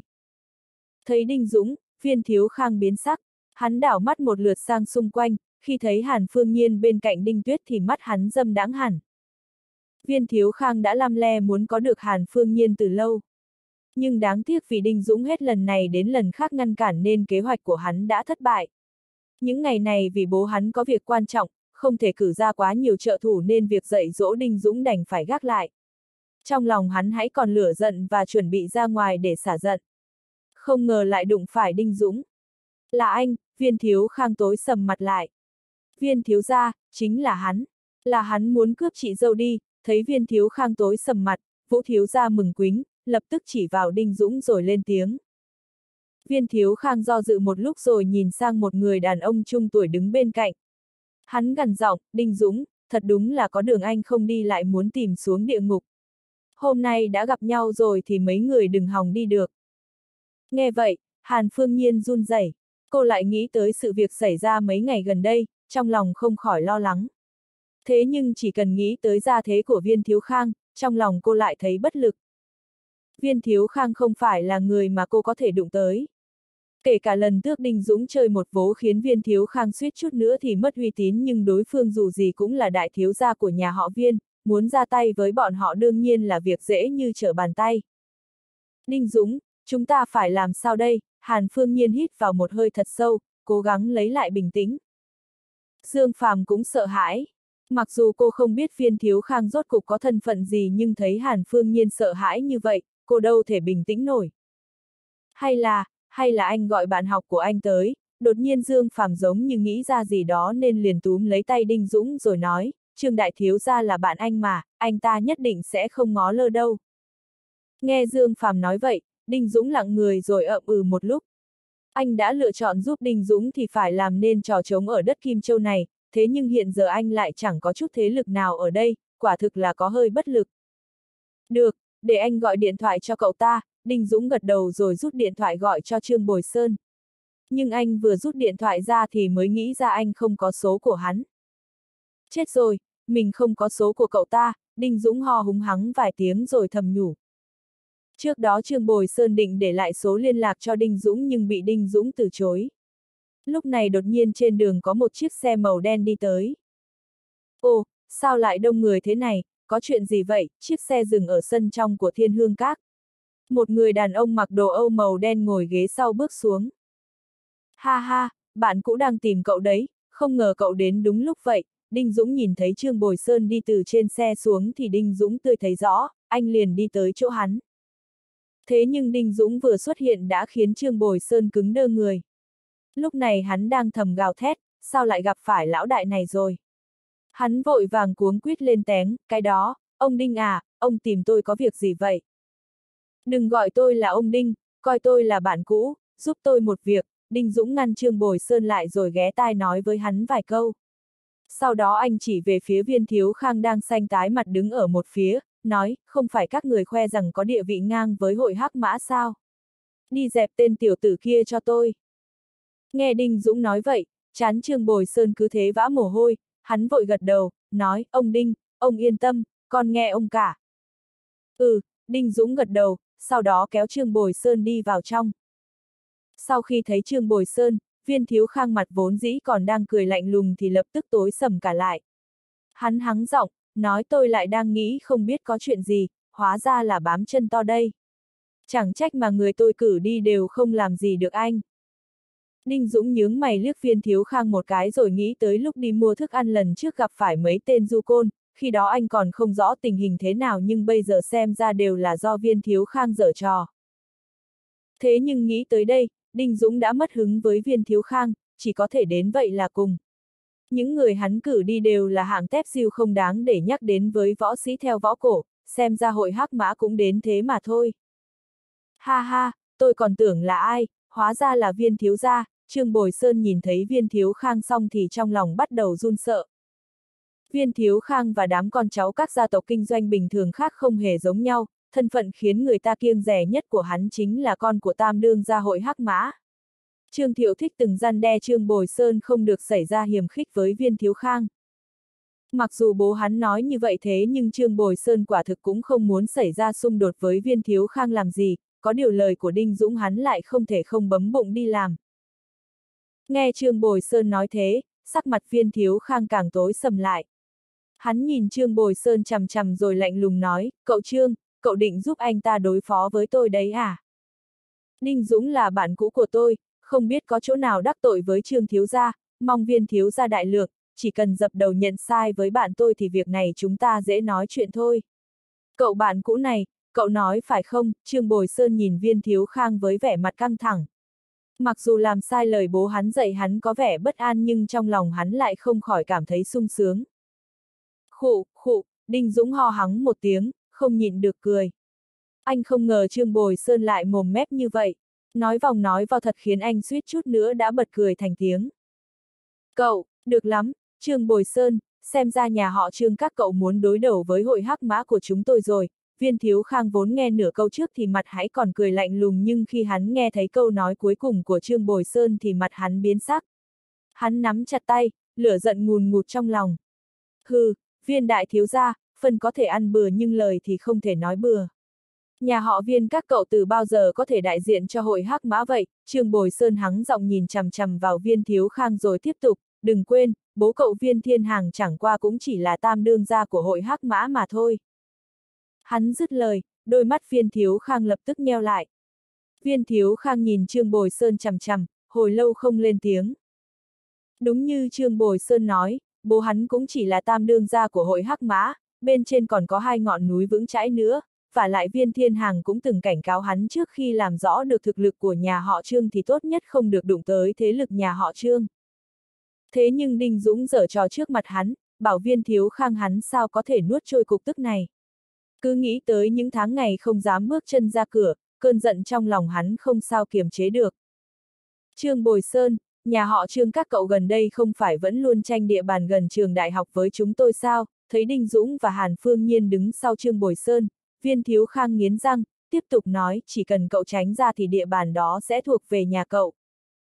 Thiếu ra, chỗ gần trường đại học đó, Trương Bồi Sơn vừa dứt lời, một người đàn ông trung tuổi đứng bên cạnh hắn lập tức cau mày, hạ giọng nói, bên đó lão già buộc phải có được, thiếu ra làm vậy e rằng.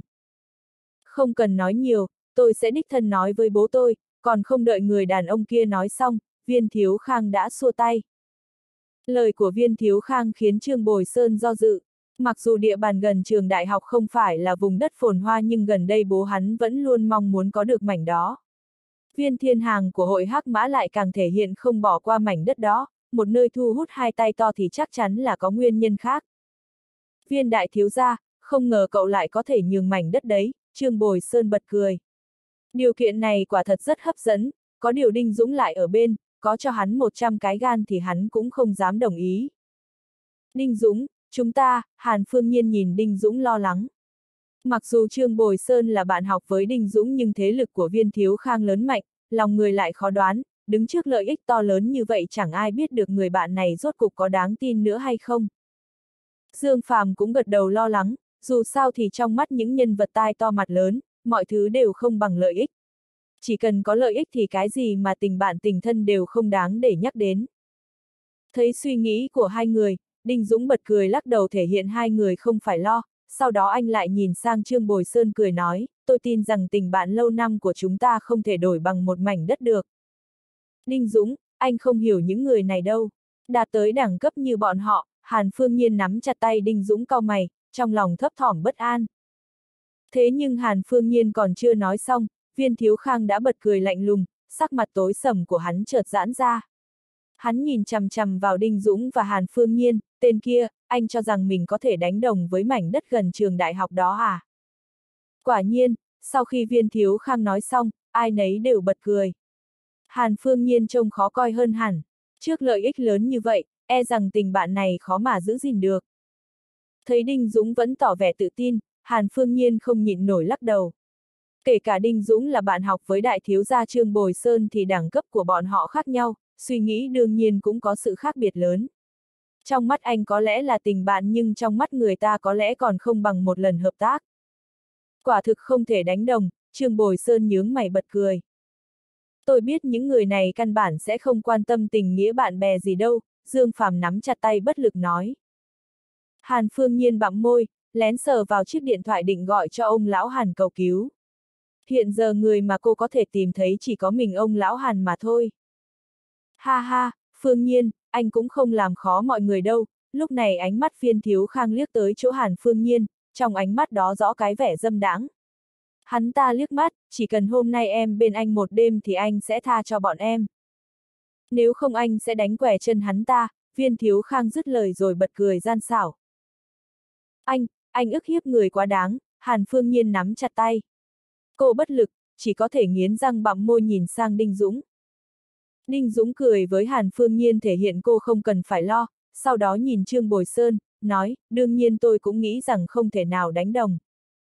Ha ha ha, anh cũng biết nghĩ đấy, tôi, viên thiếu khang cười lạnh lùng, hắn chuẩn bị châm chọc Đinh Dũng thì Trương Bồi Sơn đã lên tiếng ngắt lời. Đó là đương nhiên, tình bạn của tôi và Đinh Dũng sao có thể đánh đồng với mảnh đất còn con đó được, Trương Bồi Sơn lên tiếng khiến người ta phải ngỡ nàng. Hắn khoát tay nói mỉa mai viên thiếu khang, sao, lấy một mảnh đất nhách ra để mua chuộc tôi à? Cậu cũng coi thường tôi quá đấy. Nếu như đem toàn bộ địa bàn của hội hắc mã ra thì tôi có thể xem xét, Trương Bồi Sơn nhìn viên thiếu khang nói với giọng rừng rưng. Nghe Trương Bồi Sơn nói vậy, sắc mặt viên thiếu khang lập tức tối sầm lại, nụ cười nơi khóe miệng hắn ngừng hẳn. Hắn nắm chặt tay, lạnh lùng lên tiếng, Trương Bồi Sơn, cậu dám chơi tôi. Tôi muốn xem xem nhà họ Trương các cậu rốt cục còn quân bài nào. Câu nói này của Trương Bồi Sơn rõ ràng đang mỉa hắn ta. Toàn bộ địa bàn của hội Hắc Mã đừng nói là viên thiếu khang mà cho dù là viên thiên hàng cũng không dám nói câu này vì quyền lực lớn mạnh nhất ở hội Hắc Mã không nằm trong tay nhà họ viên. Trước đó Trương Thiệu thích dặn Trương Bồi Sơn tốt nhất không được đụng tới viên thiếu khang vì mặc dù nhà họ Trương bọn họ không nắm chắc có thể đối phó được với hội hắc mã nhưng cũng sẽ không sợ một mình nhà họ viên. Mấy người các người lên hết cho tôi, viên thiếu khang tức giận nắm chặt tay. Nghe viên thiếu khang nói vậy, người đàn ông trung tuổi khi nãy lên tiếng nhắc nhở hắn ta bất lực thở dài. Người này phất tay dẫn theo người đi về phía Trương Bồi Sơn. Số người mà viên thiếu khang dẫn tới lần này không nhiều. Lúc này ngoài một người đàn ông trung tuổi để tròm dâu dê ra thì toàn bộ những người còn lại đều đi theo người đàn ông trung tuổi xông lên. Chỉ duy có người đàn ông dâu dê tỏ vẻ thản nhiên như thể ông ta không mấy hứng thú với ân oán giữa viên thiếu khang và Trương Bồi Sơn. Trương thiếu gia, đắc tội rồi, người đàn ông trung tuổi đi tới trước mặt Trương Bồi Sơn rồi cúi khom người nói một câu đắc tội, sau đó hét lên với những kẻ sau mình, dẫn Trương thiếu gia đi uống chén trà. Ha ha, hắc cẩu, ông dám đụng tới tôi, Trương Bồi Sơn không hoang mang, hắn nhìn thẳng vào người đàn ông trung tuổi rồi lên tiếng hỏi.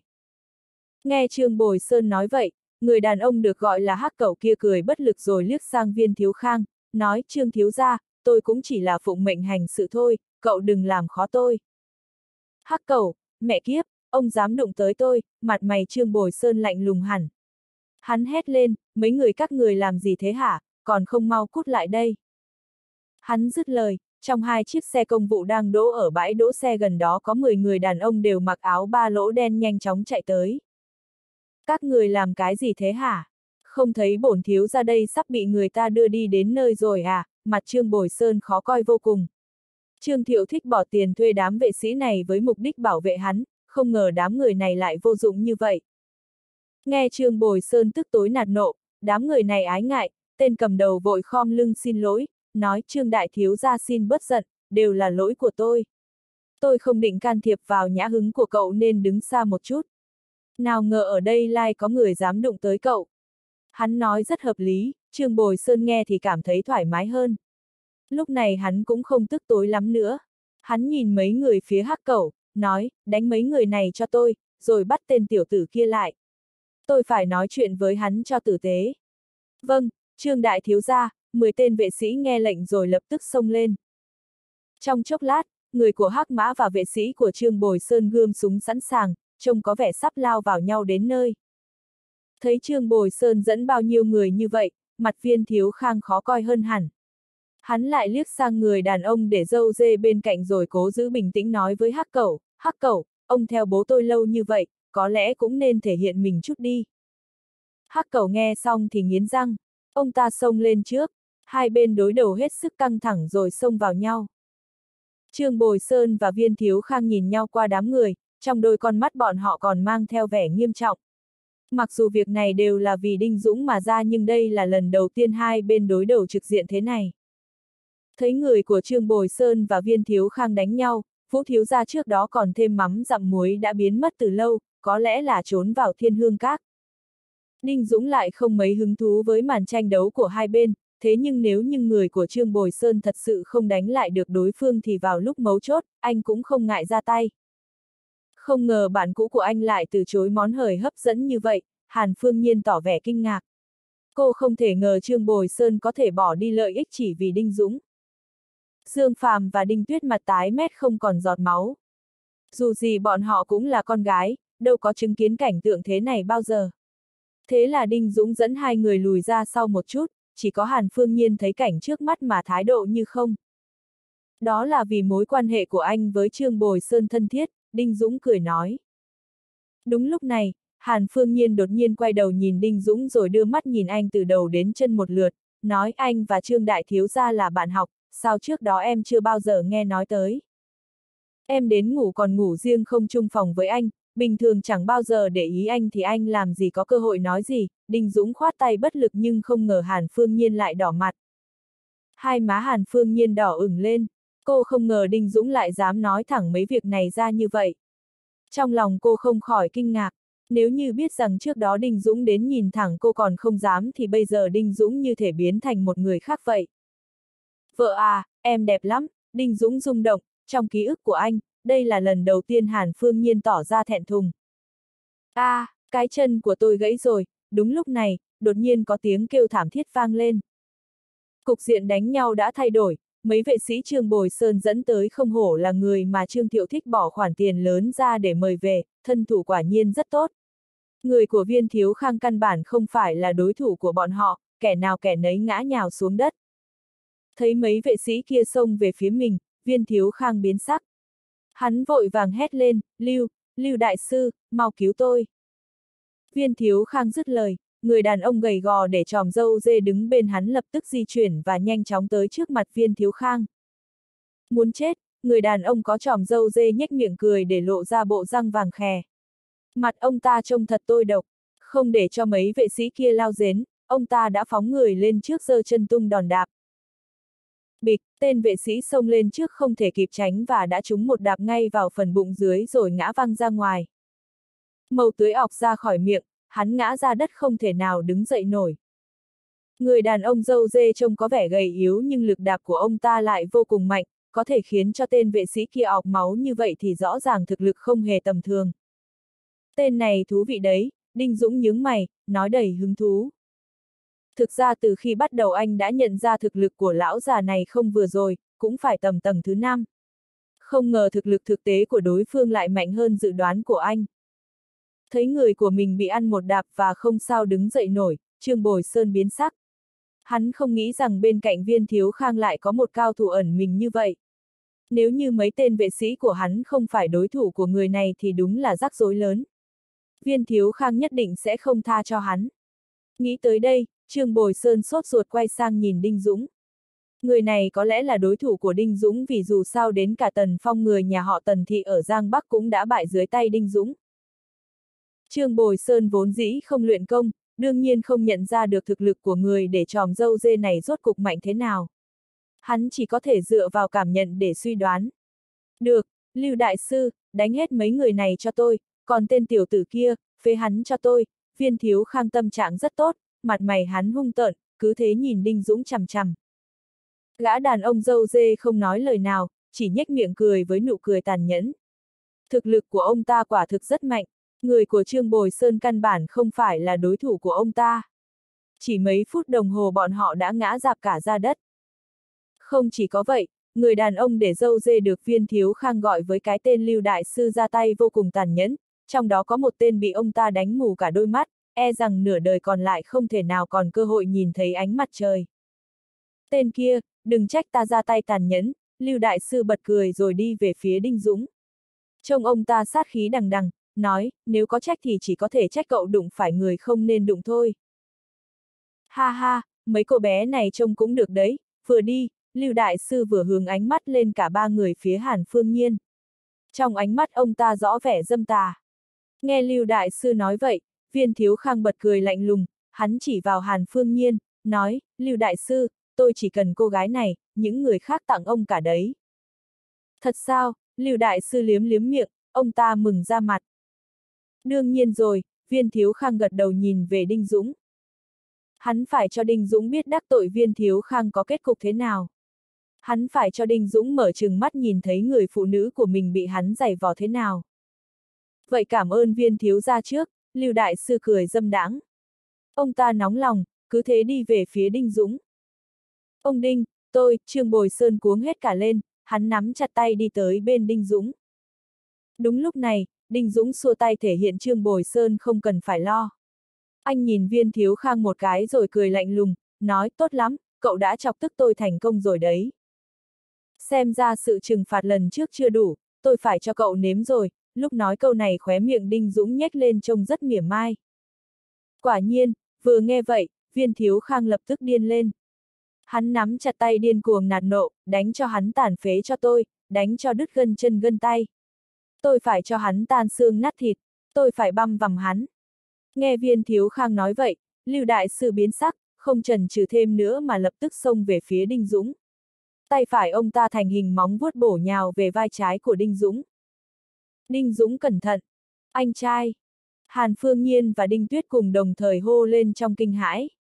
Thấy Lưu Đại Sư đã xông lên, Đinh Tuyết đột nhiên chạy ngay ra như tên bắn chặn trước mặt Đinh Dũng. Thấy bóng hình yếu đuối mà kiên cường đó, Đinh Dũng cảm thấy ấm lòng. Trong lòng anh lúc này đã coi Đinh Tuyết là em gái ruột của mình. Em gái tôi mà loại tạp chủng như ông xứng để đụng vào hả? Đinh Dũng nheo mắt lại, một tay anh kéo Đinh Tuyết về sau mình rồi cười nói, Tiểu Tuyết, em nghĩ rằng anh không đánh được lão phế vật đấy sao? Từ hôm nay trở đi, chỉ cần anh còn trên đời này thì không kẻ nào có thể bắt nạt em được. Đinh Dũng dù không quay đầu lại nhưng giọng nói lại vang vọng mãi trong lòng Đinh Tuyết. Đinh Dũng không hề do dự, cứ thế lao như mũi tên về phía trước, khi gần tới Lưu Đại Sư, khóe miệng anh nhếch lên. Tay phải Đinh Dũng vung ra, nhanh như chấp tung luôn một đòn vào tay Lưu Đại Sư. Giác! Một âm thanh chói tai vang lên, duy chỉ có Đinh Dũng và Lưu Đại Sư là nghe thấy rõ. Lưu Đại Sư đứng hình, sắc mặt tái nhợt thấy rõ. Trong mắt ông ta tỏ vẻ sợ hãi và không sao tin nổi. Ông ta kinh ngạc nói, cậu. Nhưng ông ta còn chưa dứt lời thì đòn đánh tiếp theo của Đinh Dũng đã được tung ra, đập luôn vào mặt ông ta.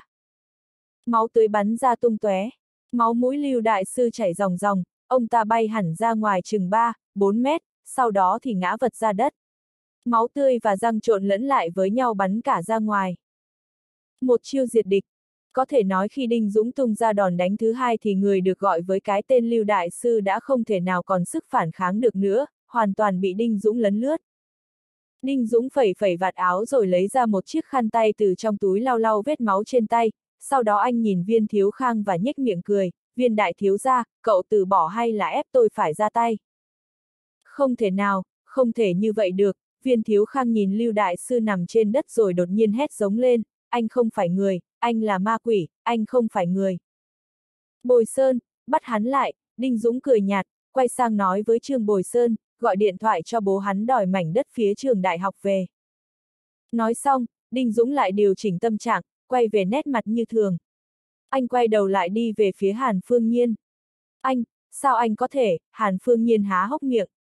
Mặc dù cô biết Đinh Dũng mạnh hơn người thường một chút, nhưng thực lực của Lưu Đại Sư đó không hề tầm thường, không ngờ chỉ một chiêu của Đinh Dũng mà ông ta còn không đỡ lại nổi.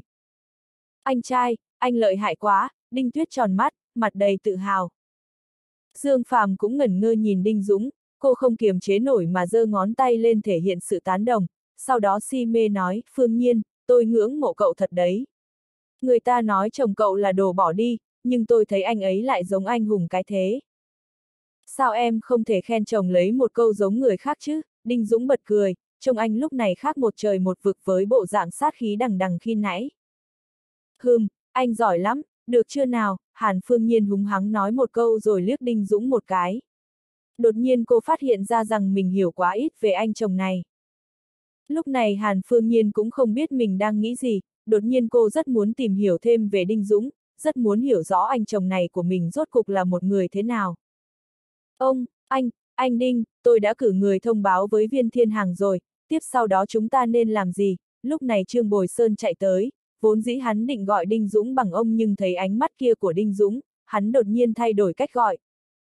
Nghe Trương Bồi Sơn thay đổi cách gọi, Đinh Dũng gật đầu tỏ vẻ hài lòng, sau đó anh nhìn về phía thiên hương các như thể có người nào đó anh chưa chỉnh đốn lại vậy. Thế là Đinh Dũng nheo mắt lại cười khẽ, và điềm tĩnh nói, tới thiên hương các ăn cơm. Cả hàng người thong dong đi vào thiên hương các, vừa vào cửa liền thấy Vũ Thiếu Gia với bộ dạng mặt mày tươi cười đon đả nhìn mấy người phía Đinh Dũng. Quỳnh Hy cũng cau mày không biết cô ta đang nghĩ gì. Trương Đại Thiếu Gia, anh, anh đến rồi, Vũ Thiếu Gia nhìn Đinh Dũng và Trương Bồi Sơn với vẻ gượng gạo. Hắn nói với vẻ ton hót nịnh bợ. Ừ, vừa rồi cậu còn theo viên thiếu khang, trông uy phong lắm cơ mà, Trương Bồi Sơn lên giọng, nhìn Vũ Thiếu Gia với bộ dạng từ trên cao nhìn xuống. Sau đó hắn quay lại nhìn Đinh Dũng rồi lên tiếng, còn không mau xin lỗi anh Đinh. Anh, anh Đinh, trước đó là do em có mắt không biết núi Thái Sơn. Anh đại nhân đại lượng tha cho em nhá, Vũ Thiếu ra mặt mày tái nhớt. Hắn biết người hắn đang đắc tội chính là Đinh Dũng, và lại thấy mối quan hệ của Trương Bồi Sơn và Đinh Dũng, hắn liền hiểu rằng lần này mình đã phải sắt rồi. Ninh Dũng không phải người mà hắn có thể đụng tới. Trương Đại Thiếu Gia, cậu tới rồi, đường lúc này, Quỳnh Hy liền nghe thấy giọng Vũ Thiếu Gia, cô ta vội vàng cúi khom người với Trương Bồi Sơn. Chuyện vừa rồi của Vũ Thiếu Gia đủ cho cô ta biết rằng lần này thiên hương các đắc tội với nhân vật lớn, cô ta phải nghĩ cách làm êm xuôi mọi chuyện. Nghĩ rồi cô ta hít vào một hơi thật sâu, nói Trương Đại Thiếu Gia, để bày tỏ lòng xin lỗi, hôm nay mọi chi phí cậu chi tiêu ở thiên hương các đều được miễn phí ạ. À? Người mà con trai cô đắc tội không phải tôi, mà là đại ca của tôi, Trương Bồi Sơn nhướng mày nhìn sang bên Đinh Dũng. Vũ Thiếu Gia không phải con trai tôi, tôi chỉ là một quản lý ở đây thôi, nghe Trương Bồi Sơn nói vậy, mặt Quỳnh Hy đỏ gai lên. Cô ta cúi đầu, hạ giọng sau đó nhìn sang Đinh Dũng. Khi nhìn thấy Đinh Dũng, cô ta hơi sững sờ và vô thức hỏi, cậu Đinh. Đúng là tôi, quản lý Quỳnh Hy, hy vọng cô vẫn khỏe, Đinh Dũng gật đầu và cười nói. Không ngờ người mà Vũ Thiếu Gia đắc tội lại là cậu Đinh, Quỳnh Hy bặm môi, cô ta đương nhiên biết rõ trước đó Đinh Dũng và Trương Bồi Sơn xảy ra mâu thuẫn. Hiện giờ Trương Bồi Sơn lại bày ra bộ dạng khép nép như vậy, rõ ràng là Trương Bồi Sơn làm em cho nên thân phận của Đinh Dũng chắc chắn không hề tầm thường. Đinh Dũng lắc đầu không nói gì, chỉ nhếch miệng cười và nhìn Quỳnh Hy một cách điềm đạm. Hai, Phương Nhiên, sao tôi thấy Đinh Dũng giống như thể quen với quản lý của thiên hương các vậy, Dương Phàm kéo tay Hàn Phương Nhiên nói nhỏ. Hàn Phương Nhiên gật đầu không nói gì, cô nhíu mày, bộ dạng như không thể tin nổi. Anh trai cậu thật lợi hại, lại còn quen với quản lý Quỳnh Hy nữa, Vương Siêu đứng bên Đinh Tuyết tỏ vẻ kinh ngạc. Quản lý của thiên hương các không phải là người mà bọn họ có thể tiếp xúc vì bọn họ không cùng đẳng cấp với cô ta. Anh trai quen với quản lý Quỳnh Hy, Đinh Tuyết cũng thấy ngạc nhiên, nhưng cô cũng lấy đó làm niềm tự hào vì anh trai mình có địa vị không hề tầm thường. Một người làm em như cô đương nhiên sẽ cảm thấy vui vì anh mình rồi. Sếp của các cô không ở đây sao, đúng lúc này Đinh Dũng đột nhiên lên tiếng. Vốn dĩ Đinh Dũng chẳng qua cũng chỉ tiện miệng hỏi vậy, không ngờ Vũ Thiếu ra nghe thấy thế thì run rẩy. Hắn đổ mồ hôi, từng giọt mồ hôi lã chã rơi, thấm ướt cả chán. Hắn mếu máu nói, anh Đinh, xin anh đừng ghi sổ tính toán với em. Anh tha cho em đi mà. Ừm, Đinh Dũng lặng người một lúc tỏ vẻ không hiểu lắm. Di à, mau giúp cháu nói với anh Đinh, xin anh ấy giúp cháu, đừng nói với mẹ cháu mà, không biết Đinh Dũng định làm gì tiếp theo, Vũ Thiếu ra lại cầu cứu Quỳnh Hy, nước mắt nước mũi lê thê. Lúc này Đinh Dũng mới hiểu ra hóa ra tên này sợ mẹ hắn. Xem ra nữ chủ nhân của thiên hương các không giống như trong tưởng tượng của anh. Cậu Đinh, cậu xem, Quỳnh Hy gãi gãi đầu tỏ vẻ bất lực. Cô ta cười khổ nói. Không có gì, chỉ là tôi không ngờ quản lý Quỳnh Hy lại là em gái của nữ chủ nhân thiên hương các này. Đinh Dũng nhìn Quỳnh Hy rồi gãi gãi mũi, cười nói, được rồi, sắp xếp cho tôi một phòng VIP. Vâng, xin mời đi lối này, Quỳnh Hy thở phào rồi dẫn mọi người đi. Sau khi Trương Bồi Sơn dẫn mọi người vào phòng VIP thì tìm cớ chuồn thẳng. Không phải hắn không muốn dùng bữa tối cùng với Đinh Dũng mà thực sự hắn không dám ở lại thêm, và lại tên viên thiếu khang kia vẫn còn ở bên ngoài, hắn phải đi xử lý việc này. Theo như Đinh Dũng dặn dò, cho dù viên thiếu khang có làm gì cũng không được thỏa hiệp. Lấy tính mạng của viên thiếu khang để uy hiếp, đổi lấy địa bàn ở phía trường đại học. Quả nhiên chiêu này đã tóm được đằng chuôi của viên thiên hàng ép ông ta tới mức không thể không lùi bước. Đương nhiên, chuyện này để sau hãy bàn.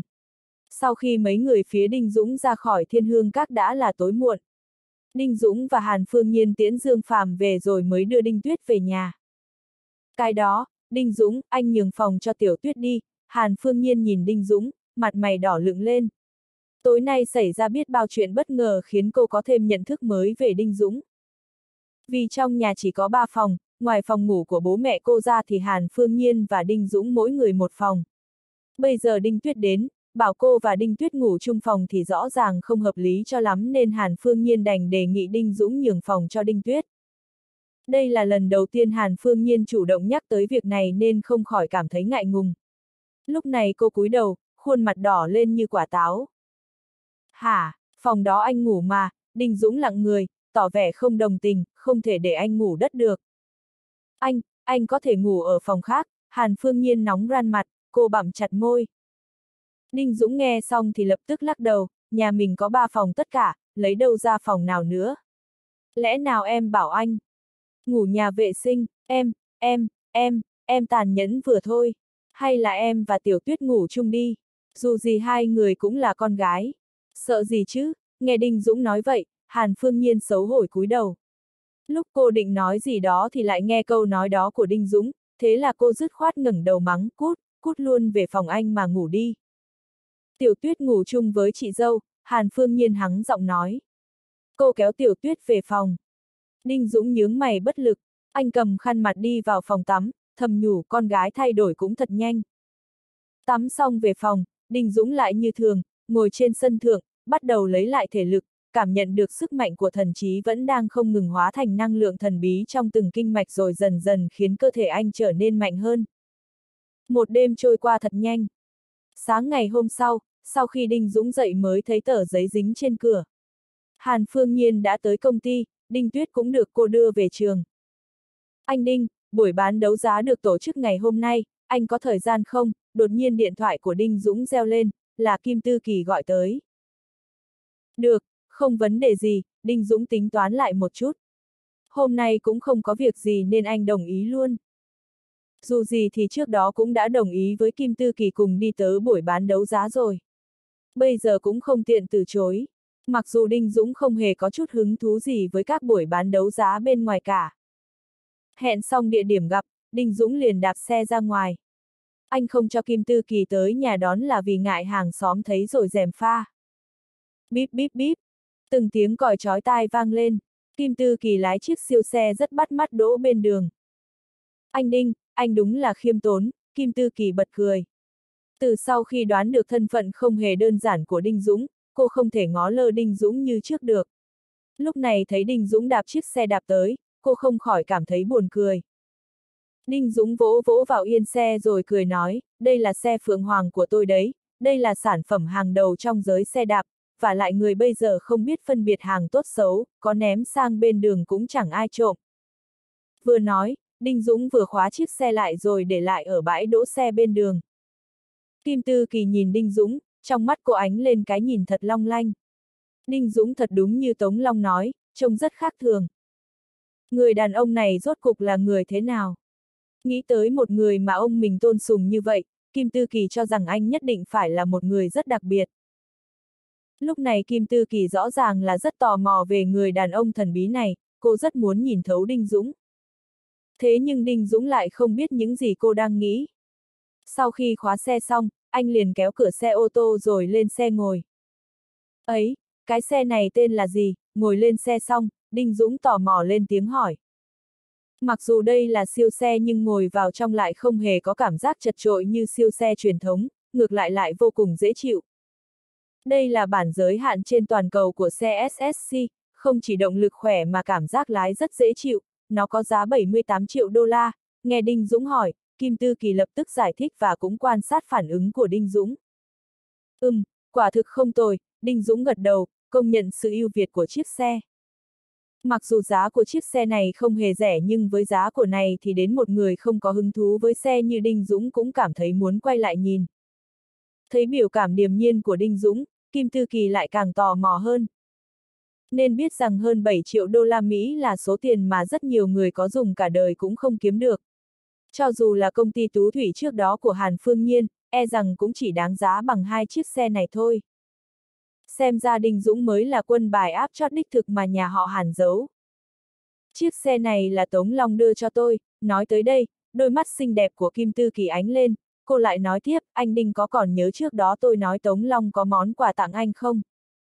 Ừm, là tặng tôi à, Đinh Dũng ngây ra một lúc, sau đó cau mày thầm đoán. Anh đoán đúng rồi, chính là chiếc xe này, Kim Tư Kỳ khẽ cười. Cô lấy chìa khóa của chiếc xe ra đưa cho Đinh Dũng rồi nói tiếp, Tống Long còn nói, thân phận của anh không thể ngày ngày đi xe đạp được, và lại có muốn đi xa lại không tiện cho nên mới mua tặng anh cái xe này. Ha ha, người nhà họ Kim các cô thật hào phóng, vung tiền như rác, Đinh Dũng xoa xoa cằm, nhếch miệng cười. Tống Long không thể vô duyên vô cớ tặng anh một chiếc xe đắt tiền như vậy được, chắc chắn là ý của Kim Tiểu Lục. Kim Tư Kỳ bĩu môi không nói gì. Thực ra cô cũng không hiểu vì sao Tống Long lại tặng một chiếc xe đắt đỏ như vậy, thế nhưng Tống Long thể hiện rất kiên quyết nên cô cũng không hỏi thêm. Được rồi, vậy tôi nhận nó, Đinh Dũng gật đầu, sau đó lại nhìn sang Kim Tư Kỳ, nói thế nhưng tôi lại thích đạp xe hơn. Chiếc xe này cứ để chỗ cô, lúc nào tôi cần sẽ gọi cô. Đi thôi, nói rồi Đinh Dũng không cho Kim Tư Kỳ cơ hội lên tiếng mà cứ thế đưa lại chìa khóa cho Kim Tư Kỳ. Kim Tư Kỳ nhìn Đinh Dũng một cái, tỏ vẻ tò mò. Đinh Dũng điềm tĩnh như vậy càng khiến cô thấy anh không hề đơn giản. Lúc này hình ảnh Đinh Dũng trong đầu cô đã lên một tầm cao mới. Chiếc xe khởi động rồi phóng như bay trên đường. Chẳng mấy chốc, hai người đã ra khỏi thành phố Kim Châu và tới khu ngoại ô. Ừm, buổi đấu giá này không ở thành phố Kim Châu hả? Đinh Dũng đang nghỉ ngơi thì đột nhiên lên tiếng. Kim Tư Kỳ gật đầu, tập trung nhìn về phía trước và trả lời, buổi đấu giá này không tầm thường, là do nhà họ sát ở Kim Châu chủ trì, địa điểm ở trên núi Thanh Thành, ngoại ô Kim Châu. Nghe Kim Tư Kỳ nói vậy, Đinh Dũng liền gật đầu rồi nhắm mắt nghỉ ngơi. Chẳng trách mà Kim Tư Kỳ muốn anh đi cùng. Ra khỏi thành phố Kim Châu tới một nơi lưng chừng núi như Thanh Thành thì cần một cao thủ đi theo hộ tống. Thế nhưng Đinh Dũng vẫn không có hứng thú với buổi đấu giá này. Anh tới đây chẳng qua là vì ở nhà quá nhàm chán, lại vì Kim Tư Kỳ là hậu nhân của Kim Tiểu Lục nên anh mới đồng ý. Chẳng mấy chốc, chiếc xe đã tới trang viên Thanh Long. Trang viên Thanh Long là sản nghiệp của nhà họ sắt, được xây trên lưng chừng núi. Cả trang viên mang phong cách cổ xưa vô cùng độc đáo. Lúc này, bên trong bãi đỗ xe của trang viên đỗ đầy xe đắt tiền, ngay sau đó, có một chiếc siêu xe trông khác thường lao tới. Anh hai, đây là xe gì vậy? Một vệ sĩ thấy chiếc siêu xe SSC phóng tới thì tò mò hỏi. Nghe thấy người anh em của mình hỏi vậy, một tên bảo vệ khác đặt chiếc gậy cảnh vệ trong tay lên hông rồi lắc đầu đáp, chưa gặp bao giờ, ai mà biết được loại siêu xe nào. Cho dù là ai thì cũng không phải là người mà chúng ta có thể đụng tới, còn không mau tới bãi đỗ xe. Em biết rồi, anh hai, em đi đây, tên bảo vệ kia cười lắc đầu rồi chủ động đi khỏi đó. Kim Tư Kỳ bước xuống xe, tay phải cô khẽ giơ lên rồi quẳng chiếc chìa khóa cho bảo vệ, sau đó quay đầu nói với Đinh Dũng, anh Đinh, mời đi bên này. Ừm, Đinh Dũng gật đầu, cùng Kim Tư Kỳ đi vào trong trang viên. Vừa vào trong trang viên Thanh Long, đã có một luồng gió mới lạ đón chào bọn họ. Thế nhưng hai người chưa đi được mấy bước đã có một người đàn ông trung tuổi bước tới. Người đi đầu thân hình béo mập, vững chãi, dáng đi uy phong. Ông ta còn đeo kính dâm, phía sau là vài người đàn ông cường tráng đi cùng. Lão đại, là hắn, một người trong số đó nhìn về phía Đinh Dũng và Kim Tư Kỳ rồi vội vàng nói với người đàn ông trung tuổi, người tối qua chính là hắn, một chiêu đánh bại Lưu Đại Sư. Audio điện tử võ tấn bền. Hết tập 3